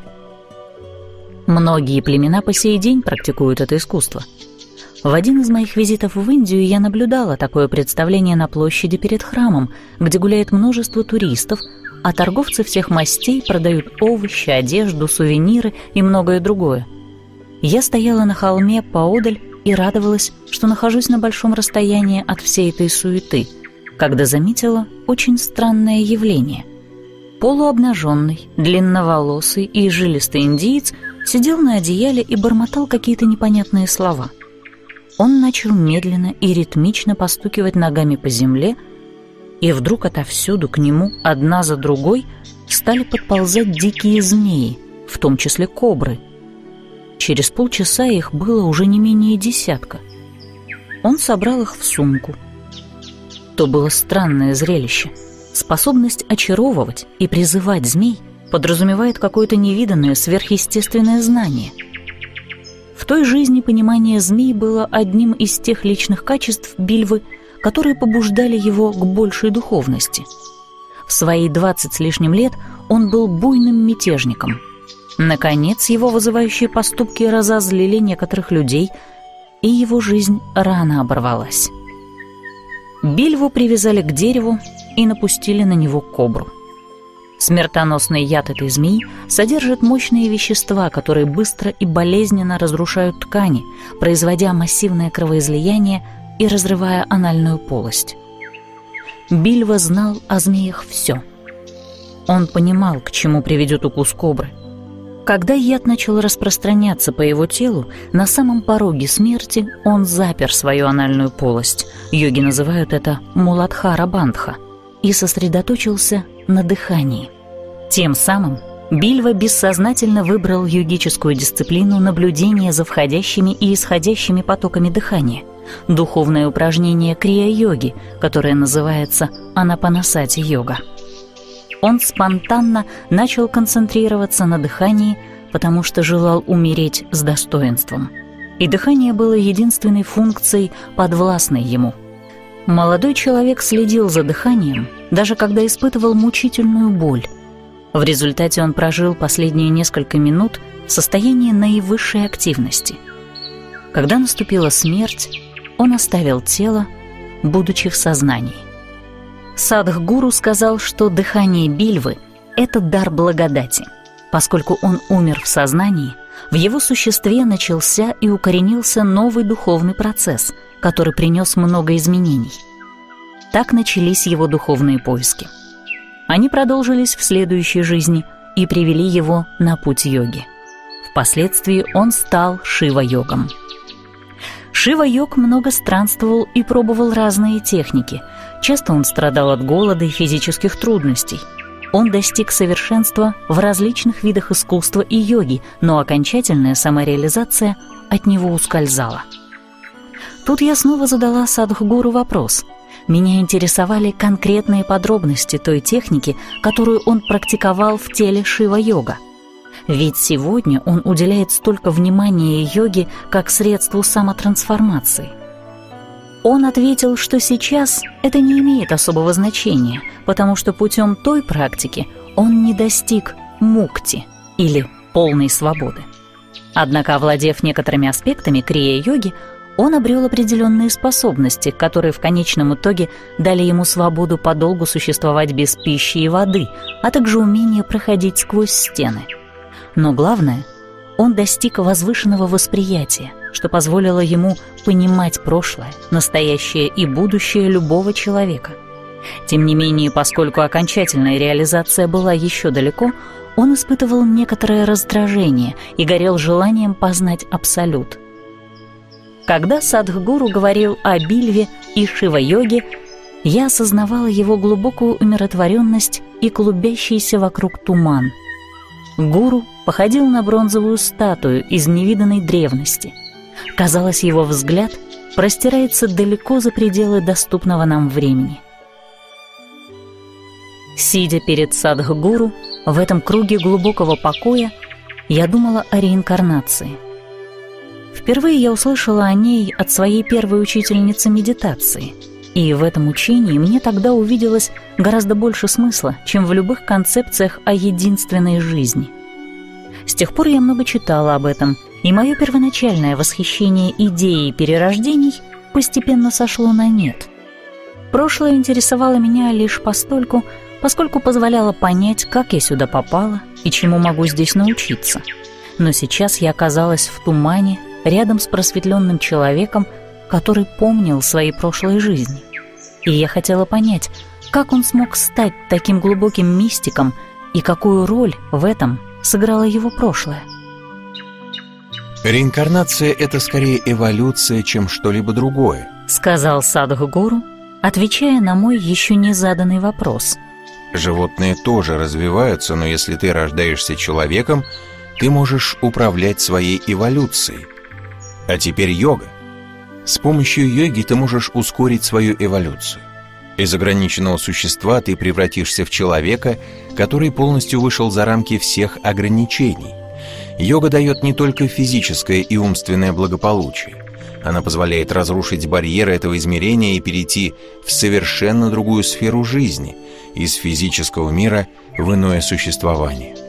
Это новое измерение всегда находится здесь, а не где-то в другом месте, но оно недоступно, если человек полностью укоренен в своей физической природе. Пока ты всецело связана с физической природой, ты отождествляешься с тем, что ограничено, и тебе многого не хватает. В результате ты начинаешь накапливать материальные вещи. Накапливать – это природа ума. Когда ум действует на грубом уровне, он стремится накапливать материальные вещи. Когда он становится немного более развитым, он хочет накапливать знания. Когда преобладают эмоции, ум хочет коллекционировать людей. Ум собиратель, всегда желающий что-то накапливать. Когда человек начинает думать или верить, что он находится на духовном пути, ум начинает накапливать так называемую духовную мудрость. Возможно, он копит слова гуру.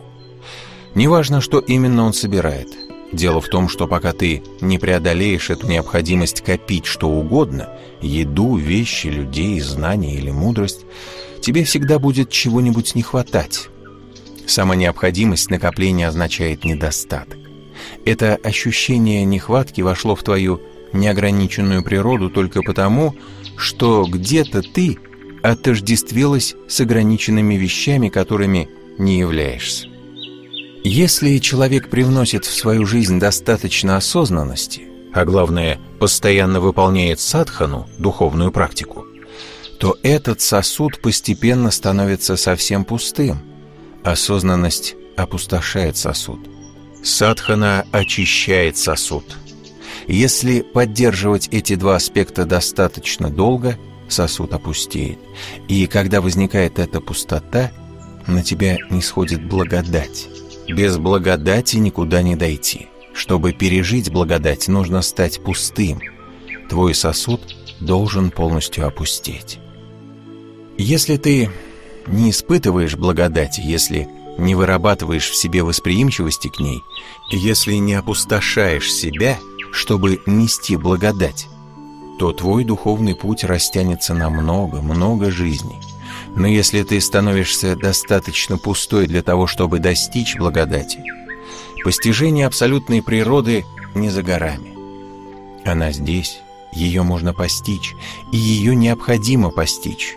Преодолевая все измерения бытия, она ведет в наивысшее состояние. Речь не о завтра и не о другой жизни. Речь о живой реальности. Пока я сидела, погрузившись в свои мысли, туман начал подниматься, и до нас донеслось утреннее щебетание птиц. Огромная голубая цапля, взлетая, взмахнула крыльями и крикнула своим диким и пронзительным доисторическим голосом, объявляя рождение нового дня. Я плотно запуталась в одеяло, чтобы согреться, и думала, сколько жизней мне придется прожить, прежде чем я смогу стать пустой. Я не хотела без конца крутиться, как ребенок, застрявший в карнавальной карусели. На этот раз я хотела просветления. «Почему у нас есть это желание накапливать?» — спросила я. Садах Гуру посмотрел на свои руки и ответил. «Убеждение, что повсюду, куда бы ты ни шла, ты должна что-нибудь собрать и взять с собой, живет в тебе давным-давно. Один из главных виновников — твое образование. Тебя всегда учили собирать все больше и больше вещей. Тебе преподавали систематические методы накопления. Этим можно зарабатывать на жизнь, но сколько не собирай вещи, людей, знания, власть или даже духовную мудрость, все это не способно тебя освободить. Эти явления ни на шаг не приблизит тебя к абсолютной природе. Чтобы обеспечить необходимую осознанность и постоянно очищать свой сосуд, требуется садхана, то есть внутренняя работа.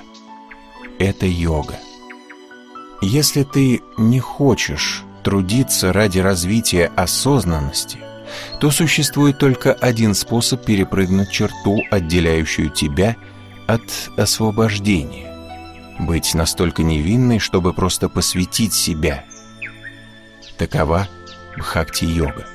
Но мыслящие умы на это не способны. Преданность — это не действие, это то, что происходит, когда тебя нет. Когда ты абсолютно готова, и у тебя нет собственной воли, и в тебе нет ничего, что можно назвать тобой, тогда благодать не сходит на тебя. Иисус сказал, «Следуй за мною». Почти все, кто это услышал, были простыми крестьянами и рыбаками. Образованные, утонченные и ученые не ответили ему. И, конечно же, Иисус дал понять, что только дети могут войти в Его Царство Божие. Это значит, что только по-детски невинные и доверчивые люди способны идти по пути преданности, веры и открытости. Я с некоторой грустью подумала, сколь многие из нас лишены возможности ступить на этот простой путь смирения. Не все, конечно. Еще мне казалось, что многие религии отклонились от своих первоначальных учений. Садх-гуру вытянул руки, как будто хотел обнять все утро. Затем он сказал, «Я всегда буду придерживаться пути осознавания и садханы. Если ты естественным образом перепрыгнешь черту и перейдешь от осознанности к преданности, это замечательно. Однако этого нельзя сделать преднамеренно. Преданность, которая культивируется, это не преданность, а обман. «В таком случае, как это сделать?» — спросила я. Он продолжал. Сеть зависимостей создается непрерывно на основе того, что мы думаем и чувствуем. То, что мы называем осознанностью, всего лишь способ начать создавать расстояние между тобой и всем, что ты думаешь и чувствуешь. То, что мы называем садханой, это способ поднять твои энергии, чтобы ты могла преодолеть ограничения или механизмы, к которым привязалась в своих мыслях и эмоциях. Я слышала, что процесс создания пустоты ты иначе называешь растворением.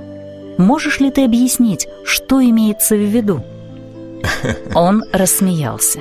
Растворение не означает, что ты попадаешь в бочку с серной кислотой. Личность, которую ты бессознательно выстроила, в основе своей продиктована инстинктом самосохранения. Твоя личность — это маска, которую ты носишь, чтобы противостоять миру. Однако эта личность или маска в твоем восприятии стала тобой.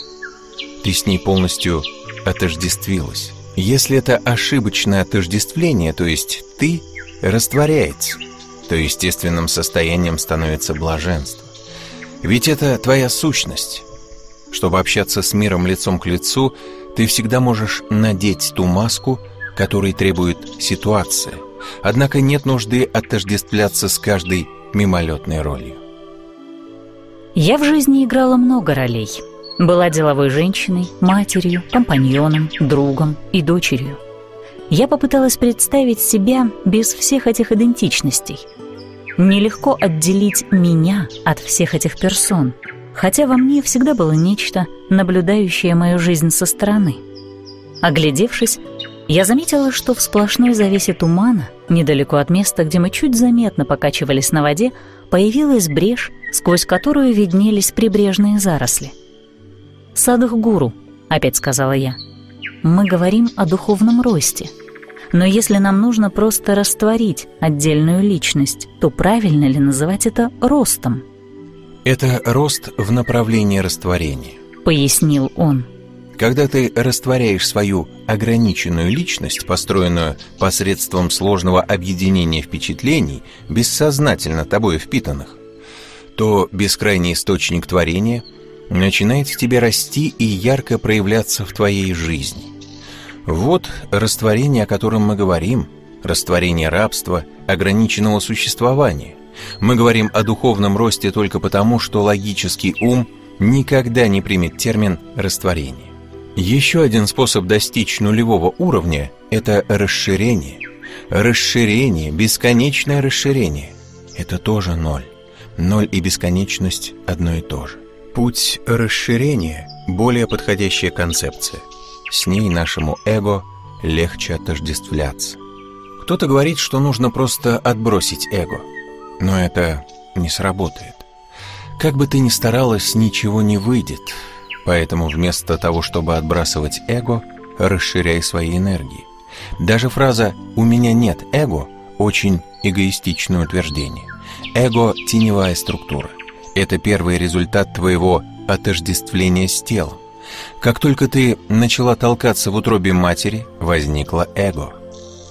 Эго – твоя тень. Оно не хорошее и не плохое. Тенями управляет внешние ситуации. Когда солнце не в зените, у тебя есть тень. Итак, проблема не в эго. Проблема в том, что ты потеряла способность различать между тем, что есть ты и что есть твое эго. Попытка избавиться от эго очень похожа на попытку избавиться от собственной тени. Если ты попытаешься обогнать свою тень, ты скоро утомишься и расстроишься. Но стоит тебе развернуться в другую сторону – и тень уже позади. Эго устроено похожим образом. Оно есть. Не бывает жизни без эго.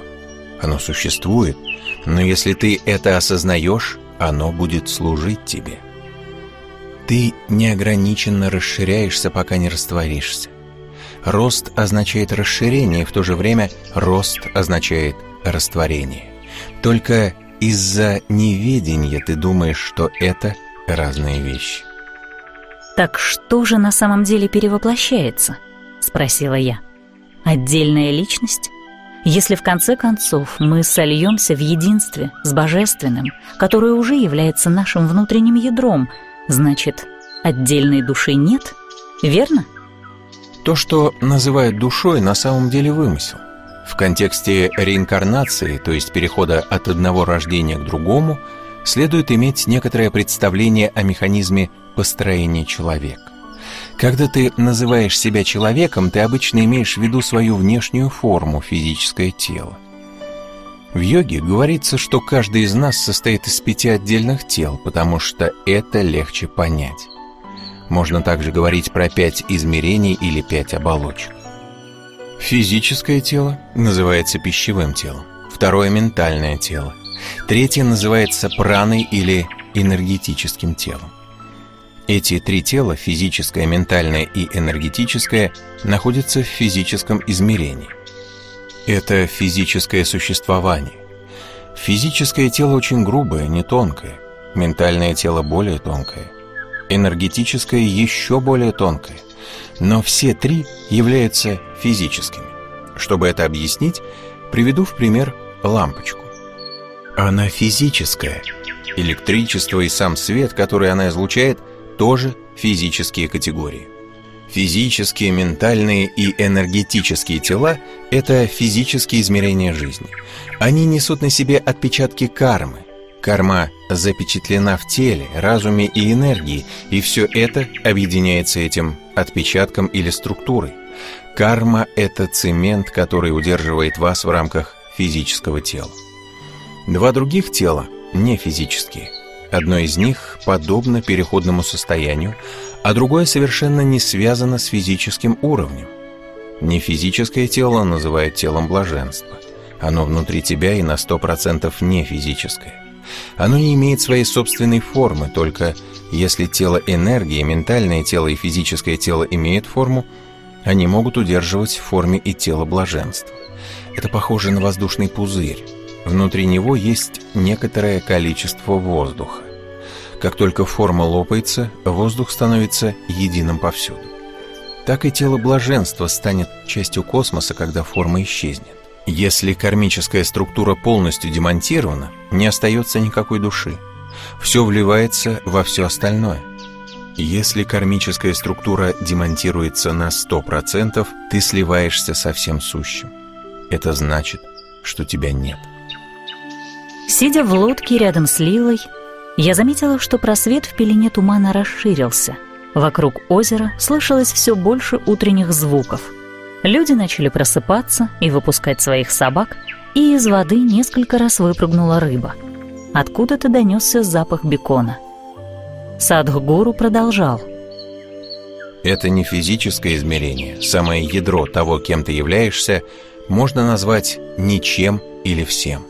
Это основа всего творения. Это абсолютный разум, который создает, поддерживает и разрушает все существование. Ничто или безграничность упоминается как тело блаженства, поскольку то, что не является физическим, не может быть описано. Оно познается только на опыте. Когда мы находимся в контакте с этим измерением вне физического, нас пропитывает блаженство – Итак, говоря о теле блаженства, мы также имеем в виду, что наше переживание этого уровня не поддается описанию. В этом контексте освобождение означает обретение свободы от самого процесса жизни, рождения и смерти. Это освобождение от кармической структуры, которая держит эти тела вместе. Свобода от самого существования. «Садхгуру», — сказала я, — не является ли это блаженство или наше внутреннее «я» на самом деле Богом?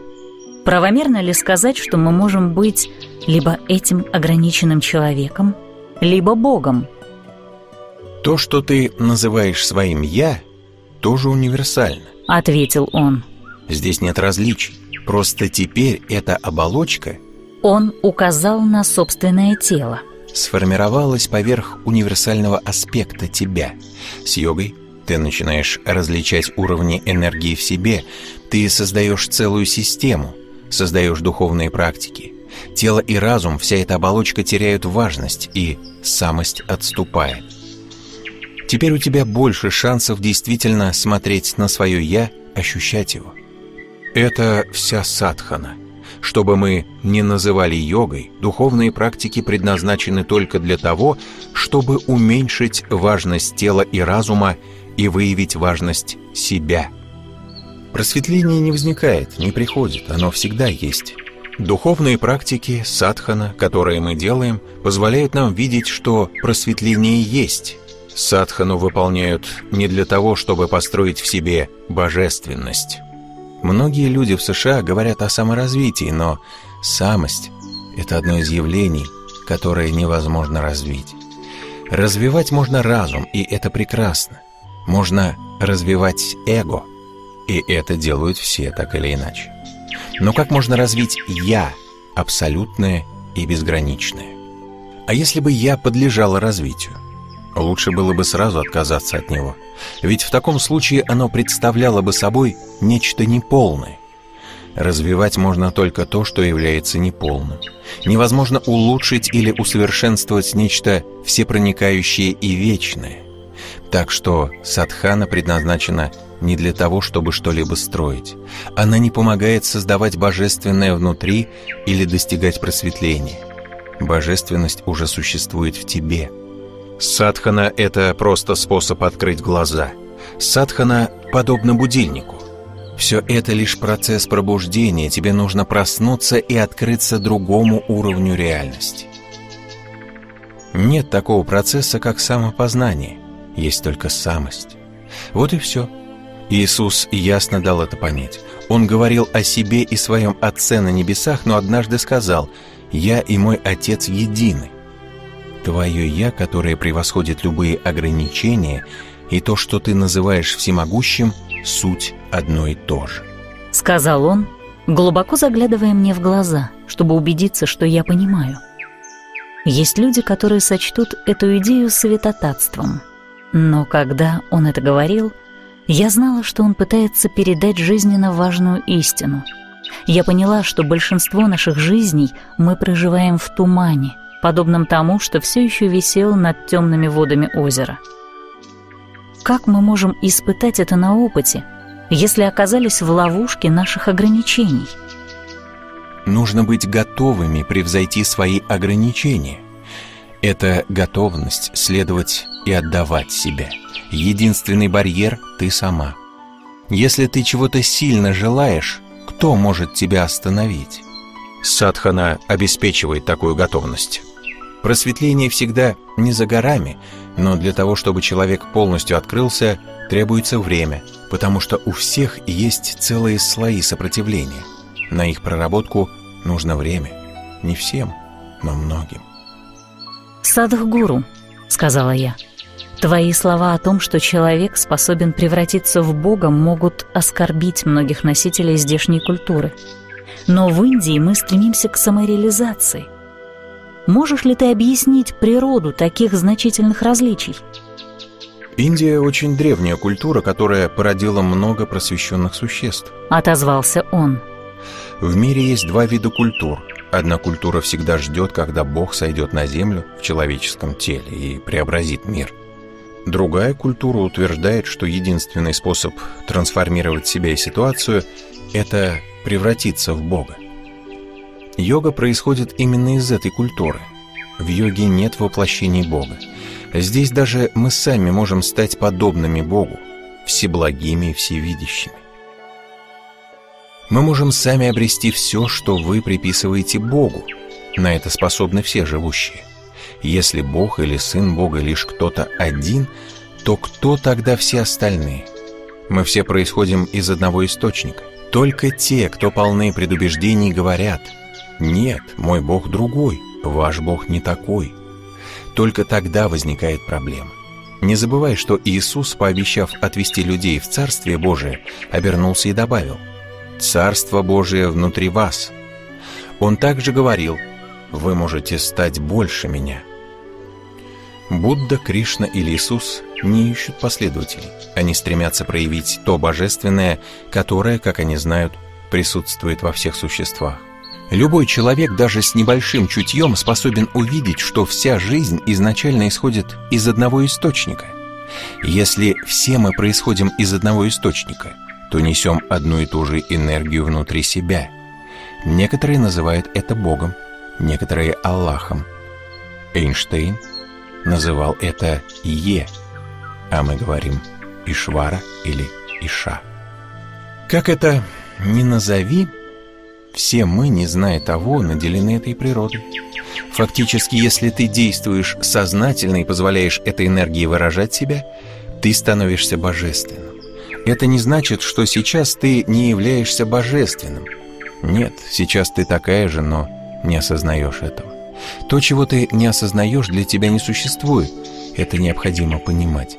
Если бы прямо сейчас позади тебя стоял слон, такое большое животное, но ты не знала бы об этом, для тебя бы не существовало слона.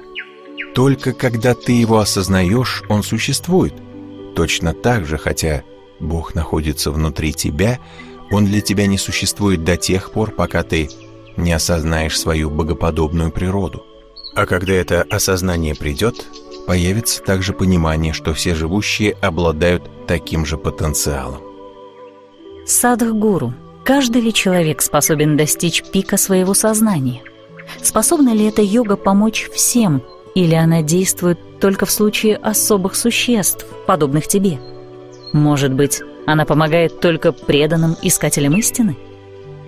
Йога, несомненно, помогает всем. Давай проясним это раз и навсегда – Йога — это технология, поэтому невозможно, чтобы она действовала на одного человека и не действовала на другого. Твой телефон, телевизор и компьютер работают одинаково, вне зависимости от того, кто ими пользуется, хотя большинство людей понятия не имеет о том, как сделаны эти устройства. Нужно лишь научиться с ними обращаться. В зависимости от своего опыта люди могут пользоваться методами на разных уровнях. Большинство людей никогда не поймут, как работает йога, но она точно работает для всех. Скорость ее действия определяется такими факторами, как возраст, мотивация или кармические ситуации, но в том, что она работает, сомнений нет.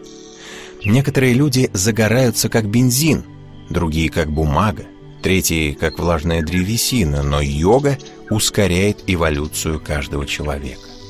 Это всегда занимает много времени? Или может произойти быстро? Спросила я. Мне хотелось знать, скоро ли я могу ожидать изменений в самой себе. Он ответил. На эту трансформацию могут уйти сотни или даже миллионы перерождений, но она может также произойти мгновенно.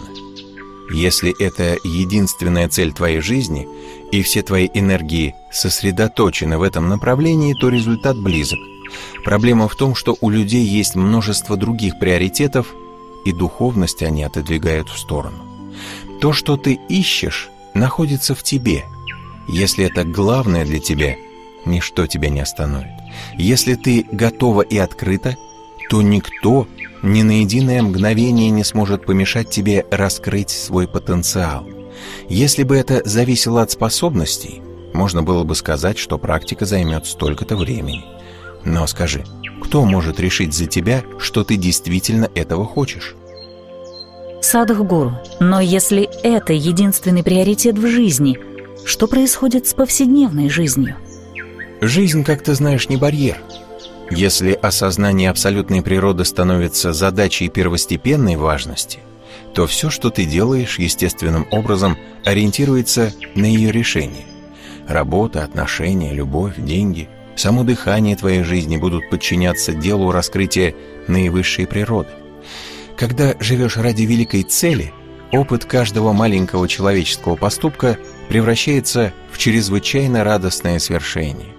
Если абсолютная природа обретет для тебя безусловный приоритет – то все жизненные процессы, небольшие поступки, мысли и эмоции наполнятся радостью.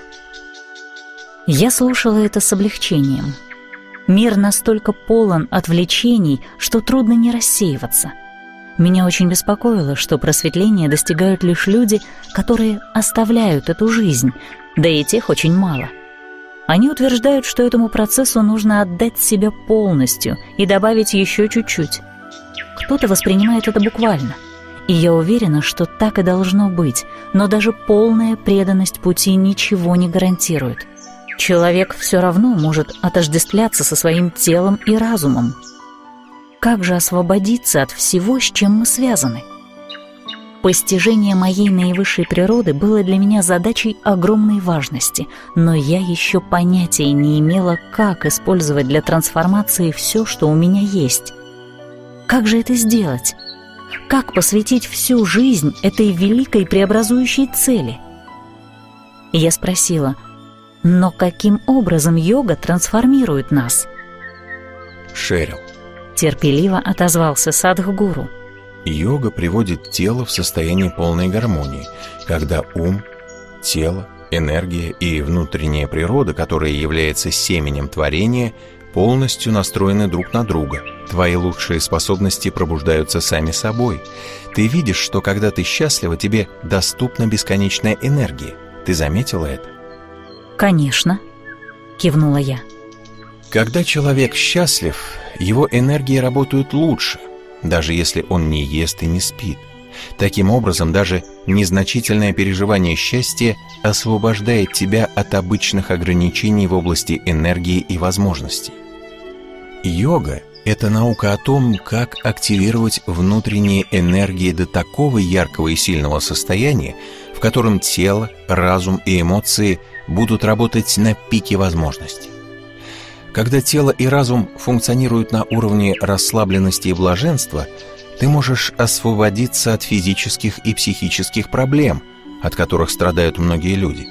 С практикой йоги тело и разум всегда сохраняют наивысший уровень активности, и это напрямую ведет к определенному мастерству, к контролю над жизнью и судьбой.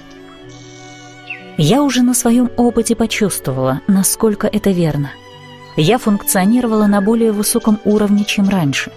Многие прошлые проблемы перестали меня беспокоить. Мое счастье уже не так зависело от внешних ситуаций. К моему изумлению, я научилась формировать внешние ситуации, в том числе связанные с людьми, которых считала трудными. Я задала очередной вопрос. «Ты говорил, что такое спокойствие — это только начало. Как именно йога позволяет преодолеть все ограничения?»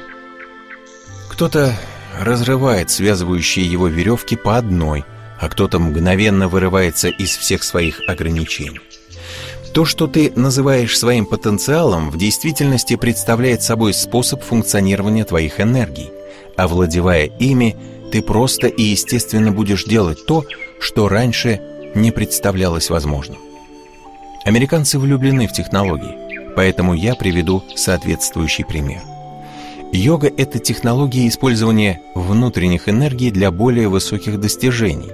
Когда энергии активизируются, ты попадаешь в совершенно другую сферу восприятия, опыта, способностей и возможностей. Иными словами, ты можешь вырасти до такой степени, что тебе будут подчиняться все законы природы. Ты слышала, что сказал Марк Твен после встреч с индийскими мистиками? Нет. Я люблю Марка Твена, но не помню, что он говорил об Индии. Он сказал, на этой земле делается все, на что вообще способны человек и Бог. Казалось, природа и стихии тоже слушали Садхгуру. А в этот волшебный момент сквозь облака пробились яркие лучи солнца.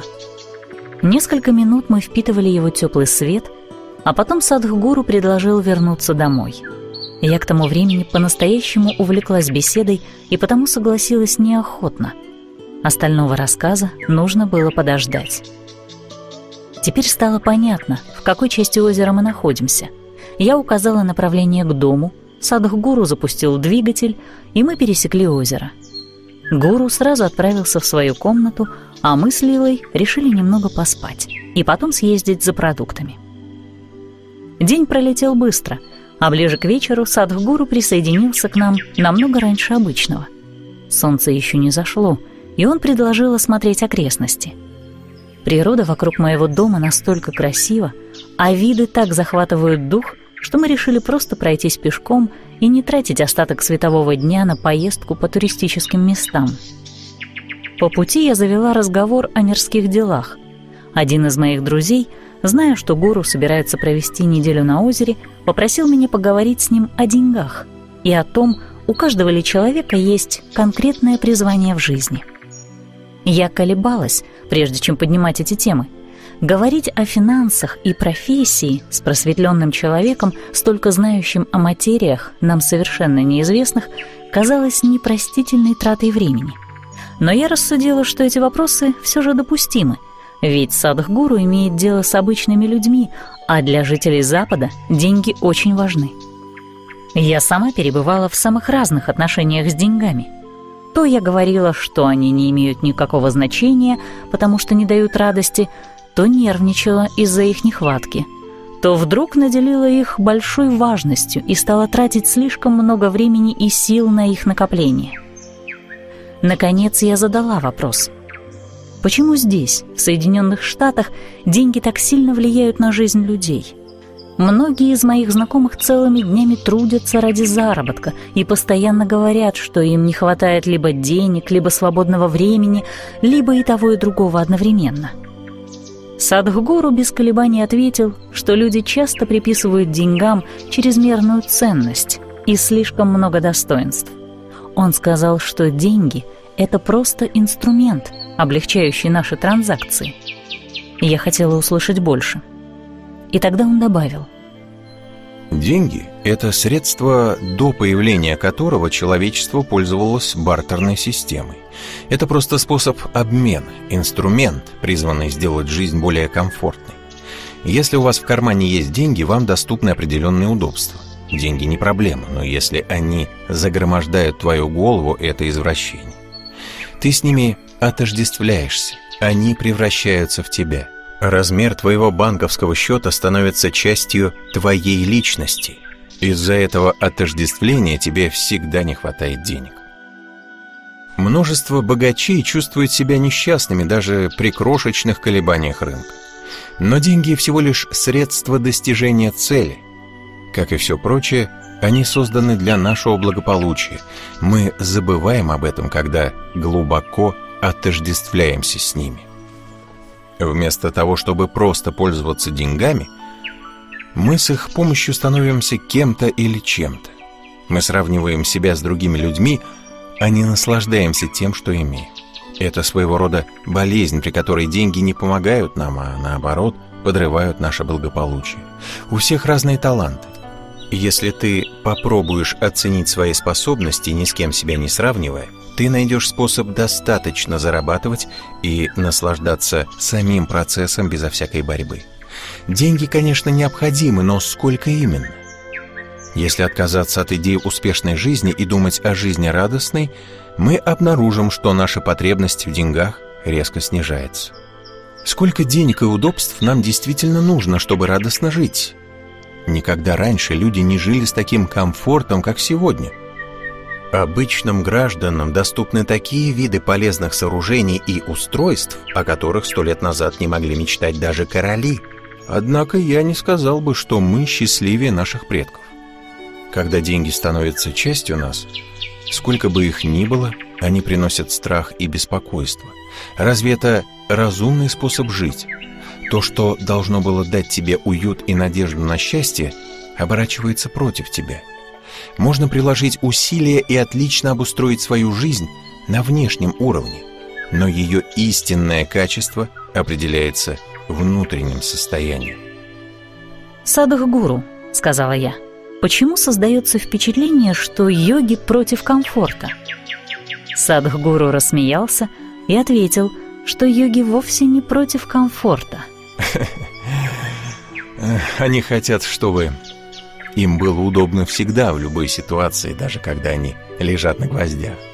Они просто не согласны довольствоваться тем небольшим комфортом, за которым гоняется большинство людей.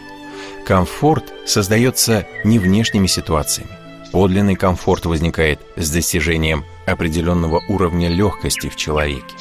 Сегодня мы отвели экономике самое важное место в человеческой жизни. Не важны ни чувства, ни любовь, ни радость, ни свобода, ни музыка, ни танцы. Самое главное – экономика. В наши дни быть самым известным вовсе не значит быть самым умным. Это не значит быть самым добрым. Это не значит быть самым умелым. Безусловно, это не значит быть самым медитативным. Как правило, у такого человека просто больше денег, чем у остальных. Мы ориентированы только на экономику. Если мы не переключимся на более тонкие аспекты жизни, мы не будем радостными людьми. Перестань сравнивать себя с другими, тогда твои потребности резко сократятся, и в жизни появится больше смысла. Этот смысл сейчас необходим для спасения и поддержания самой основы жизни на этой планете. Деньги дают больше прав и возможностей, но, отождествляя себя с ними, ты превращаешь их в препятствие.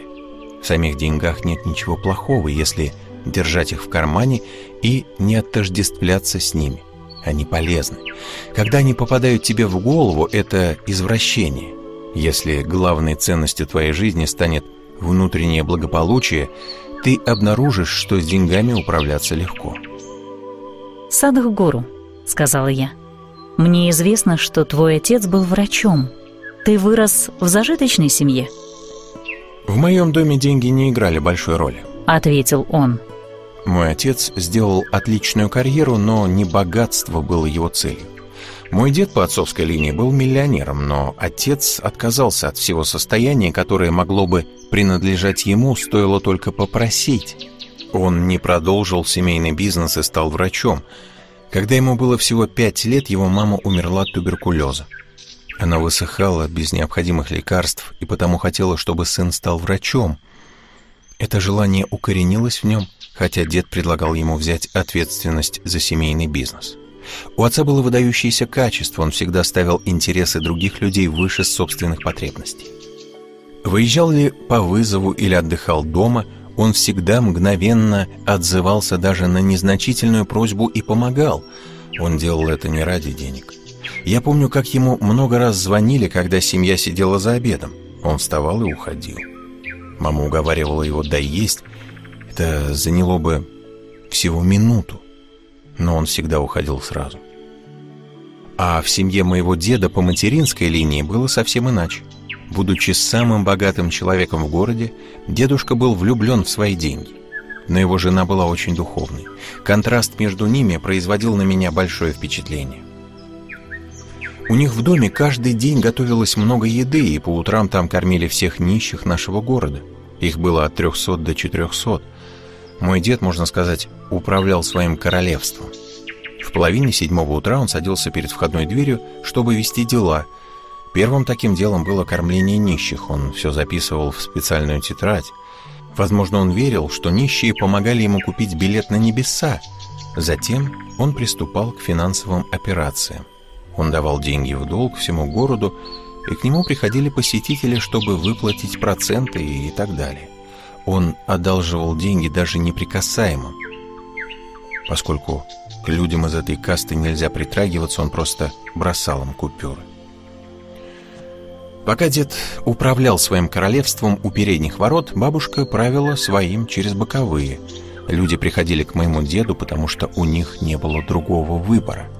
Он распоряжался деньгами и властью. Когда посетители выходили от него, когда страшная встреча с ним была уже позади, многие из них шли прямиком к другим воротам, где сидела бабушка. Она не могла им дать ничего материального, но все желали побыть с ней рядом хоть пару минут. Тех же самых людей, к которым не прикасался дед, бабушка приглашала войти и окутывала любовью. Они делились с ней своими проблемами. Я был в восторге от этого. Представь себе эти два королевства по разные стороны дома.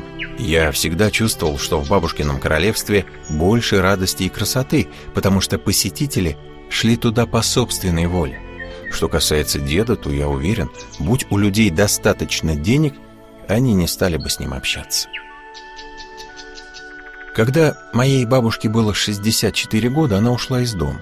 Несмотря на то, что семья владела большими участками земли неподалеку, она построила небольшой храм на чужой земле. Это было ужасным позором для семьи. Они самые богатые люди в городе, и вдруг она своими руками строит отдельный маленький храм на чужой земле и поселяется там. Она выращивала там овощи. Бабушка часто приходила в дом моего деда часа на три или четыре, особенно если мы там были. Когда мы приезжали на каникулы, она обязательно проводила с нами по несколько часов. По утрам она делала нечто, что меня совершенно очаровывало. Она брала тарелку со своим завтраком и выходила на улицу, туда, где были белки, воробьи и другие создания. Затем понемногу раздавала им еду. Как минимум три четверти своего завтрака раскладывала на земле для маленьких существ, прежде чем что-нибудь съесть. При этом иногда говорила с ними так, будто они понимали человеческую речь. А в другие дни она просто сидела рядом. Многие члены семьи считали ее сумасшедшей, но меня восхищало то, как бабушка взаимодействовала с этими маленькими существами. Она действительно была с ними. Для меня, ребенка, ее поведение выглядело вполне естественным. Она общалась с животными так же, как и с людьми. Лишь намного позже я задумался над тем, что она делала. Бывало, она вообще ничего не ела. Кто-то спрашивал, почему ты не ешь? «Я сыта», — отвечала она. «Я завтракала вместе с белками». Она кормила их, и от этого сама чувствовала себя сытой. Для нее это были не эмоции, а реальность. Она действительно чувствовала, что ее желудок наполнен. Ей было этого достаточно. Бабушка дожила до 113 лет, так что она, видимо, не ошибалась. Гораздо позже, когда я начал переживать все очень необычным способом, каждый ее маленький поступок внезапно обрел для меня большой смысл. Раньше мне это просто нравилось, но я не мог понять всю глубину ее взаимоотношений с жизнью. Садах-гуру замолчал, и я снова спросила. «Ты упоминал, что твоя бабушка пела и танцевала в экстазе, а потом бросала ногами цветы божествам. Это та же самая бабушка?» Та же самая. Он кивнул. Как их могло быть две? Позже мне стали ясны многие ее привычки, и я их перенял. Все, чем она была, сейчас много для меня значит. Мы молча прошли по тропе и остановились на мысе с видом на озеро, которое безмятежно светилось под солнцем. Отражения деревьев по краям образовывали идеальное зеркало. Но мой разум был не так спокоен, как озеро — я хотела вернуться ко второму вопросу друга и потому произнесла, есть ли у людей призвание в жизни? Садхгуру рассмеялся. Если жизнь призывает тебя, ты должна идти ей навстречу со всей страстью и открытостью, а не с колебаниями и подсчетами. Выживание составляет основу бытия. Следовательно, о нем – Нужно заботиться, чтобы в обществе нашли себе место более тонкие и глубокие аспекты жизни. Дело не в том, что твое эго желает заняться чем-то новеньким. Дело в том, что человеку нужно проявлять свой потенциал полностью. Если ты по-настоящему увлечена каждым аспектом своей жизни, ты легко поймешь, на что способна. Возможно, у тебя хорошо получится «Эппумей ладади». «Что получится?» – удивилась я. То, чего ты никогда не делала раньше, что-то совершенно новое. Но даже если ты не оригинальна, если выполняешь те же самые простые извечные действия, если выполнять их с максимальной страстью и максимальной вовлеченностью, это поднимет тебя на новый уровень опыта. Проблемы возникают, когда люди страстно относятся только к чему-то одному или когда их увлеченность избирательна. Это часто приводит к изоляции. Эксклюзивное существование и половинчатое погружение приведет только к разочарованию и боли, а я говорю о всеохватывающей страсти. Нужно быть в контакте со всеми явлениями, которые мы можем воспринимать пятью органами чувств в каждое мгновение, спонтанно и целиком погружаться в любое переживание. В этом и состоит настоящее сострадание. Сострадание – это недоброе отношение – а средство для непредвзятой вовлеченности. Обычно человек сначала является, затем делает, а уж потом имеет. Но сейчас, поскольку люди оказались в ловушке своего разума, они всегда думают о том, чтобы прежде всего иметь. Вы дошли до такой стадии, когда хотите иметь довольно конкретные вещи. Определенного партнера, дом, автомобиль или что-то еще. Как это получить?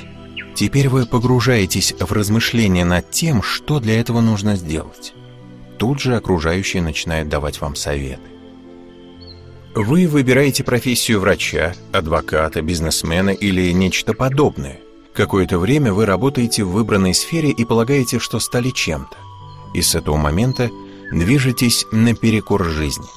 Тем самым человек выбирает другую последовательность – иметь, делать, быть. Это ведет к бесконечному стремлению иметь, и появляется стойкое ощущение, что жизнь не состоялась. Первым делом необходимо определить свой образ бытия. Тогда ты будешь прекрасной в любом случае, получаешь ты желаемое или нет. Качество твоей жизни определяется выбранным способом бытия. А то, что ты получаешь, есть только вопрос возможностей и благоприятных ситуаций. Если ты осуществишь этот простой переход к формуле «быть, делать, иметь», тогда большая часть твоей судьбы будет в твоих руках. Теперь я хочу, чтобы ты поняла это правильно. Не существует жизненного призвания, но жизнь зовет, как изнутри, так и снаружи. Только действительно отозвавшись на призыв жизни, ты познаешь ее целиком. Только когда тебе знакома непредвзятая и абсолютная причастность ко всему во Вселенной, к существованию каждого атома, ты сможешь изучить, испытать и познать всю полноту того, кем являешься. И в этой абсолютной причастности тебя не должны ограничивать ни прошлый опыт, ни возможности. Ты способна получить доступ к большому хранилищу знаний, которое и есть сама природа Вселенной. Именно благодаря этому непревзойденному участию можно познать безграничную, истинную природу самого «я» и основу всего сущего, то есть прийти в конечную точку, которой в действительности ведут все желания. Над нами сгустилось несколько белых облаков. Мы уже дошли до небольшого залива и собирались повернуть назад. Все наши разговоры с Садхгуру в конечном итоге возвращались к необходимости понять, кем мы являемся. Я заметила это, но хотела еще спросить его о некоторых препятствиях. «Садхгуру», — начала я, — «многие люди в этой стране крайне напряжены, и это разрушает их жизнь. Что они могли бы с этим сделать? Прежде всего, произнес он, почему человек подвергается стрессу?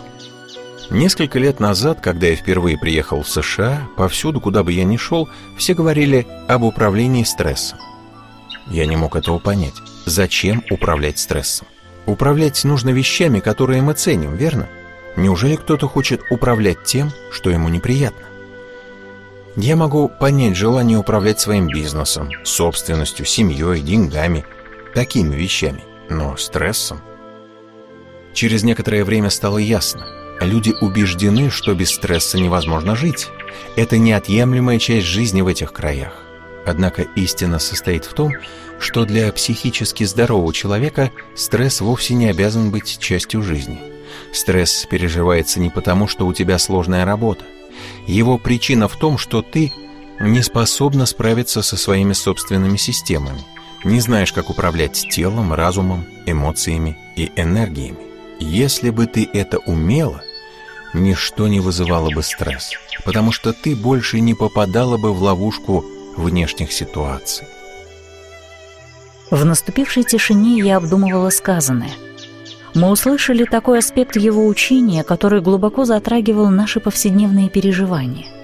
Я радовалась тому, что задала эти вопросы. Они оказались вовсе не мелкими. За разговором мы подошли к повороту тропы и услышали, а затем увидели неподалеку двух собак. Они громко и сердито лаяли на нас. Одну из них, рыжую Чау, я уже встречала раньше. Все в округе знали ее агрессивный нрав – ее владельцу не раз выговаривали и просили держать животное на привязи. Некоторые из соседей даже пару раз вызывали специальную службу, но Чао была довольно хитрой, и ее до сих пор никто не поймал. Сейчас к ней присоединился еще один огромный пес, неистовый на вид. Они с рычанием кинулись к нам, и я вскрикнула. Садхгуру жестом велел нам с Лилой остановиться, а сам продолжал идти — к моему удивлению, при виде гуру свирепые псы тут же умолкли и мирно сели у дороги, словно их сдерживала невидимая сила. Мы с Лилой осторожно прошли мимо собак, и я поделилась с Садхгуру своим удивлением. Он рассмеялся, и сказал. «Я не хотел, чтобы они оторвали от моего тела кусок мяса. Они были близки к этому. Теперь эти собаки, наверное, будут немного более цивилизованными, хотя их владельцам, вероятно, не понравится то, что сторожевые псы стали нежными существами. Шерил, я хочу, чтобы ты поняла, жизнь вокруг будет откликаться и подстраиваться под тебя такую, какая ты есть, а не какой ты или другие тебя считают. Что ты о себе думаешь в экзистенциальном смысле, не имеет значения. Потом мы шли молча, но даже в этом безмятежном окружении мой разум просто не желал успокаиваться. Я не могла понять, почему даже агрессивные звери знают, кто такой Садхгуру.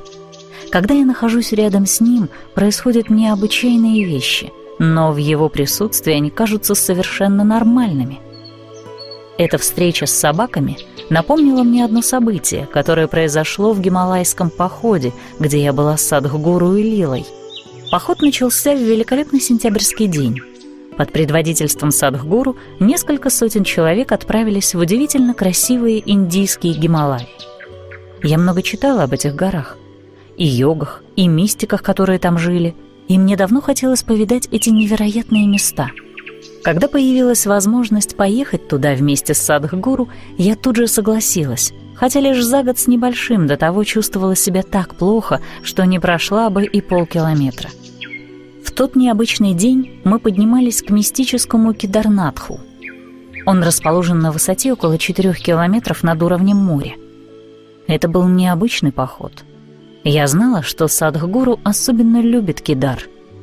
Он часто говорил о нем с любовью и почтением. В этом месте жили и до сих пор живут многие святые и мудрецы. Кидарнатх увлекает своей силой, умиротворенностью, мудростью, чудесами и дикостью. В тот день, когда мы подошли к Кидару, небо сияло синевой, и всю гору заливал солнечный свет. Казалось, этот день был создан специально для нас. У подножия гор воздух был теплым, а на высоте стало очень холодно. В тот день мы прошли больше десяти километров. Вдоль тропы попадались ловчонки, где подавали чай с молоком – лимку, лимонный газированный напиток или фанту. Можно было купить воду в бутылках, какие-то крекеры или печенье, а местами даже заказать горячие блюда индийской кухни.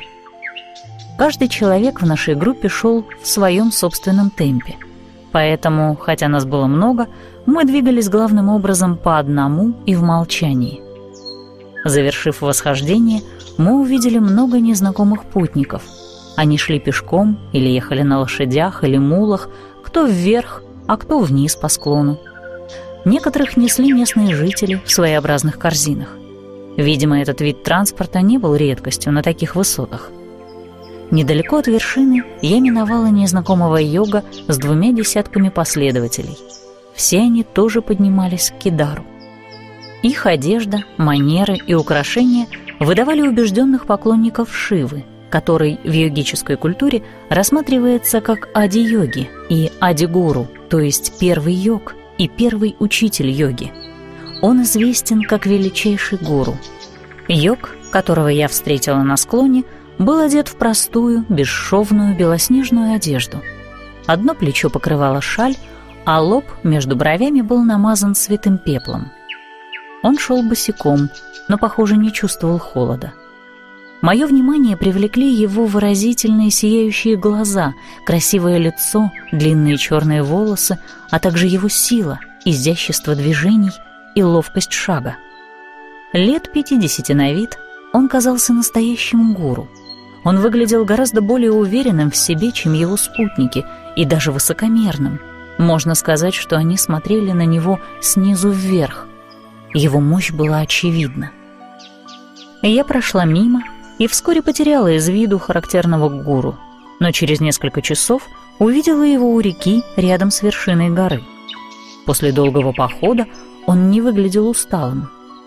Один из добровольцев Иша из нашей группы подошел к нему и заговорил о Садхгуру и медитационном храме Дхьяналинга, который тот построил в Южной Индии. Йог отозвался. «Зачем ты мне это рассказываешь? Меня не волнуют ни гуру, ни храмы. Ты, очевидно, не понимаешь, кто я. Я Шива». Волонтер из фонда Иши был ошеломлен.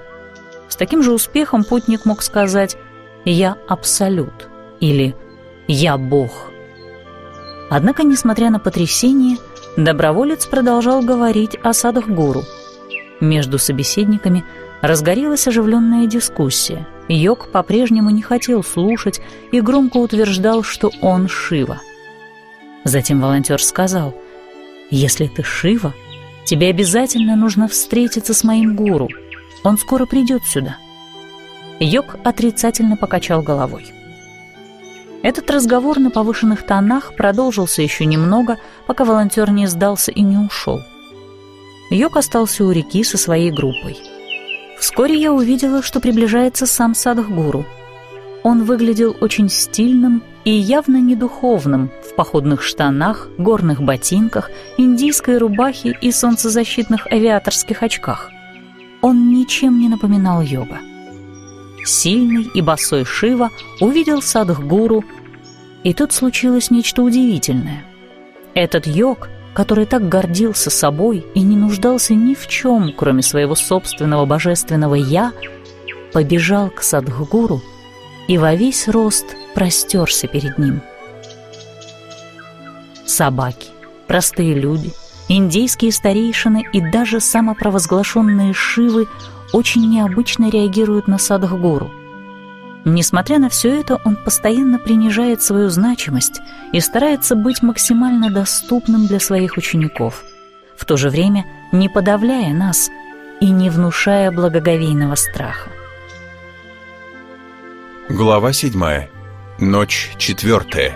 Погружение в мистику. Человеку свойственно стремление функционировать на пике возможностей тела, ума и энергии. Йога – технология, которая облегчает выполнение этой задачи. Садхгуру. Наша насыщенная событиями вечерняя прогулка вызвала одновременное облегчение и голод. Даже Садхгуру, несмотря на сильную волю и неустанную энергию, по-видимому, был не против поужинать. Мы с ним сели на крыльце и расслабились, вдыхая прохладный и свежий горный воздух, а Лила занялась приготовлением еды. Я время от времени заглядывала к ней. Она связала в хвост свои роскошные черные волосы, ее лицо освещали лучи вечернего солнца, проходящие сквозь кухонное окно. Без видимых усилий она приготовила еще одно великолепное угощение, и мы поужинали молча. Внутренне я продолжала восхищаться тем, как одна тонкая специя сливается с другой, чтобы создать слои ароматов. Удивительно, как Лила сумела за полчаса произвести такую симфонию вкусов, ароматов и удовольствия. Но изысканная кухня Лилы — это не все, что было у меня на уме. Так же быстро, как она соединяла ингредиенты для создания великолепной еды, проходила и наша неделя — Часы тишины и размышлений прерывались молниями озарения и ясности, которыми были наполнены разговоры с Садхгуру. Этот день исчезнет мгновенно, как и предыдущие. Я пыталась смаковать каждую минуту, но неумолимое время летело с невиданной скоростью. Снова наступила полночь, и мы спустились к лодке, чтобы вернуться к нашему острову и продолжить разговор о жизни или жизнях Садхгуру и о важности йоги на его или чьем-либо пути. Как только мы все устроились на своих местах у костра, я, не теряя времени, произнесла «Садух Гуру, сегодня утром ты сказал, что йога ускоряет эволюцию. Можешь ли ты уточнить? Я знаю, что это происходит со мной, но как это возможно? И что именно происходит?» Есть прекрасная история о гусенице, отличный пример для иллюстрации –— ответил Садхгуру. «Ты ее слышала?» «Что-то не припомню». Эта гусеница прожила большую часть своей жизни, полагая, что единственное ее предназначение — это есть, спать и делать то же самое, что делают остальные гусеницы. Однако эта необычная гусеница чувствовала себя неспокойной, несчастной и несостоявшейся. она подозревала, что в жизни есть и другие, еще неведомые ей измерения. Однажды, движимая этой странной тоской, которую она не могла ни объяснить, ни преодолеть, беспокойная гусеница стала неподвижной и молчаливой. Она висела на ветви дерева и плела, плела, пока не соорудила вокруг себя кокон. Он был узким и неудобным, но наша героиня ждала внутри, ощущая и осознавая. Ее терпение в конце концов принесло плоды. Когда кокон открылся, она уже не была медлительным червяком. На свет вылетела великолепная крылатая бабочка, чьи краски ослепляли благодарное небо.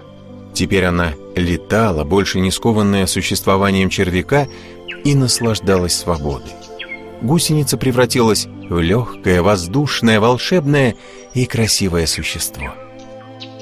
Когда произошла трансформация, бабочка не могла уже вернуться к своему прежнему состоянию. В коконе гусеница стала единой со своим внутренним существом, и в этом единении телесного и божественного она постигла свою истинную природу. Садх-гуру помолчал, блестя глазами, а затем добавил. То, что произошло внутри кокона, можно назвать йогой. Потом он продолжал. Недавно один знаменитый невролог сказал мне, что за 24 часа можно полностью переделать мозг человека. Представь себе, за одни сутки можно изменить фундамент нашей жизни. Еще он добавил, что в мозге наблюдается самая высокая активность нейронов, когда тело неподвижно, а позвоночник выпрямлен. А мы это знаем с незапамятных времен. А затем Садхгуру спросил, слышала ли я, что несколько исследователей в Индии сканировали мозг людей, которые прошли курс внутренней инженерии и йоги и практиковали ее более трех месяцев. Я кивнула. Садхгуру рассказал, что было дальше. Ученые обнаружили необычайно высокую согласованность между правым и левым полушарием в мозге практикующих – это значит, Шерил, что ты сможешь использовать свой мозг немного эффективнее, чем прежде. Принято считать, что средний человек использует только 12% своего мозга, но, насколько я знаю людей, мне кажется, что даже эта цифра завышена. С этими словами он заразительно расхохотался, а затем продолжил. Йога — это способ стать безграничным. Она трансформирует и освобождает людей, чтобы они могли достичь неограниченного состояния. Люди, в отличие от животных, не просто существуют. Они проходят процесс становления. Человек – неврожденное качество. Чтобы стать человеком, нужно внутренне вырасти. Необходимо осознать свои ограничения и увлеченно стремиться к их преодолению. У всех нас есть потенциал для этого. Йога это способ найти свой наивысший потенциал. В определенном контексте слово «йога» стало означать духовное единение с Абсолютом. Цель этой практики – освобождение еще при жизни, высший опыт, слияние индивида с универсумом. Его слова звучали вдохновляюще. Однако, слушая об этих возможностях, я снова поймала себя на мысли – Неужели я тоже смогу вот так преодолеть все границы? Со мной уже произошло много замечательных вещей, но я продолжала сомневаться, сумею ли достичь самореализации в этой жизни. В глубине души я спрашивала себя, насколько йога и практика связаны с освобождением. Эта техника влияет не только на тело, разум и энергии, но и повышает восприимчивость. В этом состоит часть ее силы, но наверняка есть и что-то еще. Среди практик, которые преподает Садхгуру, есть кое-что знакомое мне по прошлым ретритам. Однако он объединяет упражнения совершенно по-другому. Садхгуру утверждает, что в предыдущих воплощениях он так и не стал просветленным, несмотря на все примененные им методы. Причина этого окутана тайной. Я знала, что его практики работают, но, возможно, этот процесс представляет собой нечто большее — и я не смогу пройти его самостоятельно. Похоже, я что-то упускаю. Я часто слышала совет Садхгуру «Вы должны отложить себя в сторону». Возможно, ответ найдется в собственной истории Садхгуру. Я спросила был ли у тебя учитель йоги в этой жизни? Да. Когда мне исполнилось 11 лет, благодать моего гуру проявилась в виде нестареющего йога. В свои 78 лет он был моложавым, как юноша. Он вел активный образ жизни до 108 лет. Этот йог был прямым учеником моего досточтимого гуру. Он появился и неожиданно напомнил мне о желании моего гуру создать вечную энергетическую форму. Он обучил меня очень простым упражнениям йоги. После нашей встречи я выполнял их каждый день в течение 13 лет. До этого я не подчинялся никакой дисциплине, но теперь практиковал, не прерываясь ни на один день. Во мне созрело желание придать телу и разуму большую силу и стабильность. Где бы я ни был, я каждый день обязательно занимался йогой. С тех пор я не оглядывался в прошлое. Жизнь стремительно продвигалась вперед с одной вершины на другую с помощью из благословения прославленного человека. Кем был этот учитель йоги? Йога, который научил меня простым практикам, звали Малади Хали Свами. Расскажи о нем, пожалуйста. Он был невероятным человеком, йогом, культуристом и экспертом в области различных боевых искусств. Кроме того, он освоил древнее искусство аюрведы и стал великим врачом и целителем.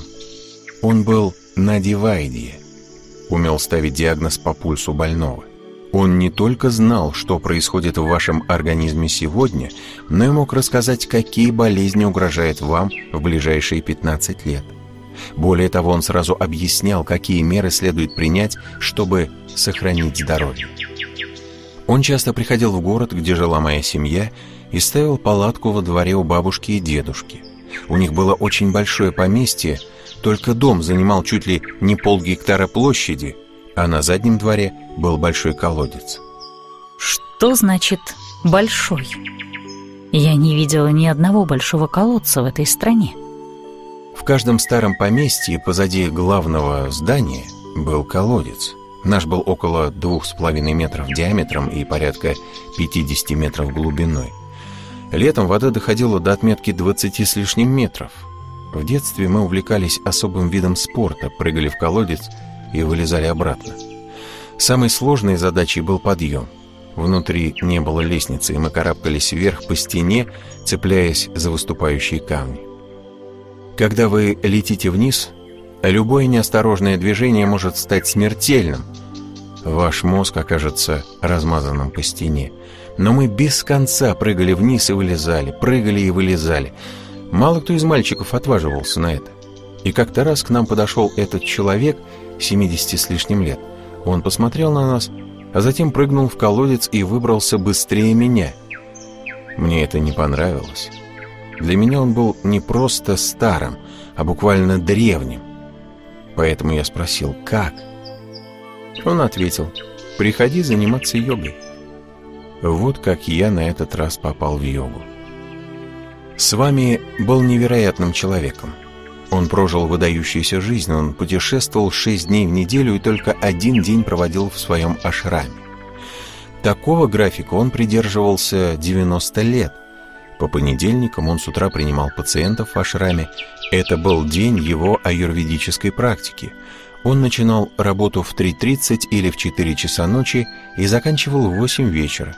Он садился в кабинете, чтобы лечить больных, и не вставал весь день, не ходил ни на обед, ни даже в уборную.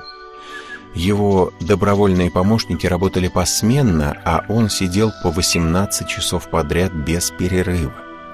И для каждого посетителя у него был наготове смешной анекдот.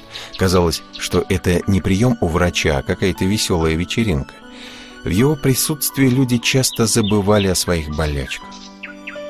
Следующие шесть дней он путешествовал, читал лекции, показывал упражнения и собирал средства на благотворительность.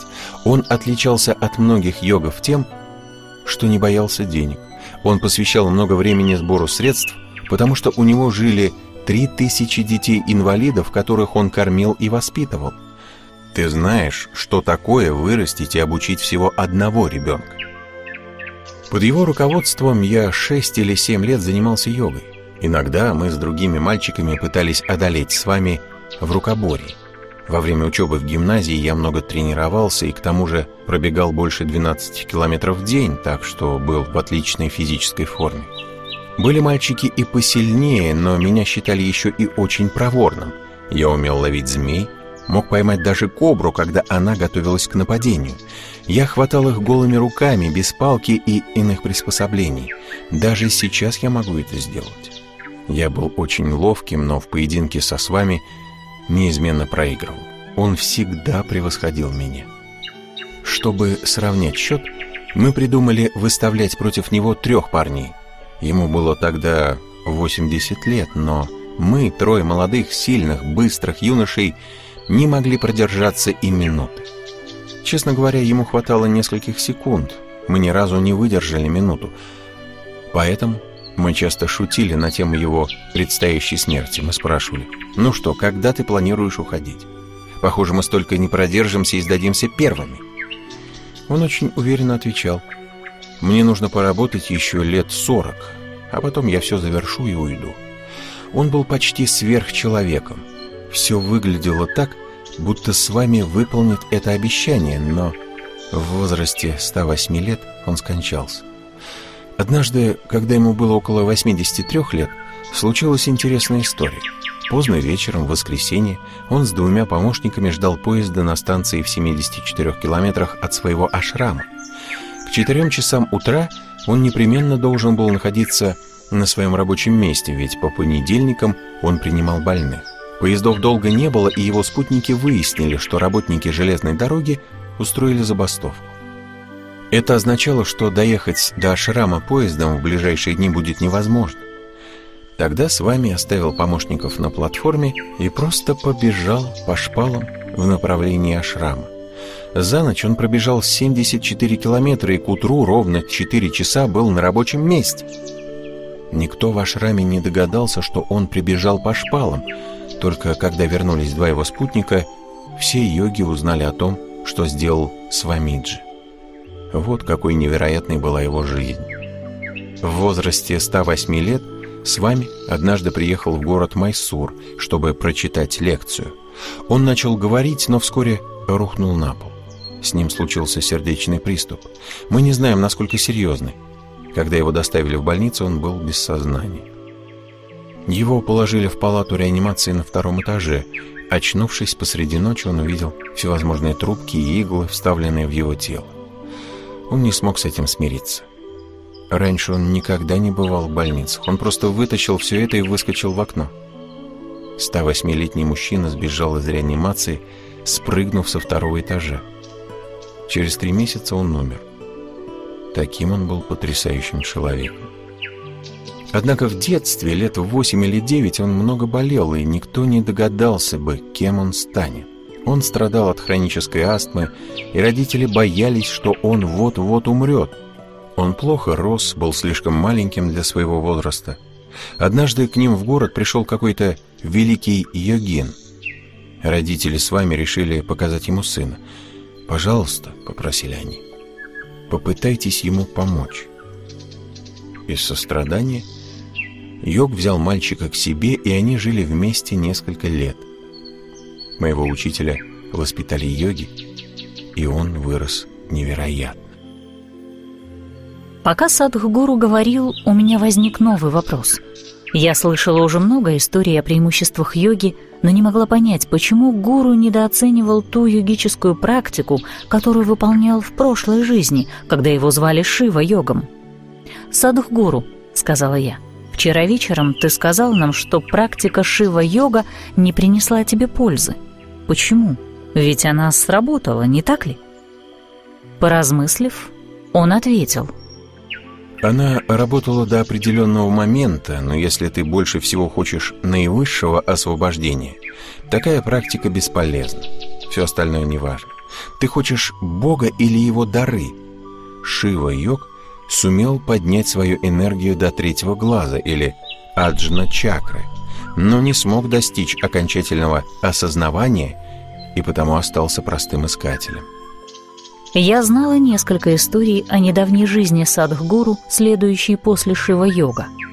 О ней часто рассказывают, потому что прошло совсем немного времени, и к тому же она сильно повлияла на его сегодняшнее воплощение. Некоторые люди даже помнят, что находились тогда рядом с ним. В той жизни он тоже был учителем по имени Садхгуру. Его полное имя было Садхгуру Шри Брахма. Он был известным чакрашварой, то есть обладал абсолютным мастерством над всеми чакрами своей энергетической системы. Но как все это понимать? «Какую роль играют чакры?» — спросила я. Я не раз читала, что в человеческом теле есть семь основных чакр или энергетических центров, но их значение и тем более влияние на нас оставалось для меня загадкой. Когда я задала этот вопрос — Кое-что в Садхгуру изменилось. В его голосе мы почувствовали мощный заряд энергии. Это часто бывает, когда он затрагивает особенно важные темы. Какое-то время назад я посетила ашрам Садхгуру Шри Брахмы в Каимбатуре, недалеко от владений Иша-йоги. Маленький и не очень хорошо сохранившийся, он в то же время обладает невероятной силой – я никогда не была чувствительна к подобным явлениям, но в Каимбатуре шаталась как пьяная. Даже сейчас при одной мысли об этом ашраме электрический ток устремляется вверх по моему позвоночнику. Садах Гуру начал отвечать и тем самым вывел меня из состояния задумчивости. Чакры — это энергетические центры в теле. Чаще всего мы слышим, что их семь, однако в человеческом теле 114 чакр. Хотя сейчас ты этого не осознаешь, тело человека представляет собой сложную энергетическую форму. В дополнение к чакрам в нем находится 72 тысячи энергетических каналов, их называют нади. Это пути, по которым движется жизненная энергия. Они встречаются в разных точках тела и образуют треугольники. Мы называем эти треугольники чакрами, то есть колесами. Это название символизирует рост, динамику и движение. Итак, хотя фактически это треугольник, мы называем его чакрой. Некоторые из этих центров очень сильны, а другие слабее. Работая на разных уровнях, они наделяют человека разными качествами. В сущности, любой духовный путь можно описать как путешествие от базовой чакры, Муладхары, что расположено у основания позвоночника, до Сахасрары в верхней части головы. Семь чакр называются Муладхара, Сватхиштхана, Манипурака, Анахата, Вишудхи, Аджна и Сахасрара. Путь от Муладхары к Махасраре ведет из одного измерения в другое. Этот процесс может происходить по-разному – Любые методы йоги могут повлиять на него. Муладхара — это основание или фундамент. Это точка опоры всей жизни, сама ее основа. Она расположена внизу позвоночника. Невозможно жить без активности этой базовой чакры. Что же касается сахасрары, то ее активность для обычной жизни не обязательна. Слово «муладхара» состоит из двух частей. «Мула» означает корень или источник, а «адхара» — фундамент. Таким образом, это сама основа жизни. Энергии физического тела должны отчасти находиться в муладхаре. Без этого мы не сможем существовать. Но если доминирует только муладхара, то в жизни человека будут преобладать еда и сон. Можно говорить в терминах низших и высших чакр, но такой язык часто понимается неправильно. В действительности высшие и низшие чакры можно сравнить с фундаментом здания и его крышей. Крыша не лучше фундамента, скорее наоборот, фундамент даже важнее. От его качества зависят стабильность, долговечность и безопасность всей конструкции. Но когда мы описываем это словами, получается, что крыша выше, а фундамент ниже. Следующая чакра называется Свадхиштхана. Если твои энергии переходят в Свадхиштхану, то ты искатель удовольствий. Эта чакра расположена чуть выше половых органов. Когда она активна, человек всячески наслаждается физическим миром. Если посмотришь на искателя удовольствий, ты увидишь, что его жизнь и опыт не намного богаче, чем у того, кто только ест и спит. Если твои энергии движутся в манипураку, ты активный деятель в мире. Такой человек весь в действии, он способен делать очень много. Это бесконечная активность. Если энергии переходят в чакру анахату, то ты по натуре творческий человек, художник или актер. Такой человек живет очень насыщенной жизнью, возможно, даже более насыщенной, чем бизнесмен, чья жизнь проходит в действии. Анахата дословно означает «не испытавший удара». Чтобы произвести какой-либо звук, нужно столкнуть два предмета. Звук, который возник без такого столкновения, без удара, называется анахата. Эта чакра указывает на переход между инстинктами выживания и инстинктом освобождения. Она расположена в сердце. Три нижние чакры в основном связаны с физическим существованием. Анахата — это сочетание физического с нефизическим, место встречи энергии выживания с просветляющими энергиями. Вишудхи в дословном переводе означает «фильтр». Эта чакра находится в области горла. Если твои энергии переходят в вишудхи, ты становишься очень могущественным человеком, но твоя власть не только политическая или административная. Человек способен стать могущественным во многих отношениях. Например, обрести такую силу, что ему даже не придется вставать с места, чтобы все происходило по его воле. В таком человеке жизнь проявляется без ограничений времени и пространства. Если энергия переходит в аджна-чакру, расположенную между бровями, ты интеллектуально просвещенный человек. Ты обрела новый баланс и покой внутри себя. Внешние события тебя больше не беспокоят, но ты еще не познала освобождение на собственном опыте. Если энергии переходят в сахасрару, ты переживаешь экстаз безо всякой причины. Ты просто взрываешься восторгом изнутри.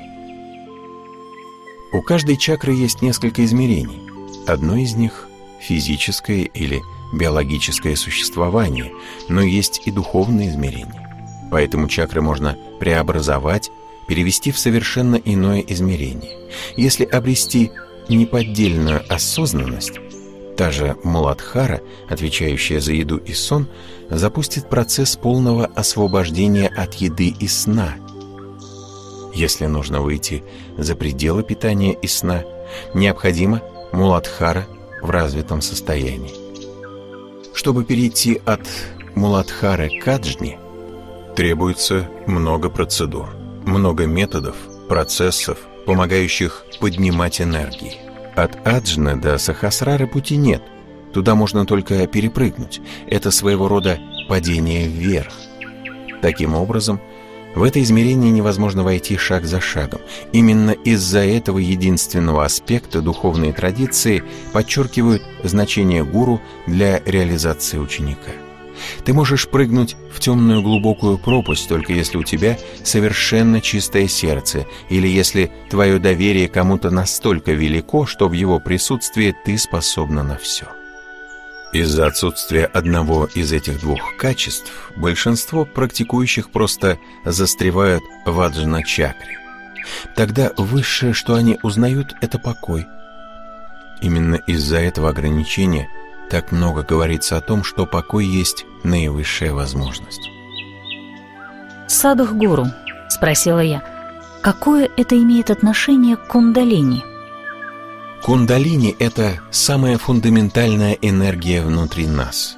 Чтобы удовлетворить наши потребности в выживании, требуется всего лишь минимальный объем этой энергии. Большая часть ее остается в людях неиспользованной или непробужденной символ энергии кундалини, свернувшаяся змея. Причина, по которой выбран этот символ, состоит в том, что в состоянии покоя змея абсолютно неподвижна. Мы замечаем ее лишь тогда, когда она движется. Такова природа змеи. Кундалини обозначают свернувшейся змеей, потому что эта огромная энергия существует внутри нас, но пока она неподвижна, мы не узнаем, что она есть. Однако стоит ей пробудиться, и она многое для нас делает. Конечно. Практики и методы пробуждения этой энергии, которые я от него получила, благоприятно повлияли на мое здоровье. Невозможно игнорировать результаты моих анализов крови до начала практики и после. Доктор сказал, что это поразительно. Этим также объясняются некоторые мои ощущения. Например, когда мир кажется намного более ярким, чем обычно, как будто восприятие углубилось и все пульсирует живой энергией. Я чувствовала это в священных местах Гималаев и даже в повседневной жизни. Все стало более четким и ярким. В йогической культуре существует целая система методов, позволяющих использовать эту энергию. Когда кундалини начинает двигаться, тебе не верится, что это ты.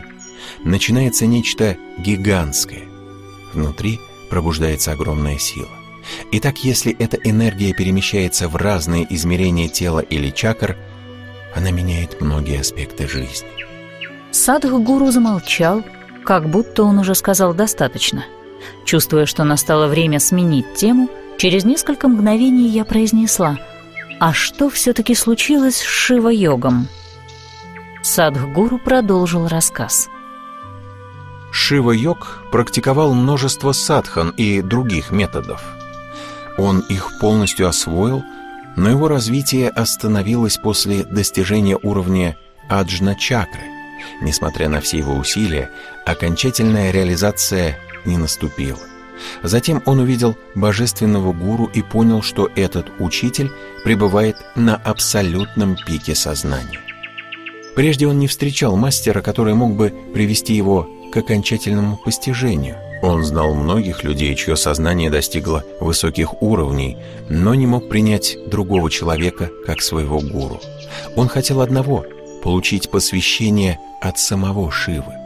Шива был известен как наивысший. Для Шива-йога он был единственным гуру и самим Богом.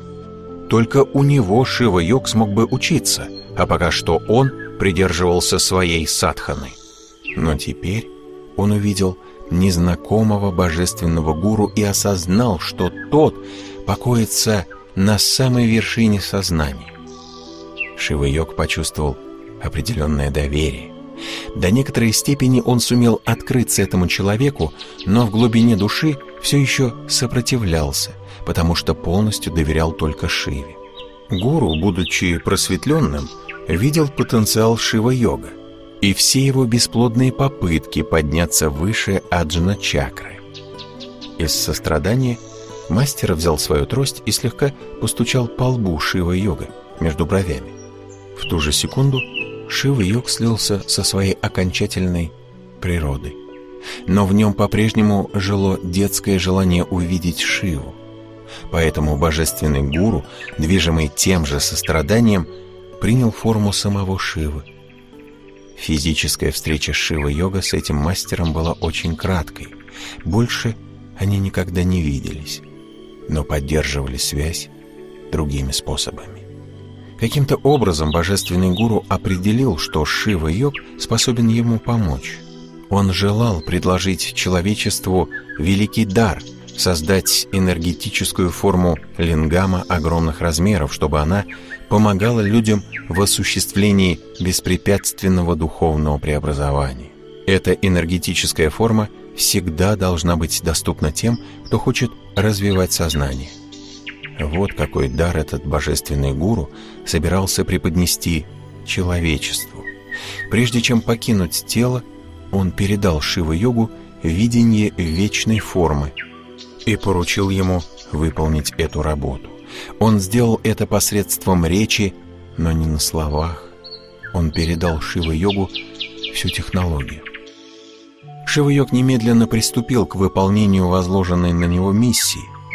По многим причинам в той жизни он не смог осуществить замысел своего гуру, но его неизменная благодарность и желание установить такую священную энергетическую форму, направили Шива-йога на путь, который занял еще две жизни. Садхгуру утверждает, что после просветления цикл физических рождений и смертей обычно заканчивается. Но необходимость работы по созданию вечной формы, которая позднее стала известна как Дхьяналинга, заставило Шива-йога принять иное решение — продолжать воплощаться в физическом мире. Когда я спросила Садхгуру, почему на планете больше нет просветленных существ, он пояснил, что у большинства людей момент просветления случается во время выхода из тела. Я читала, что даже Будда, достигнув просветления, решил не возвращаться после смерти к земному пребыванию. После пробуждения Будда написал такое стихотворение. «Я искал того, кто построил этот дом, но не находил». Я странствовал в круге бесчисленных рождений. О, как больно рождаться снова и снова! Строитель, я теперь узнал тебя. Ты больше ничего не построишь. Сломаны стропила, снесены опоры. Мой ум обрел ненадуманную нирвану и исчерпал всякое цепляние — Следующая мысль Будды была такой. «Я постиг то, что никогда не рождалось. Мое освобождение лишено привязанности. Это моя последняя жизнь. Больше воплощений не будет». Мне было любопытно, что значит не отождествляться с телом и личностью, и что вообще представляет собой освобождение. Я начала думать о божественном гуру Шива-йога. Что-то здесь не складывалось, но я не понимала, что. Затем я вспомнила, как Садхгуру упомянул его раньше в связи со своим учителем йоги в этой жизни. Интересно, какое отношение божественный гуру из прошлой жизни имел к человеку по имени Малади Халли с вами? Я спросила, правильно ли я понимаю, что мастер, который освободил тебя две жизни тому назад, в наше время был наставником твоего учителя йоги. Садх Гуру сказал. Да, у с вами был тот же гуру, что и у меня. Как это возможно? Удивилась я. Мой божественный гуру прожил 150 или 160 лет. Ответил он. Раньше я слышала много рассказов о необычных йогах, чья жизнь длилась даже не одну сотню лет, но никогда не верила в это до конца. В книге Йогананды «Автобиография йога» рассказывается, как йоги изучали удивительные способности и проявляли их. В целом я человек непредвзятый, но к таким вещам всегда отношусь скептически. Я полагала, что эти истории просто символические, а не фактические. До этого вечера. Встреча с таким человеком не может быть случайным совпадением, заметила я. Садх-гуру рассмеялся. Да, это больше похоже на страховой полис.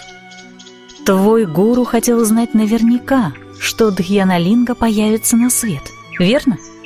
Ты говоришь, что именно поэтому он сейчас вернулся в твою жизнь. Как это возможно? Шерил, когда сознание больше не отождествляется с телом и разумом, возможно, многие вещи, которые кажутся чудесами. Садх-гуру вздохнула я. Что такое чудеса?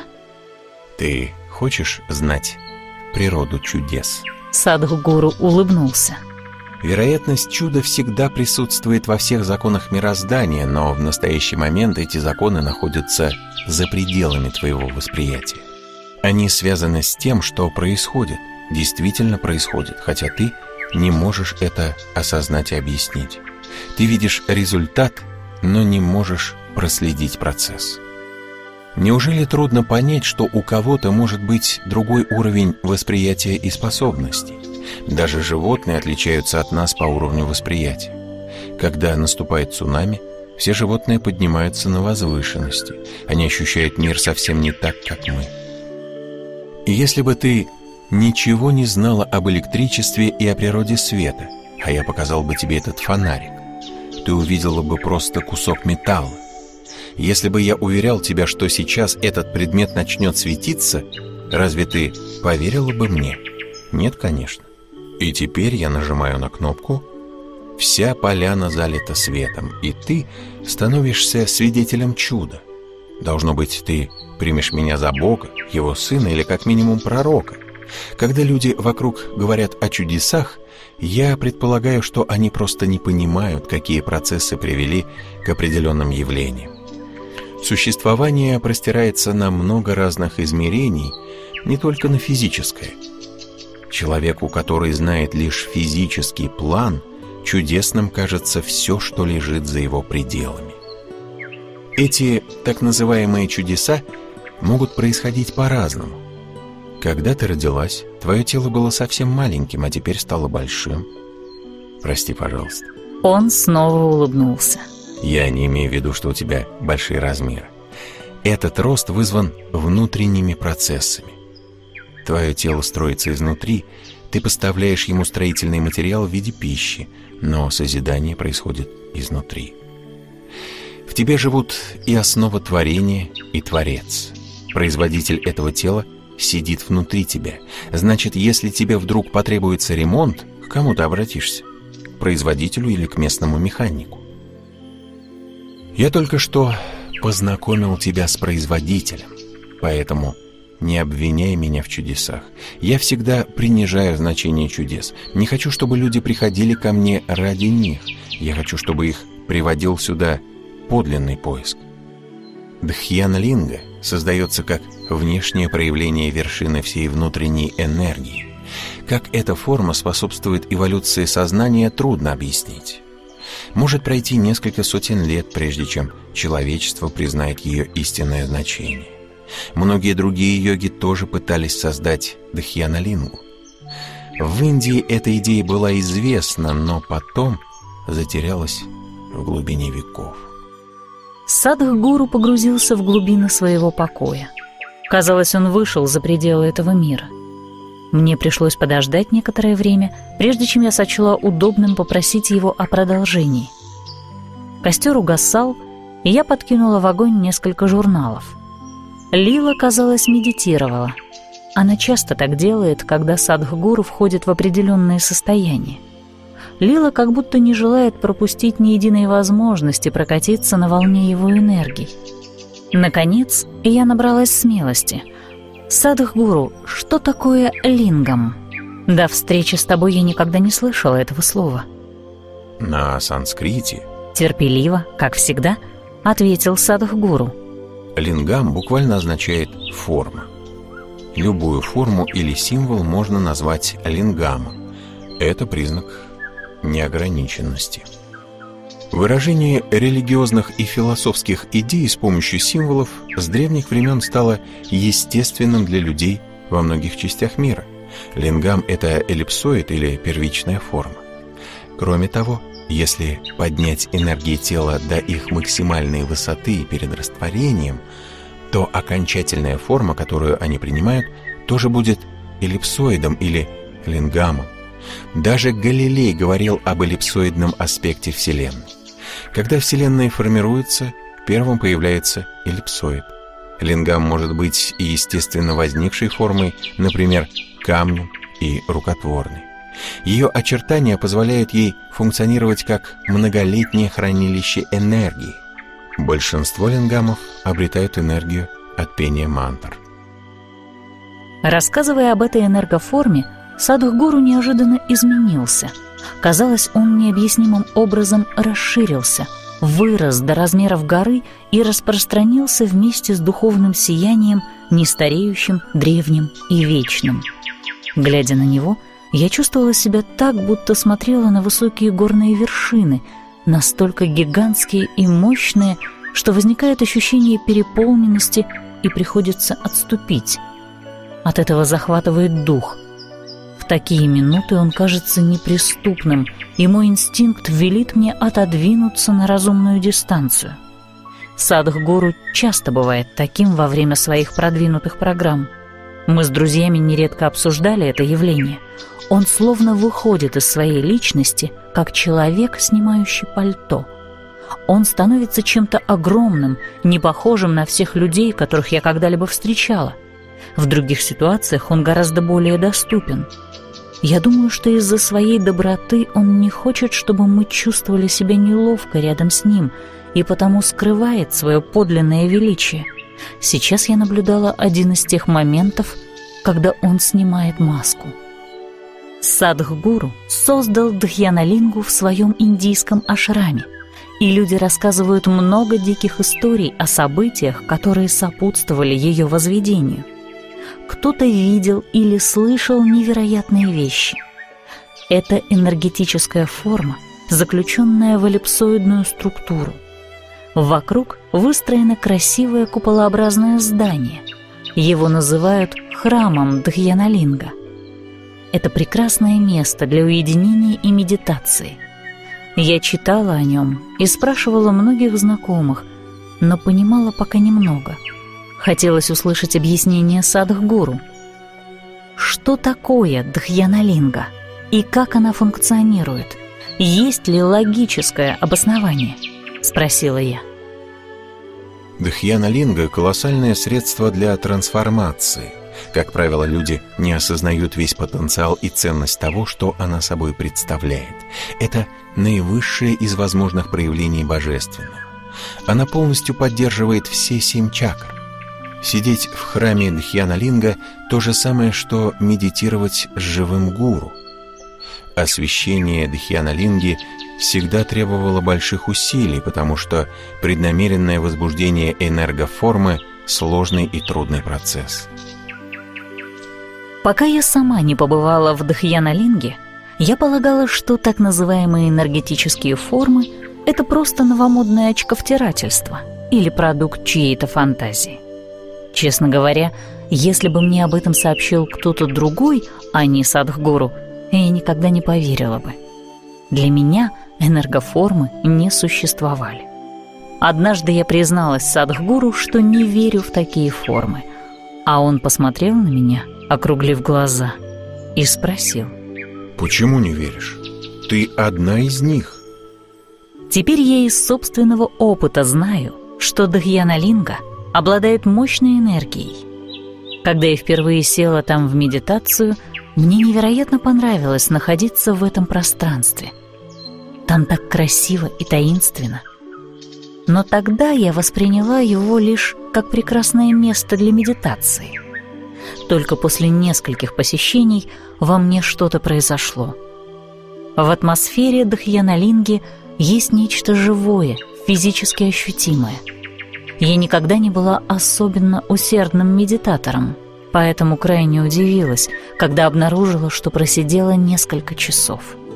Только в тот момент я действительно начала задаваться вопросом, что все это значит. Я была уверена, что медитировала всего пару минут. Внезапно оказалось, что на улице уже темно. Время просто исчезло. Я все еще не понимаю, как это работает. Но чем больше знакомлюсь с методами садхгуру и переживаю подобные ощущения, тем больше убеждаюсь в том, что он помогает нам получить доступ к иному измерению. Большинство из нас даже не знает — что это измерение существует, и совсем мало тех, кто способен его ощутить. Пламя начало угасать. Лила встала и бросила в костер еще немного веток. Искры взлетели высоко вверх. Когда она снова села, я повернулась к Садхгуру. Он спокойно смотрел на небо. «Садхгуру, расскажи нам что-нибудь еще. Ты остановился на просветлении Шива-йога и на его миссии, связанной с Дхьяналингой. Что произошло дальше? Получив этот дар, благословение великого гуру на то, чтобы стать орудием исполнения его монументальной миссии, Шива-йог хотел тут же взяться за дело. Однако, поразмыслив над необходимыми шагами по подготовке своего организма к этой цели, он понял, что подходящее время для создания Дхьяна-линги еще не настало. Несколько лет он выполнял предварительную работу, а затем покинул этот мир, чтобы впоследствии прийти в подходящее время в более молодом теле. Вскоре в Тамилнаде, что в Южной Индии, родился садхгуру Шри Брахма.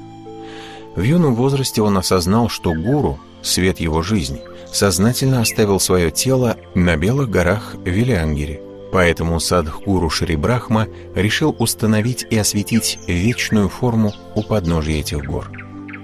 Поскольку он родился с единственной целью создания этой вечной энергоформы, он вырос неутомимым человеком огромной силы. Он понял, что работа такого масштаба не может осуществиться без социальной поддержки и начал открывать в этом государстве различные полезные учреждения. Их было 70, включая школы, детские дома и ашрамы. Одновременно он стал заниматься с избранной группой учеников. Они были необходимы ему для освещения вечной формы Дхьяна-линги. Эти эзотерические усилия вызвали определенное сопротивление со стороны нескольких могущественных семей, и Садхгуру становилось все труднее продолжать работу. Когда эти семьи начали преследовать его учеников, Садхгуру понял, что и в этом воплощении не сумеет выполнить волю своего гуру. Садхгуру не планировал оставаться в своем теле ни на мгновение дольше, чем это было нужно для сооружения Дхьяна-линги он планировал прожить только 42 года. Ради Дхьяналинги он зажег свои жизненные энергии неистовым пламенем, чтобы они сгорели ровно в этот срок. Однако столкновение с социальными трудностями поставило под угрозу его великие усилия. Время уходило, и хотя Садхгуру был совершенным йогом огромных способностей, в нем возник некий всеобъемлющий гнев – стало очевидно, что он снова уйдет, не выполнив святую миссию, возложенную на него. Вместе с одним из своих учеников он решительно, без передышки, прошел более 600 километров до храма Сомашвара в Кадапе, что в штате Андхра-Прадеш. В этом храме когда-то провел некоторое время его мастер, так что Садхгуру пытался максимально приблизиться к источнику своего просветления. Там он размышлял несколько месяцев и составил подробный план перехода в новую жизнь для себя и своих людей. Были приняты решения, кто где родится, в каком месте, у каких родителей. Так он засеял семена будущих воплощений своих учеников именно в тех семьях, которые сопротивлялись их работе. Когда завершилась эта сложная эзотерическая процедура, он вернулся в Коимбатур. Там он провел немного времени со своими учениками – и в последний раз поднялся на священную гору Вилиангири. Это место было для него великой святыней, ведь его гуру не только ходил по этой величественной горе, но и расстался там со своим смертным физическим телом. Прощаясь с учениками, Садхгуру уверенно заявил «Я вернусь». Он взошел на гору и провел там около полутора суток. Все это время он готовился продемонстрировать очень редкое явление – покинуть тело через все семь чакр. Тем самым он показал, что полностью готов к созданию вечной формы и что нежелательная отсрочка была связана только с его неспособностью совладать с непривычными тенденциями в жизни общества. Настал день, когда Садхгуру снова вернулся, чтобы создать вечную форму. Как только он вспомнил об этой задаче, он решил обрести способность взаимодействовать с социумом, хотя по-прежнему отличался пламенным духом и силой. После этих слов Садхгуру замолчал и больше не отзывался. Я же, как в мой первый визит в Тхьяналингу, обнаружила, что мы просидели на острове много часов, хотя они пролетели как минуты. Казалось, время исчезло. В глубокой тишине мы загрузили лодку и устремились в сторону дома — пока я обдумывала все сказанное. Глава восьмая. Наша последняя ночь. Более глубокое понимание. Самопостижение не придет к вам от гуру. Гуру просто устраняет препятствия, которых вы не осознаете. Садхгуру. Следующее утро было будто создано по нашему заказу зарождался изумительный день. Краски были такими яркими, а воздух таким свежим, что казалось, мы в раю. Наши последние несколько вечеров начинались все раньше и раньше. И я понимала, что основное внимание Садх-гуру в течение дня сосредоточено на чем-то далеком. Однако мне очень хотелось, чтобы в этот великолепный день он насладился красотой окружающей природы вместе с нами. К счастью, на помощь пришла сама судьба. Она как будто знала, как сильно я желала продлить общение с мастером. Внезапно планы гуру изменились, и мы с Лилой получили его драгоценное время. Рано утром раздался телефонный звонок из Индии. Кому-то необходимо было поговорить с Садхгуру. Чтобы передать сообщение, я пошла к нему в комнату и негромко постучала. Я не хотела его беспокоить, но дверь была приоткрыта, поэтому, не услышав ответа, я заглянула внутрь. Ничего удивительного. Он сидел, скрестив ноги на индейском коврике, застилавшем деревянный пол. Гуру выглядел полностью сосредоточенным и совершенно недосягаемым. Мне показалось, что его здесь просто нет. Я быстро, тихо закрыла дверь и вышла. Садх Гуру спустился к нам примерно через час. Он поговорил по телефону, а затем подключился к интернету. Ему пришло почти 200 писем. Вот сколько дел у мистиков. Поскольку мы так мало видели его в дневное время, я спросила, не хочет ли он сыграть в гольф с моим соседом, который обожает эту игру. Гуру согласился. Я обрадовалась, что нам удастся его хоть как-то развлечь. Все чудесные предыдущие дни он просидел один в комнате, и это меня расстраивало.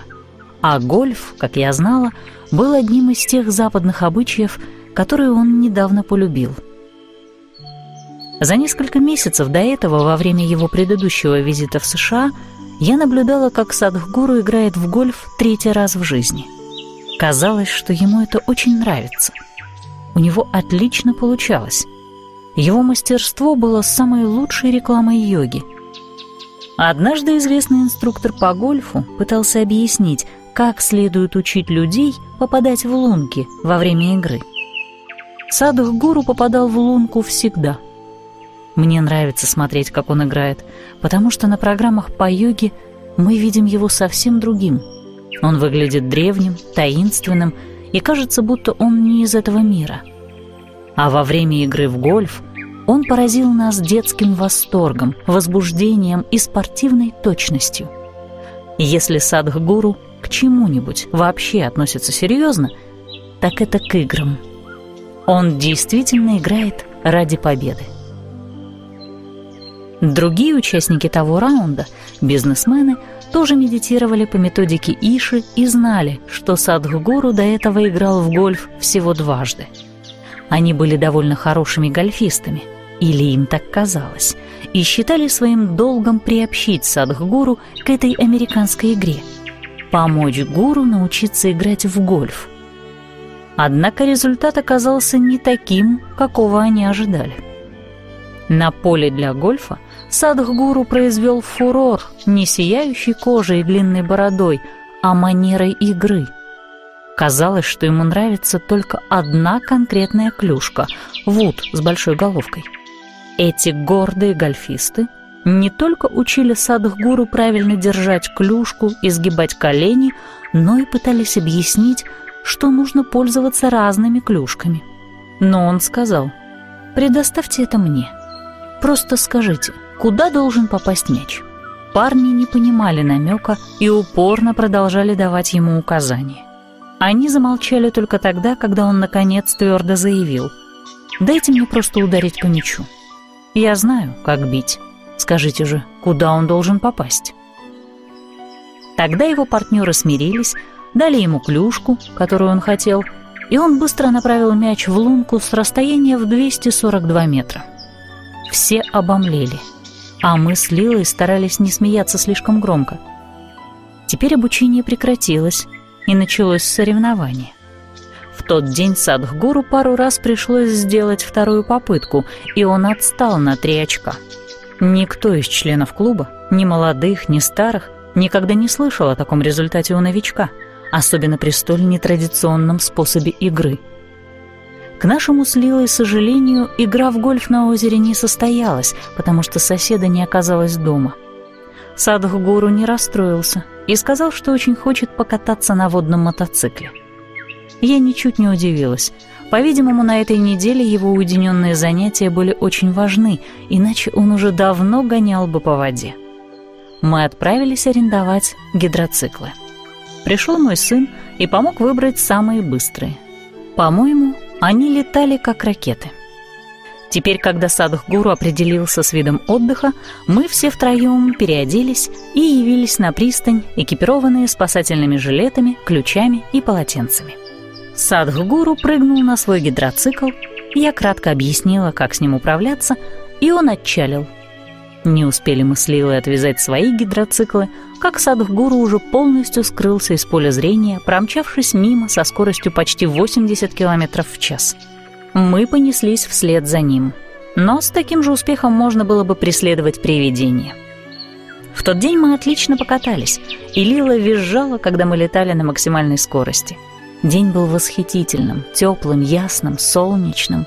Я не могла бы представить себе лучшее развлечение, чем носиться по озеру среди брызг.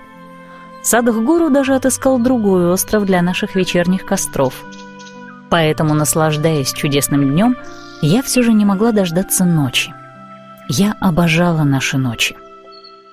Через несколько часов мы вернулись домой.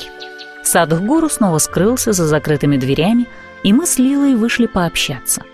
Перед катанием Садхгуру упомянул о другом своем визите в горы Апалачи и о том, как там красиво. Я спросила Лилу, знает ли она, куда именно он ездил. Она ответила, что гору посетил Сентр-Хилл, который находится в нескольких часах езды от Нэшвилла. Там довольно дикие уединенные места, где можно несколько дней не увидеть ни одного человека. Лила добавила, что именно там Садхгуру написал стихотворение под названием «Америка». Я помнила эти волнующие стихи. В них упоминается страшная судьба американских индейцев, которых белые уничтожали или сгоняли в резервации. Мне стало любопытно. Я спросила Лилу, какие обстоятельства вдохновили гуру написать это стихотворение. Она пояснила, что в тот день Садхгуру долго гулял по лесу один, а когда вернулся, казался отдаленным и неприступным. Я изучила его за все эти годы, но тогда его было не узнать, добавила она. Его не было несколько часов — Потом он вошел в коттедж, но выглядел очень напряженным. Казалось, что он выпал из времени и пространства. Он как будто отсутствовал, но при этом его присутствие было очень весомым. Я говорю странные вещи, но тот момент прочно засел в моей памяти. Позже он объяснил Лили, что произошло во время его прогулки по лесу. Но сейчас она не стала ничего мне рассказывать. Она считала, что мне лучше услышать эту историю от самого Садхгуру. Случай, о котором упомянула Лила, снова пробудил мое любопытство. Как Садхгуру воспринимает жизнь?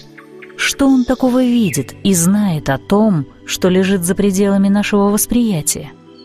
Я решила вечером спросить его об этом стихотворении. Еще я хотела услышать его мнение о моей удивительной встрече с Рамдасом — когда мир предстал передо мной совершенно необычным. Кроме того, именно благодаря моему общению с Рамдасом Садхгуру показался мне таким знакомым, когда я впервые взглянула на него и почувствовала, как мой позвоночник выпрямляется сам собой.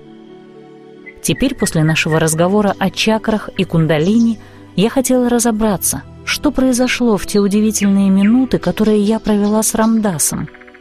Отчасти – я догадывалась, чем можно объяснить различия в нашем восприятии мира и других измерений. Вечером, как только мы расселись у костра, я спросила Садхгуру, могу ли я воспользоваться его мудростью, чтобы разобраться в одной истории из моей жизни. Неловко было задавать личный вопрос, но я не отступала, потому что слишком долго носила в себе это переживание. Как я и предполагала, Садхгуру дал понять, что не возражает. Тогда я задумалась, как сформулировать вопрос. Я осознавала тепло огня, симфонию лягушек и уханье совы. Я не была уверена, сумею ли описать случившееся. Когда я была еще совсем молодой, 22-летней, меня беспокоило множество трудных вопросов – я тогда много читала о йоге, просветлении и восточных религиях, знала психоделический опыт и необычные переживания в медитации. Из того, что я прочитала и испытала, я вынесла убеждение, что существует нечто намного большее, чем физический план, и что Бог — это не какой-то добрый дедушка в каком-то отдаленном месте. Наука говорит, что всякая материя содержит энергию, что все физическое может быть сведено к энергии и что ее нельзя уничтожить. Чем более эзотерическими становились мои занятия, тем чаще я встречала утверждение, что есть только один Бог, что Он принял форму многих, и что во всех нас есть Бог, просто мы этого не знали. Мой разум постоянно с этим боролся. Итак, к Рамдасу я пришла со своим больным вопросом. Как все может быть одним, если мое переживание жизни ощущается как что-то совсем отдельное? При этом я знала, что все как-то взаимосвязано. Я слышала, что жизнь описывается как майя, иллюзия. Это меня всегда злило. Это звучало так холодно и бессердечно. Казалось чересчур жестоким просто прокрутить жизнь как банальный фильм. Кроме того, она ощущалась слишком болезненной, чтобы называть ее нереальной. Однако я также осознавала непостоянство всего происходящего — Итак, что реально? Этот вопрос не давал мне покоя. Что не умирает? Бог? Было ли во мне что-либо реальное, что можно познать? В общем, когда я сидела перед Рамдасом, все эти мысли роились в моей голове. Он только вернулся после долгого пребывания в Индии и производил сильное впечатление. Он провел много времени со своим гуру, Ним Королей Бабой – и совершил много духовной работы. Некоторые из моих друзей переехали в Нью-Йорк, поближе к Рамдасу. Они сообщили мне, что он будет в Атланте, и уговорили увидеться с ним. В те дни я была довольно замкнутой, но что-то побудило меня подойти к нему после лекции, которую он прочитал на Каменной горе. Когда я спросила Рамдаса, есть ли у него время встретиться со мной, он пару минут посмотрел в потолок, а потом согласился.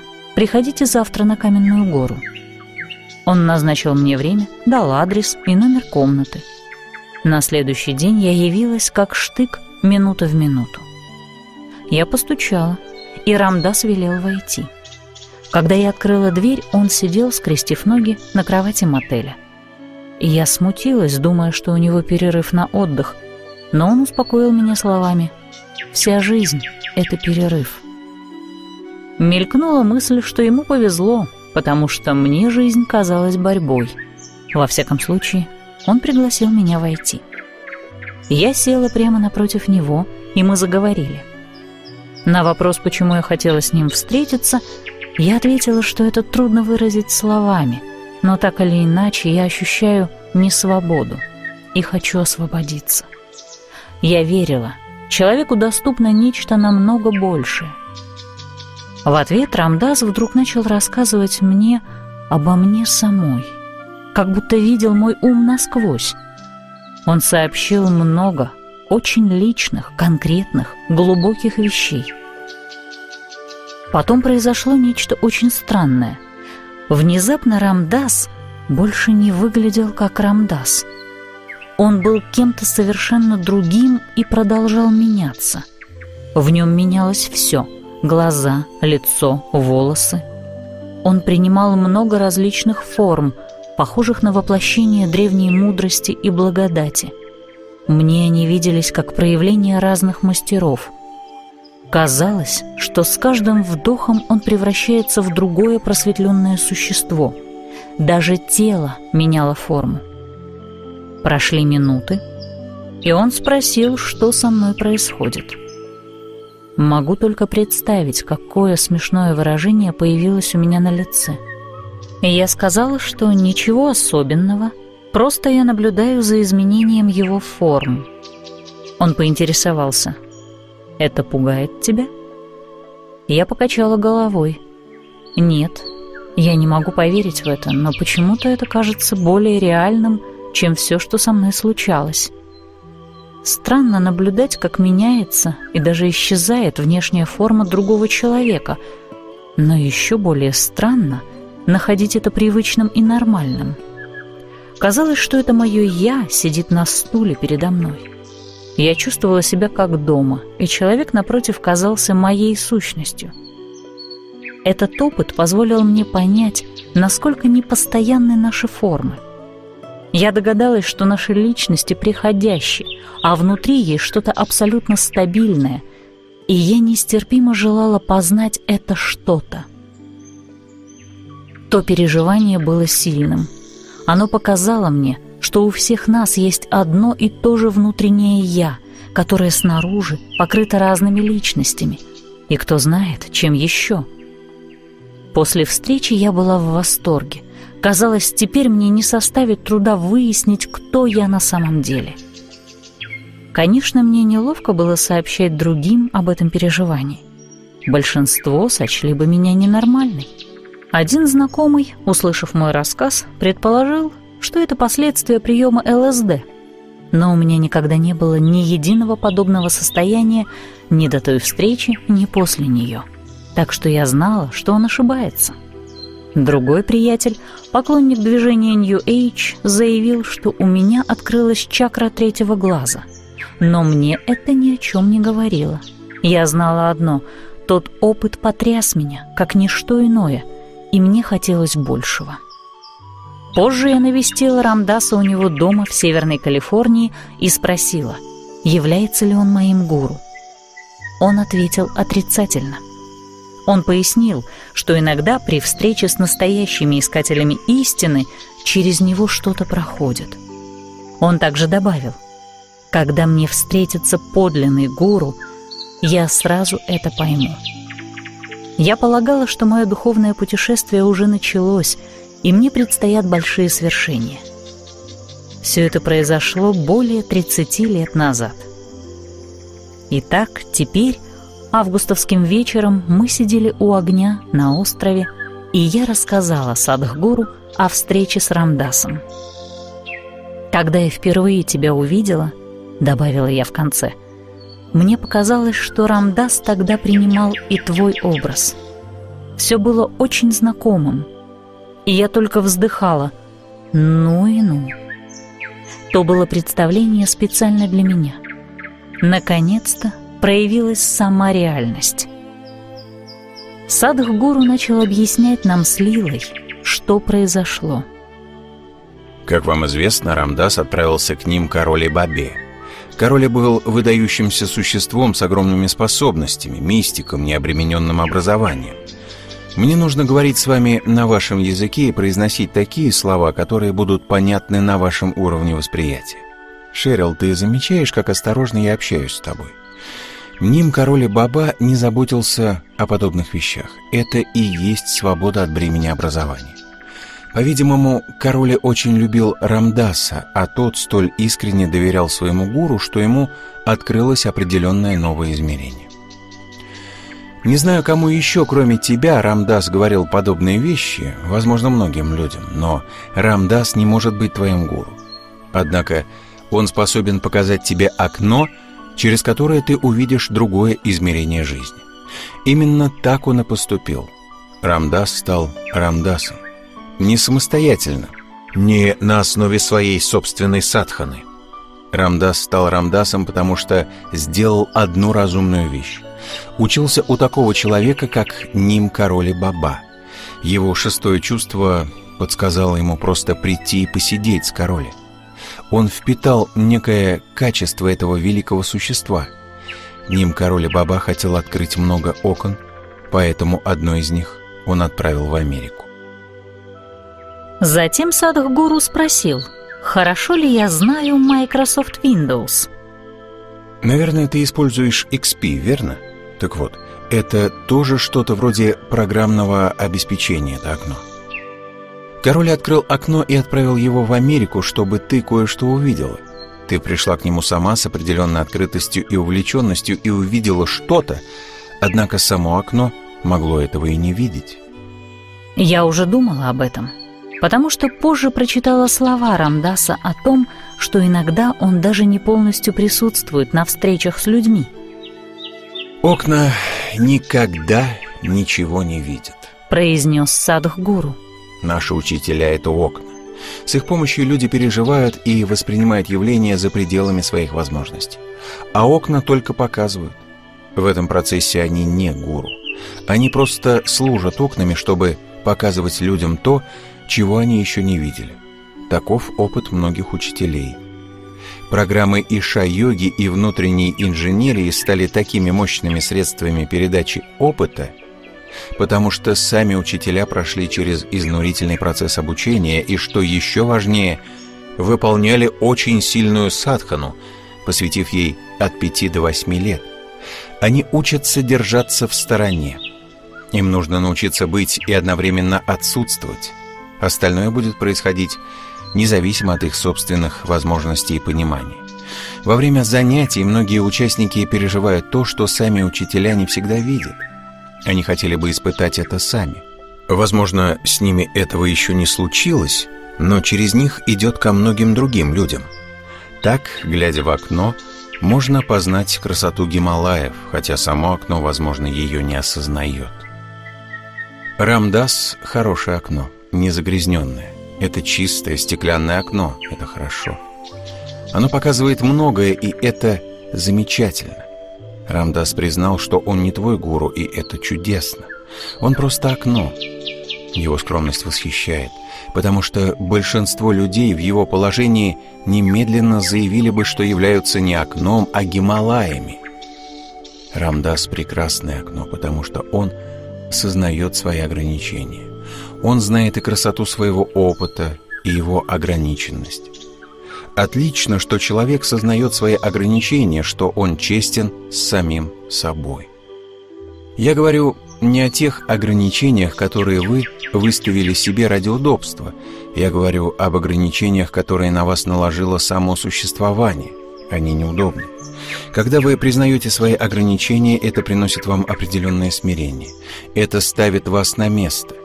Очень важно, чтобы вы всегда находились на своем месте, потому что все ваши представления о самих себе никуда вас не приведут. Шерил, можно я расскажу тебе анекдот? Ты говоришь о таких серьезных вещах, как меняющиеся формы просветленных, и я не уверен, что в такой момент позволено шутить. «Да», — отозвалась я. «Я всегда рада шуткам». Я почувствовала облегчение — он не думал, что явление во время встречи с Рамдасом было галлюцинацией. Он серьезно воспринял мои слова и помог мне понять, что произошло. Садух Гуру весело начал рассказывать нам анекдот. Он любит шутки почти так же сильно, как игры. Однажды на лугу паслись бык и фазан. Бык жевал траву, а фазан клевал клещей на спине у быка. Идеальное партнерство. Глядя на высокое дерево неподалеку, фазан сказал — Увы, было время, когда я мог сходу вспорхнуть до самой верхушки этого дерева. Теперь же мои крылья настолько слабы, что я не могу подняться даже до нижней ветки. Бык беззаботно ответил. «Просто ешь каждый день немного моего навоза. Две недели, и ты сможешь взлететь до верхушки». Фазан воскликнул. «Да ладно, брось, что за ерунда?» Бык настаивал. «Попробуй, увидишь сам. Все человечество так делает». Очень неуверенно фазан начал клевать навоз и, о чудо, в первый день он взлетел до нижней ветки. Прошли две недели, и он, как встарь, сумел вспорхнуть на верхушку. Он уселся там и принялся наслаждаться пейзажем. Поблизости в кресле качалки раскачивался старый фермер. Увидев на дереве толстого старого фазана, он вытащил дробовик и одним выстрелом шип птицу. Мораль истории. Глупость может привести вас на вершину, но она никогда не позволит вам надолго там остаться. Мы посмеялись. Вскоре Садхгуру снова стал серьезным и продолжил объяснение. «Все, что ты думаешь о себе, не важно», — сказал он. «Ты можешь рассказывать себе любые истории про саму себя, думая о себе что угодно, но это не имеет ничего общего с экзистенциальной реальностью. Возможно, твои идеи и мысли отличаются определенной социальной значимостью, но на этом их значимость заканчивается. Я хочу, чтобы ты понимала, материя, которая творит жизнь и которую ты называешь Богом, воспринимает тебя именно такой, какова ты сейчас. Само пространство бытия воспринимает тебя в точности такой, какой ты являешься. Ему безразлично, какой ты хотела бы стать, как ты одета, как выглядишь, что говоришь, как себя называешь и что о тебе думает мир. Бытие воспринимает тебя именно такой, какая ты есть на самом деле, и это происходит постоянно. Обманывать можно себя, общество, окружающий мир, друзей, но это бытие не проведешь. Пытаясь обвести его вокруг пальца, мы лишь выставляем себя дураками. Все, чем ты являешься, постоянно воспринимается. Невозможно проскочить, притворившись чем-нибудь другим. Любое мошенничество – продукт разума, но фундаментальное бытие пользуется иным источником. Можно описать духовность, сказав, что она находится вне процессов разума. Сейчас все, что ты воспринимаешь органами чувств, обрабатывается процессами разума. Ум – притворщик. Именно в этом контексте говорится, что все есть майя – иллюзия. Как часто бывает, слушая ответы Садхгуру, я погрузилась в глубокую неподвижность. Я начала резонировать с его словами, сознавая, что он пролил свет на те изменения, которые произошли во мне после встречи с Рамдасом. Еще тогда я поняла, что Бог — это ты сам, то же самое внутреннее «я», которое всегда наблюдает за моей жизнью и присутствует во всех и во всем. У всех нас одно и то же внутреннее «я». У нас разные личности и эго, но наши внутренние «я» одинаковы. Когда это «я» говорила со мной через Рамдаса, я чувствовала, что полностью охвачена любовью, и любовь лишила меня всех претензий. Я пришла к осознанию.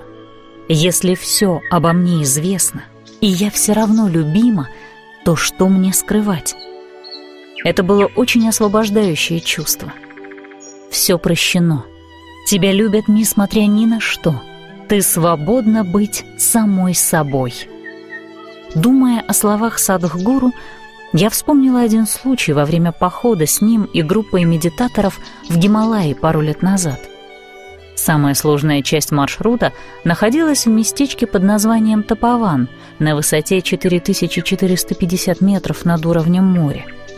Тропа там частично пересекает сплошную поверхность ледника. На вершине жила удивительная дама в идеально отглаженном саре.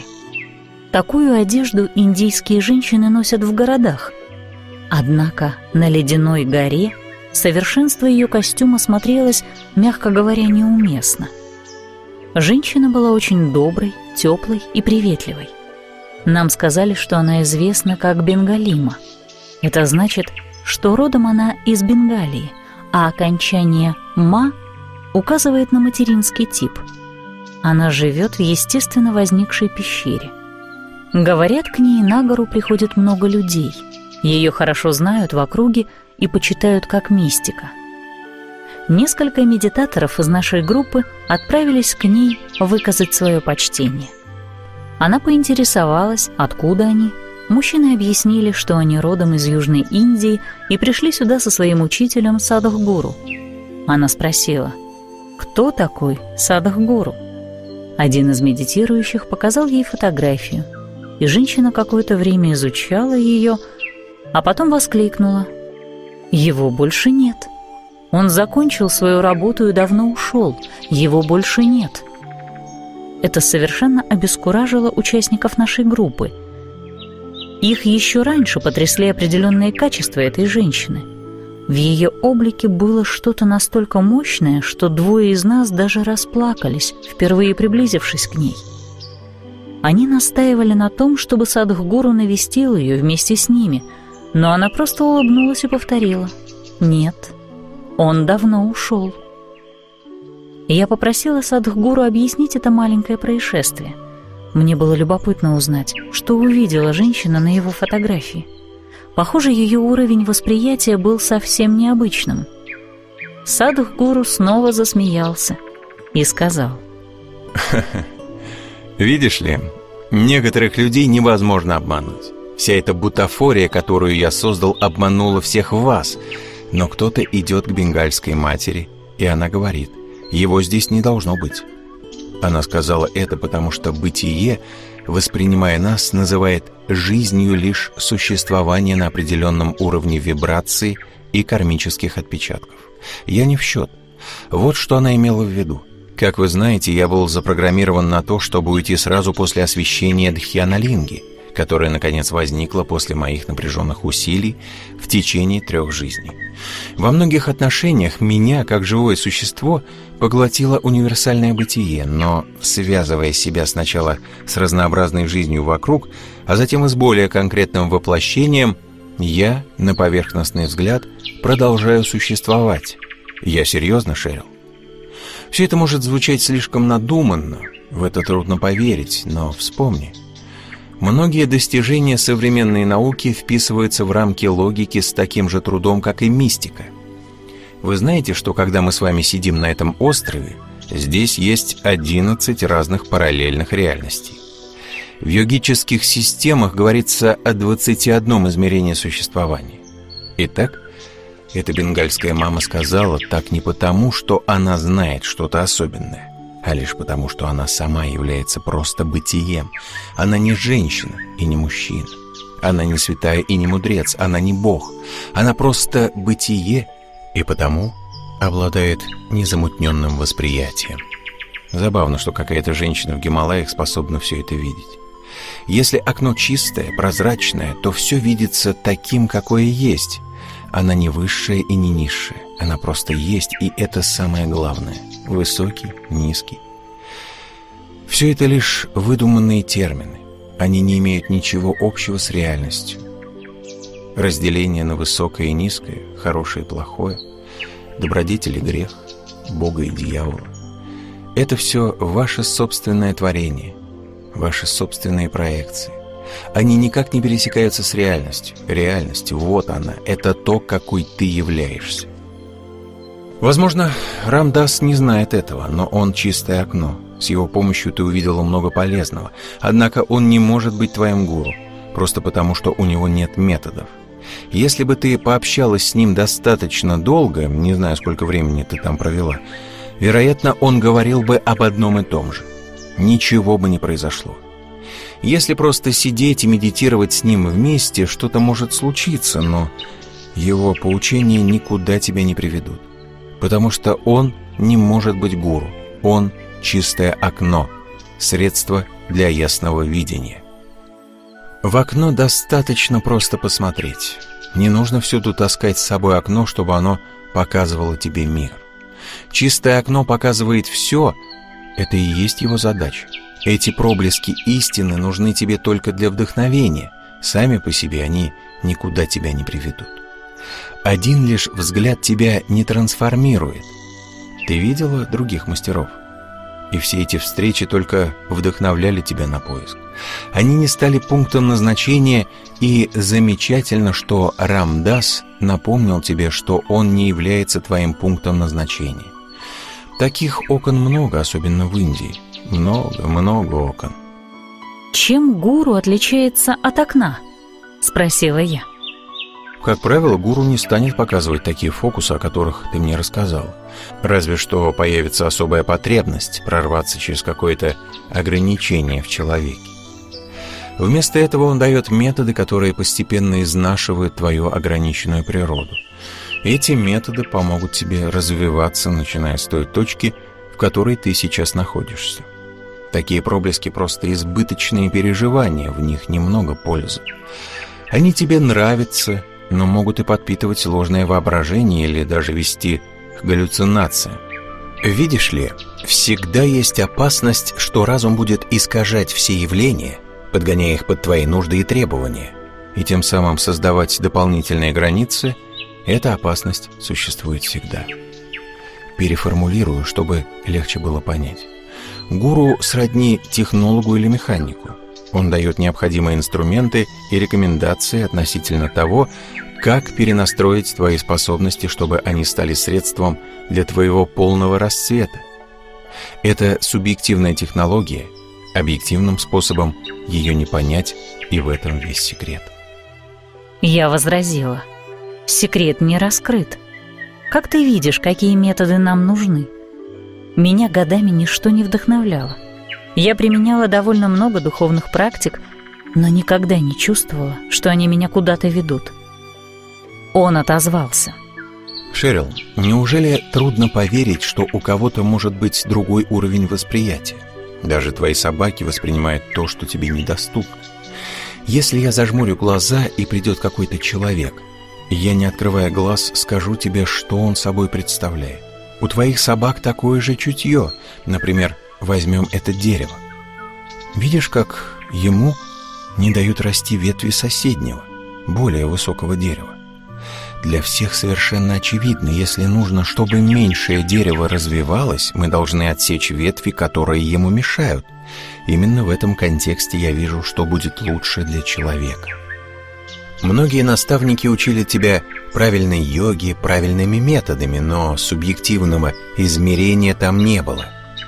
Кое-что, конечно, произошло, но неуклонный процесс достижения духовного благополучия так и не начался. Учителя пришли из хороших традиций, поэтому методы были правильными, но субъективное измерение отсутствовало.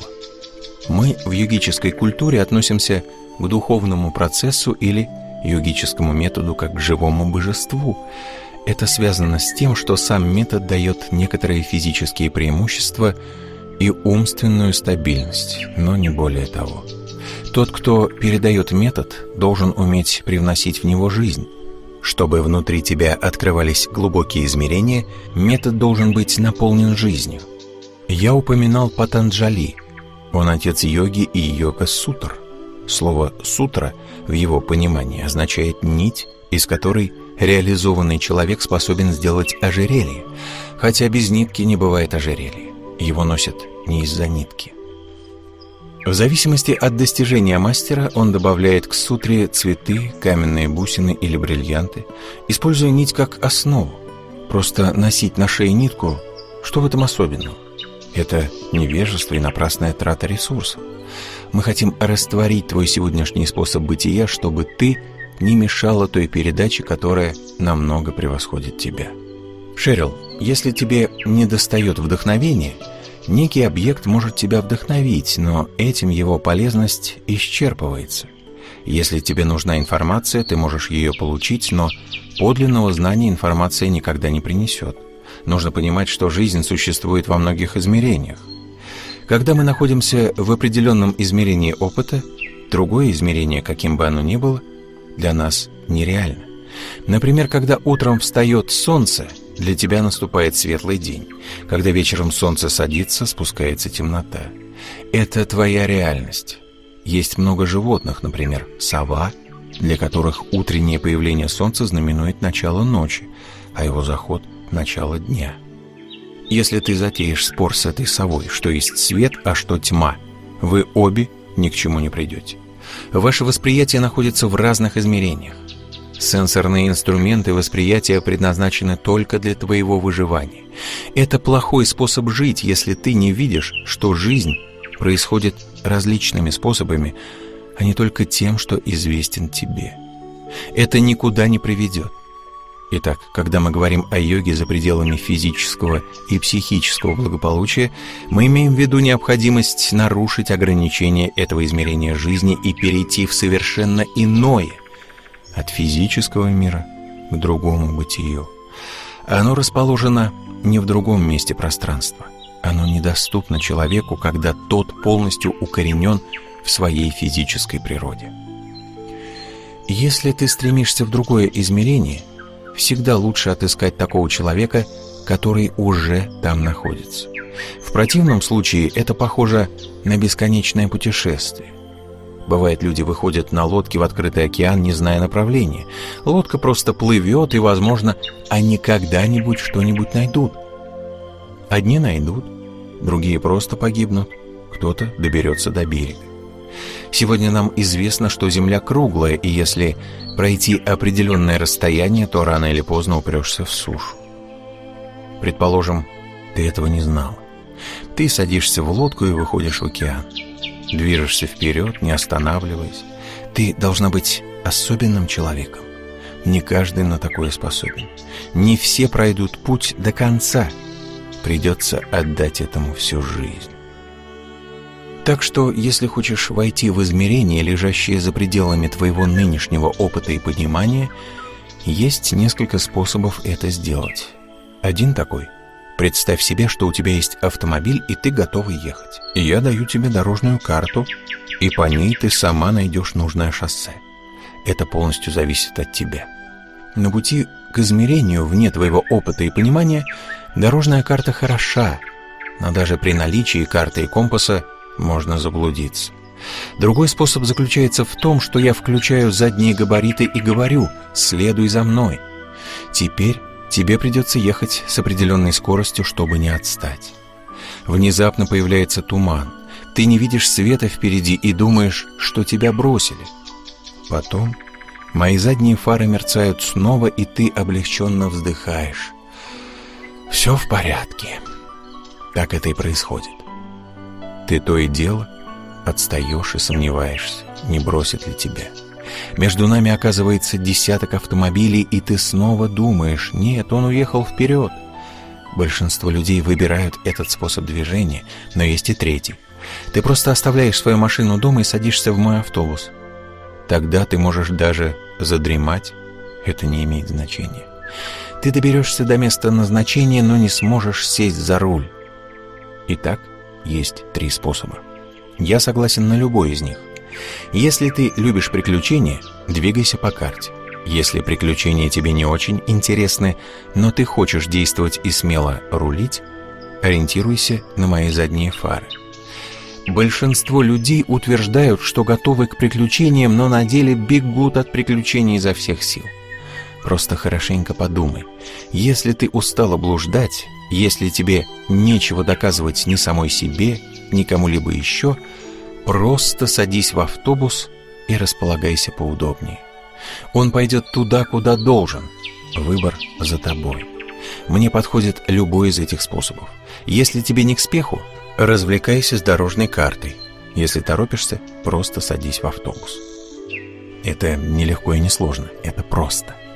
Настолько просто, что твой разум приходит в смятение. Его обычно тянут и толкают в разные стороны миллионы отвлечений. Он функционирует в рамках тех ограничений, которые ты собрала и украсила позолотой. Если ты перестанешь украшать свои ограничения, если прекратишь носить кандалы как драгоценности и гордиться ими, все станет просто. И ты будешь постоянно двигаться вперед. Посмотри, как хитро ты находишь поддержку своим ограничениям у окружающих людей – Тебе хочется получить разрешение на свои ограничения. Ты хочешь, чтобы эти помехи считались чем-то правильным. Я поразилась. Конечно, он был прав. Я посмотрела на Лилу. Она улыбалась мне. Отблески костра плясали на ее лице. Прислонившись к дереву, я думала обо всех ограничениях, которые сама накладывала на себя много лет — Почему мы так поступаем с самими собой? В костре громко хрустнула ветка, и мое внимание вернулось к Садхгуру. Его глаза были глубокими, как два колодца. Раньше я не понимала, что мы бессознательно сами ограничиваем себя всякий раз, когда говорим «я такой или иной». Вот что я за человек. Вокруг меня много говорилось о том, чтобы не иметь границ — и я не знала, что это означает. Теперь я лучше понимала, что имелось в виду. Очевидно, я долго сужала свои границы. До встречи с Садхгуру мне было комфортно так сжиматься. Я без конца уточняла, что мне нравится, а что нет, и все быстрее выносила суждения. Например, если в помещении не было кондиционера, я не могла там находиться — я могла выйти на прогулку только при температуре плюс 25 и в солнечную погоду. Я считала все это нормой. Большинство своих ограничений я воспринимала как данность. Сейчас это, конечно, изменилось. Я намного более открыта. Иногда поначалу возникает сопротивление, но впоследствии я всегда радуюсь, что сумела его преодолеть. Это вызвало еще один вопрос, на который я ждала ответа. Садхгуру. Многие люди, которых я знаю, думают, что они прекрасны именно такими, какие есть. Фактически некоторые в этой стране считают, что они уже у цели, что они всего добились. Если человек так настроен, возможно ли преобразование? Дело в том, Шерил, что все, что мы чистим, будет блестеть. То же самое касается и невежества. Я вижу эту тенденцию в мире, особенно на Западе. Люди не признают своей ограниченности и запросто судят о реалиях, которые еще не относятся к их опыту. Интеллектуальное знание экзистенциальных реалий ничего не даст. Было время, когда люди верили, что Бог находится наверху. Сейчас многие говорят, что Бог повсюду. Кто-то еще скажет «Бог во мне». В некотором смысле все эти утверждения одинаково уязвимы. Подобными средствами можно вызвать некие возвышенные переживания. Люди даже называют это просветлением. Таких ощущений можно добиться, делая почти все с определенной интенсивностью. Представь себе, что ты стоишь у высокого и глухого забора. У тебя есть батут. Ты разбегаешься, прыгаешь изо всех сил, взлетаешь и на мгновение видишь то, что находится по другую сторону. Но одного взгляда недостаточно. Главная цель духовного процесса — найти способ перебраться через этот забор. Сегодня ситуация такова, если человек может жить без антидепрессантов, он думает, что уже достиг цели, но немного покоя и благополучия — это не конечная цель. Наивысшее достижение вообще не имеет отношения к благополучию. Однако ты не приблизишься к нему, если не покоишься на твердой почве благополучия. Просто физическое благоденствие – это все равно, что сидеть в автомобиле, который стоит на месте. Если ты сидишь в припаркованной машине своей мечты, мало что произойдет. Утро превратится в полдень, полдень перейдет в вечер, вечер станет ночью, а ночь снова днем. Будут меняться времена года, цветы будут расцветать и увядать, а ты, сидя в машине, будешь верить, что куда ты едешь, потому что меняется пейзаж. Чтобы жить в благополучии, не нужен никакой духовный процесс. Для этого достаточно поддерживать физическую форму, читать хорошие книги, сохранять добрые отношения с партнером и, возможно, играть в гольф. Духовный процесс становится актуальным только тогда, когда ты понимаешь, что физическое и умственное благополучие, хотя им определяется в жизни многое, всего лишь платформа для свершения более глубоких устремлений. Что-то в тебе постоянно стремится к безграничному расширению. Естественно, когда ты начинаешь духовный процесс, физическое и психическое благополучие приходят сами собой. Это скорее побочный продукт, чем цель. Но когда человек получает этот небольшой продукт, ему кажется, что он уже всего достиг. Я снова помолчала. Другие вечера нашей недели были заполнены долгими периодами тишины, но время бежало вперед, а у меня оставалось еще много вопросов. Недавно Садхгуру в разговоре упомянул об одном событии из моего прошлого, о котором я не рассказывала ни ему, ни кому-либо еще. Я очень хотела понять, как он узнал это. Я сказала, «Садхгуру, мне кажется, ты способен видеть, что с нами происходит. Еще ты всегда шутишь, что поскольку мы допустили оплошность и сели перед тобой, у нас больше нет секретов. Ты действительно видишь наше прошлое и настоящее. Садах Гуру ответил. Если бы я этого не видел, я не мог бы выполнять свою работу. Что это значит? Мне все-таки хотелось понять. Садах Гуру неторопливо объяснил. При первой встрече с вами я делаю поклон. Я касаюсь вашего внутреннего ядра и признаю в вас воплощение божественного. Вот почему нужен поклон. Затем я вижу груды впечатлений, которые вы собрали. Вижу всю кармическую структуру и тенденции, которые из нее возникли. У некоторых людей есть очень сильное впечатление от прошлых событий – Сами события уже в прошлом, но внутри вас они остаются живой реальностью. Тогда видно, к чему это приведет тебя, если ты продолжишь жить под гнетом этих тенденций. Ты уже замечала, что я часто отвечаю не на тот вопрос, который мне задают. Кто-то может задать неточный вопрос, но я должен ответить точно и без ошибки. Иногда человек спрашивает о чем-то, но я начинаю говорить совершенно о другом. Дело в том, что я слушаю не слова, а людей. Я слушаю их как вибрацию накопленных впечатлений. Я вижу в вас просто накопление вашей кармы. Так что это правда. С тех пор, как ты неосторожно села передо мной, в твоей жизни не осталось ничего конфиденциального. Когда есть любовь, нет необходимости в уединении. Ты всегда принимаешь любимых людей в свое личное пространство, поскольку я охватил всех существ абсолютной любовью. Я не разрешаю им иметь частную жизнь. Садах Гуру рассмеялся, а затем встал, пошел к берегу и нырнул в озеро. Услышав всплеск воды, мы с Лилой переглянулись. Уверенно мы одновременно подумали одно и то же.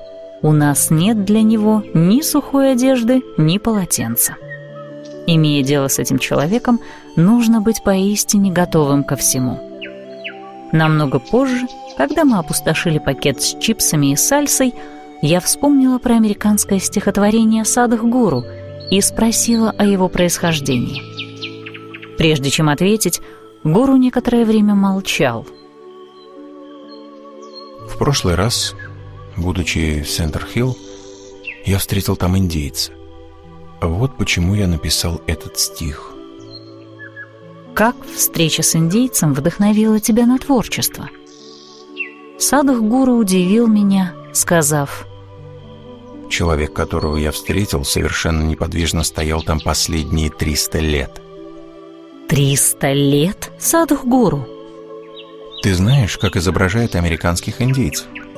На картинках они очень гордые, мускулистые, сильные люди. Они умели воевать, они были прямолинейными парнями, хорошими бойцами, гордились своей культурой. Сегодня такой человек сражается с тобой, а завтра ты называешь его братом, и он защищает тебя. Такими они и были. Для них убийство и смерть в бою были честью. Они не представляли себе, что кто-то может просто прийти и отобрать чужую землю. Они этого просто не понимали. Они относились к земле как к живой силе, которая питала их. Это одна из немногих культур в мире, которые не смотрят в небо, когда говорят о Боге. Они смотрели на землю как на силу, которая создала и вскормила их. Однажды я гулял по Апалаческому лесу в Теннесси и увидел человека, который стоял неподвижно. Он застыл в позе отчаяния и стыда, на нем были знаки отличия местных племен прошлого. Он стоял в полном традиционном облачении. Всякий раз, когда я вижу человека, который находится в быстром движении или полной неподвижности, я чувствую себя причастным, потому что обе эти ситуации означают возможность что-то сделать. Промежуточный вариант движения средней скорости мало что значит. Люди в экстремально быстром движении – это возможность. Люди совершенно неподвижные – тоже возможность. Когда я вижу тех или других, я не могу удержаться от действия. Это поле возможностей. Потом я заметил, что он стоит как вкопанный почти 300 лет. Я увидел, что этот индеец давным-давно поклялся защищать своего старшего брата, который возглавлял их общину. Он был правой рукой своего брата, его помощником и защитником. Сейчас в этой традиции для того, чтобы называться старшим братом, не обязательно быть кровным родственником. Можно стать братьями так же, как становятся друзьями. Этот человек относился к старшему брату с большим уважением и считал несомненные привилегии право ходить рядом с ним и охранять его. Однажды он организовал встречу вождя племени с какими-то военными. Случилось так, что вождь пал жертвой обмана и в результате белые убили главу общины. Его младший брат и помощник чувствовал себя полностью ответственным за его гибель. Он застыл в состоянии полного отчаяния, страдания и стыда. Его эмоции были настолько сильны, что он простоял так 300 лет. Когда я увидел его, он все еще стоял. Не в физическом теле, очевидно, то, что принадлежало земле, упало обратно в землю но остальная часть его стояла там, где он пережил все эти чувства. И я подумал, что ему пора двигаться дальше. Слишком много времени он провел в состоянии отчаяния из-за этого поражения. Я помог ему перейти из этой ситуации в другую, и тогда у меня родилось это стихотворение. Америка. Угрюма тьма лесов твоих, Туземцев кровь скормила их. Валежника ветвей клубок, Здесь обитал индийский бог. О, братья, вы ошибки суть, Тех, кто пустились в водный путь, Наживы ради и дубрав, Дух мудрой милости поправ. Потомки тех, кто захватил страну, Своих отцов не ведают вину. А те, кто честью дорожил и рвением, Поныне призраки стыда и поражения. Убийцы и убитые, ко мне придите, Успокоение навеки обретите. Ответить было нечем. Меня очень впечатлили и эти строфы, и образ индейца, всепоглощающий ужас его стыда — Ей сама сидела, не двигаясь. Я сокрушалась о том человеке. Он был настолько поражен горем, что замерз во времени. Как это могло случиться? Какая ужасная история. До знакомства с Садхгуру я и внимания не обратила бы на такой рассказ. А сейчас ужасный опыт, пережитый тем бедным индейцем, разрывал меня на части — Возможно, я полностью утратила критический подход. Однако ничто из рассказанного не показалось мне запредельным. Это звучало просто как факты. Когда проводишь саду в гуру столько времени, все как будто подкрепляется магическим полем его энергии. Это так ощутимо, что сейчас я открыта возможностям, даже если что-то превосходит мой нынешний уровень опыта. Ведь когда-то и факс, и интернет казались непостижимым чудом. Сегодня мало что лежит за пределами вообразимого. Зная, каким холодным скептиком, если не циником, я был раньше, вы поняли бы, насколько нетипично для меня подобное мышление. Услышь я все это не от Садхгуру, а от кого-нибудь другого, я просто сочла бы говорившего безумцем и не стала бы иметь с ним дело — но Садхгуру я знаю как мистика, и не сомневаюсь, что его сфера восприятия больше, чем у всех остальных известных мне людей. Чем дольше я его знаю, тем больше необычных явлений замечаю сама. Несколько месяцев назад я работала над одним проектом для фонда Иша и собиралась встретиться с Садхгуру в Нэшвилле, в штате Теннесси. Я приехала заранее, и Лила рассказала мне о пилотном телешоу, в котором Садх Гуру участвовал за неделю до того. Гуру был одним из трех экспертов, которые на камеру отвечали на вопросы о жизни и ее тайнах. Вместе с ним выступали американский шаман и психиатр из одного выдающегося университета.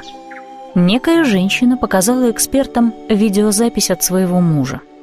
Ему было за 40, и недавно у него обнаружили последнюю стадию рака.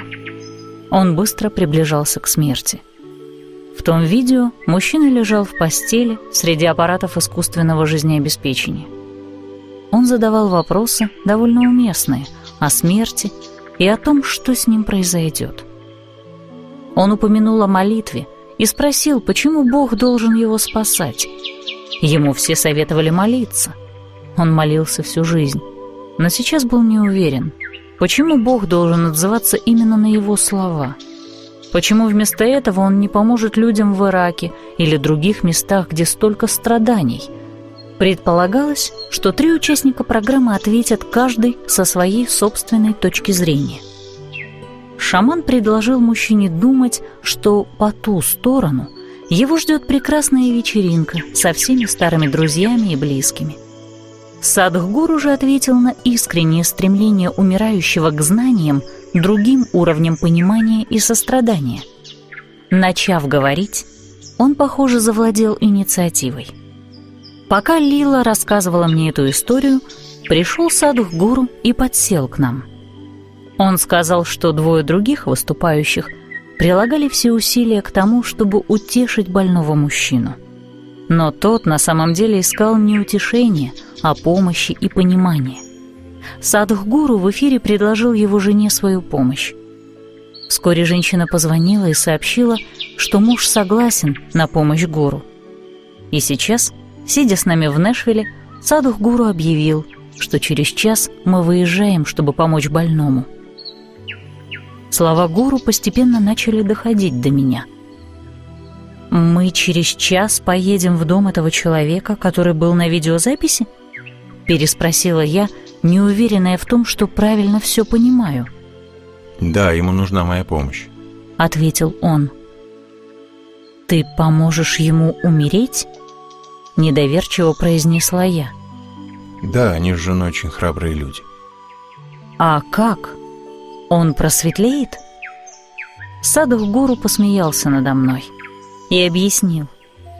Нет, он не получит то, что ты хочешь, но приземлится очень мягко. Я все еще не понимала, что Садхгуру имеет в виду. В машине по дороге я вспомнила. Садхгуру, ты знаешь, что у доктора Киваркяна – появилось много проблем из-за того, что он помогал людям умирать. По-моему, он сейчас в тюрьме. Садхгуру громко расхохотался и сказал.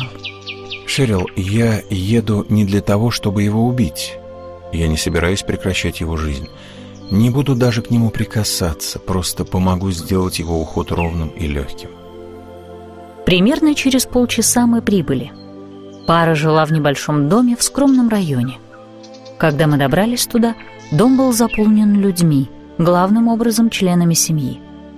Однажды Садхгуру говорил о смерти на одном из сатсангов, где я тоже присутствовала, и я запомнила, что нам легче умирать, когда нас не окружают родственники. Нам легче все отпустить, когда мы далеко от того, к чему привязаны – в этой стране мы поступаем совсем иначе. По какой-то причине мы все хотим быть рядом, когда уходят наши близкие. Мы поздоровались с семьей. Все поблагодарили Садхгуру за его приход, и нас отвели в спальню больного. Он лежал в постели без рубашки, до подмышек прикрытый одеялом. Он был подключен к нескольким капельницам. Когда Садхгуру вошел, Глаза мужчины открылись. Он действительно выглядел хорошо. Я слышала, у него бывали невероятные боли, и удивилась, что он выглядел довольно свежим, без тени страдания на лице. Садхгуру некоторое время стоял с закрытыми глазами, а затем обнял мужчину, и мы ушли. На обратном пути гуру сказал. «Я навел порядок он уйдет завтра. Это полнолуние, благоприятный день и очень хорошее время для ухода. «Что значит «навел порядок»?» – удивилась я. «Откуда ты знаешь, что он уйдет завтра? Такие вещи не берутся предсказывать даже врачи». «Шерил, это не догадка», – отозвался Садхгуру. «Его жизненные энергии очень слабы. Они не способны удерживать тело, какие бы меры ни принимали доктора. Все эти механизмы жизнеобеспечения могут продлить его жизнь на неделю или две, но в этом процессе он, скорее всего, полностью потеряет сознание. А значит, и возможность умереть с ясным умом. Я настроил его энергией таким образом, чтобы он скончался завтра между 11.30 и двумя часами дня, то есть в начале полнолуния. Это очень хороший день для ухода. На завтра я снова навестила Садхгуру в квартире, где он ночевал. Я приехала около полудня, а примерно через час после моего приезда зазвонил телефон. Садхгуру услышал, что мужчина только что умер. Звонившие добавили, что с момента нашего визита у него прекратились все боли. Это произвело на меня сильное впечатление. С тех пор у меня не было возможности расспросить Садхгуру о случае в Нэшвилле, но сейчас он был с нами на острове и в нашем распоряжении, так что я решила еще немного поговорить об этом. Я спросила, что он тогда имел в виду под мягким приземлением. Его переход был предельно гладким, потому что я демонтировал остаточную кармическую структуру. Он еще молод, Следовательно, его жизнь быстро найдет себе форму. Ответил он. Полагаю, что он говорит о скорой реинкарнации. Я спросила, значит, быстро переродиться — это хорошо? Я мало что об этом знала. Кажется, я все еще питала скудную надежду, что умру просветленной, или, по крайней мере, к тому моменту буду понимать намного больше, чем сейчас. Конечно. Подтвердил Садхгуру. Это очень хорошо. Почему? Шерил, имея человеческое тело, ты можешь гораздо больше сделать для своего развития. Разве мы развиваемся и вне физического рождения? Удивилась я. Да, но намного медленнее. Человеческая жизнь – огромная возможность. То, на что здесь уходит год, там может занять в сто раз больше времени. Все это пока оставалось для меня тайной за семью печатями.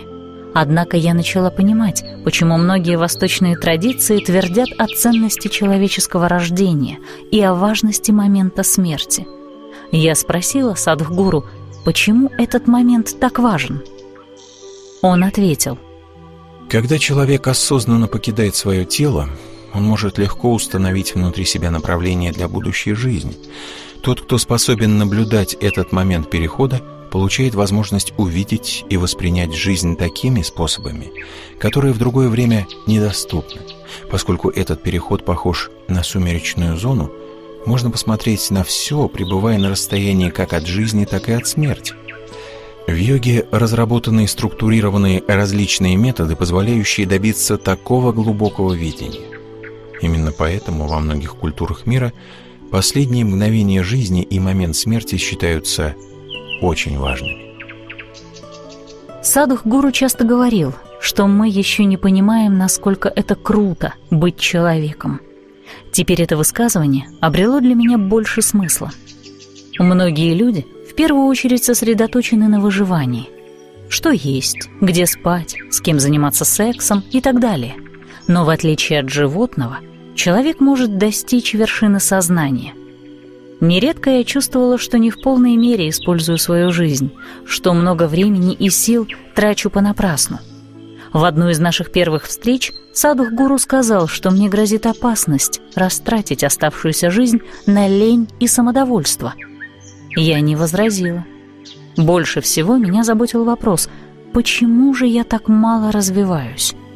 До некоторой степени я наслаждалась жизнью, но никогда не теряла стремление к чему-то большему, чем этот маленький, ординарный жизненный опыт. «Садхгуру», — сказала я, — «ты много раз говорил, что большинство людей не хотят знать истину. Они просто ищут утешение. По-видимому, это означает, что они просто хотят сохранить все свои системы убеждений и оставаться в зоне комфорта. Ты также неоднократно отказывался говорить о явлениях, лежащих за пределами человеческого опыта. Но разве не полезнее нам понять, как все работает? Если эта человеческая жизнь дает нам такие огромные возможности развития, разве не лучше знать правду – чем просто сидеть и ждать, пока мы умрем и все наладится.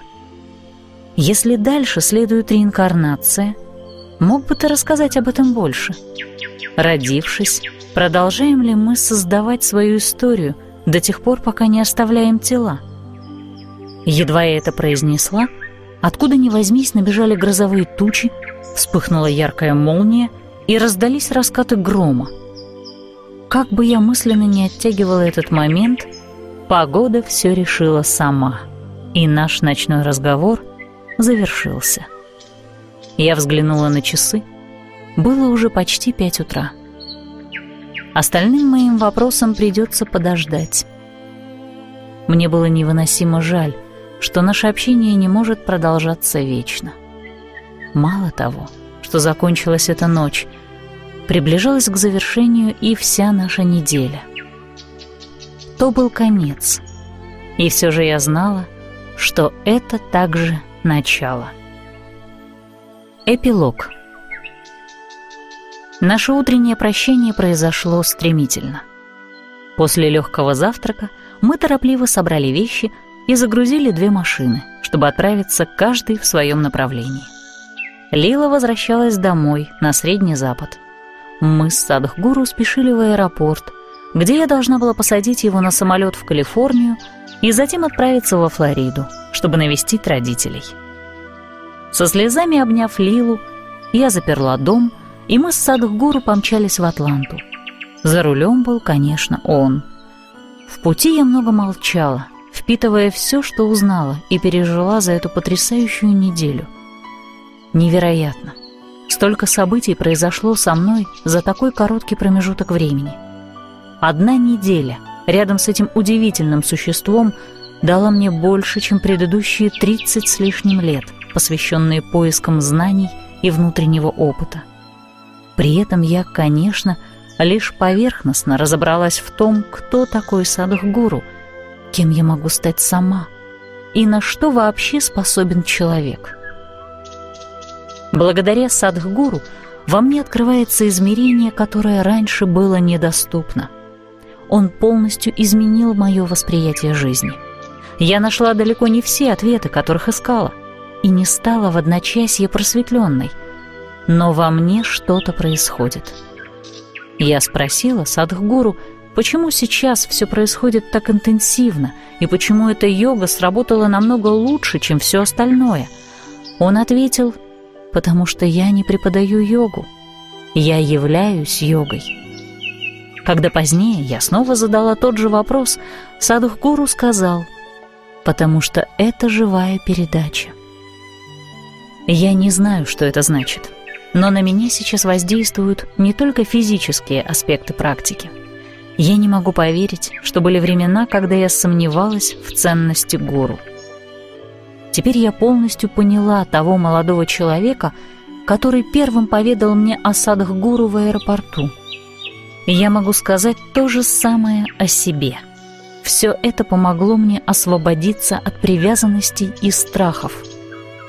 Какими бы ни были внешние ситуации, сегодня я проживаю их на гораздо более высоком уровне, чем раньше – это не означает, что у меня все гладко, и в жизни нет ни ухабов, ни резких поворотов.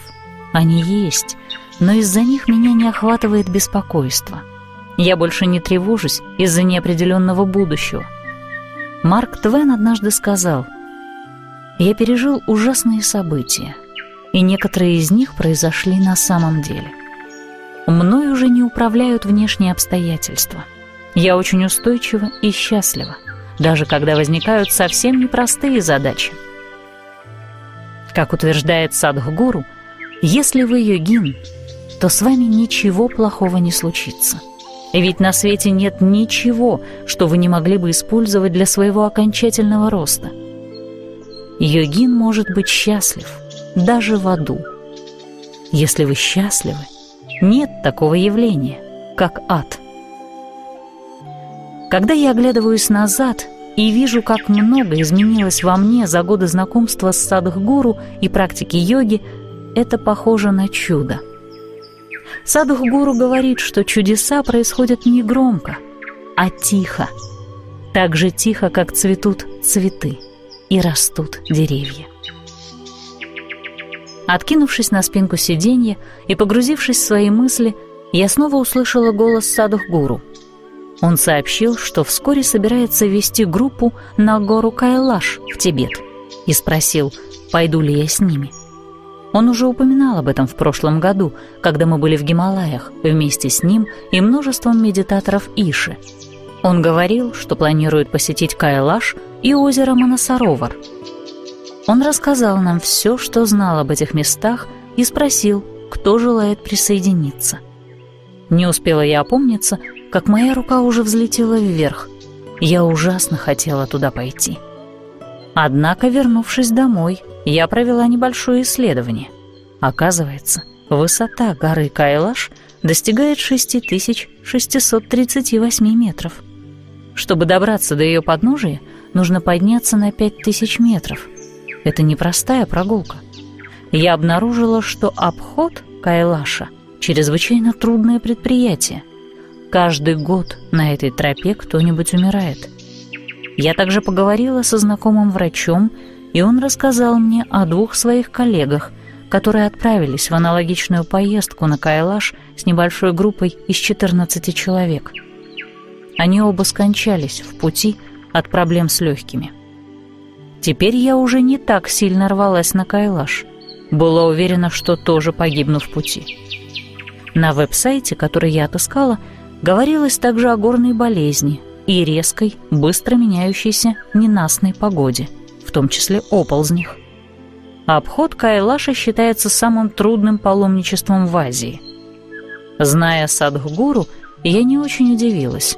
Не только тому, что он хочет туда пойти, но и тому, насколько непростым этот поход будет для меня. Я решила отказаться.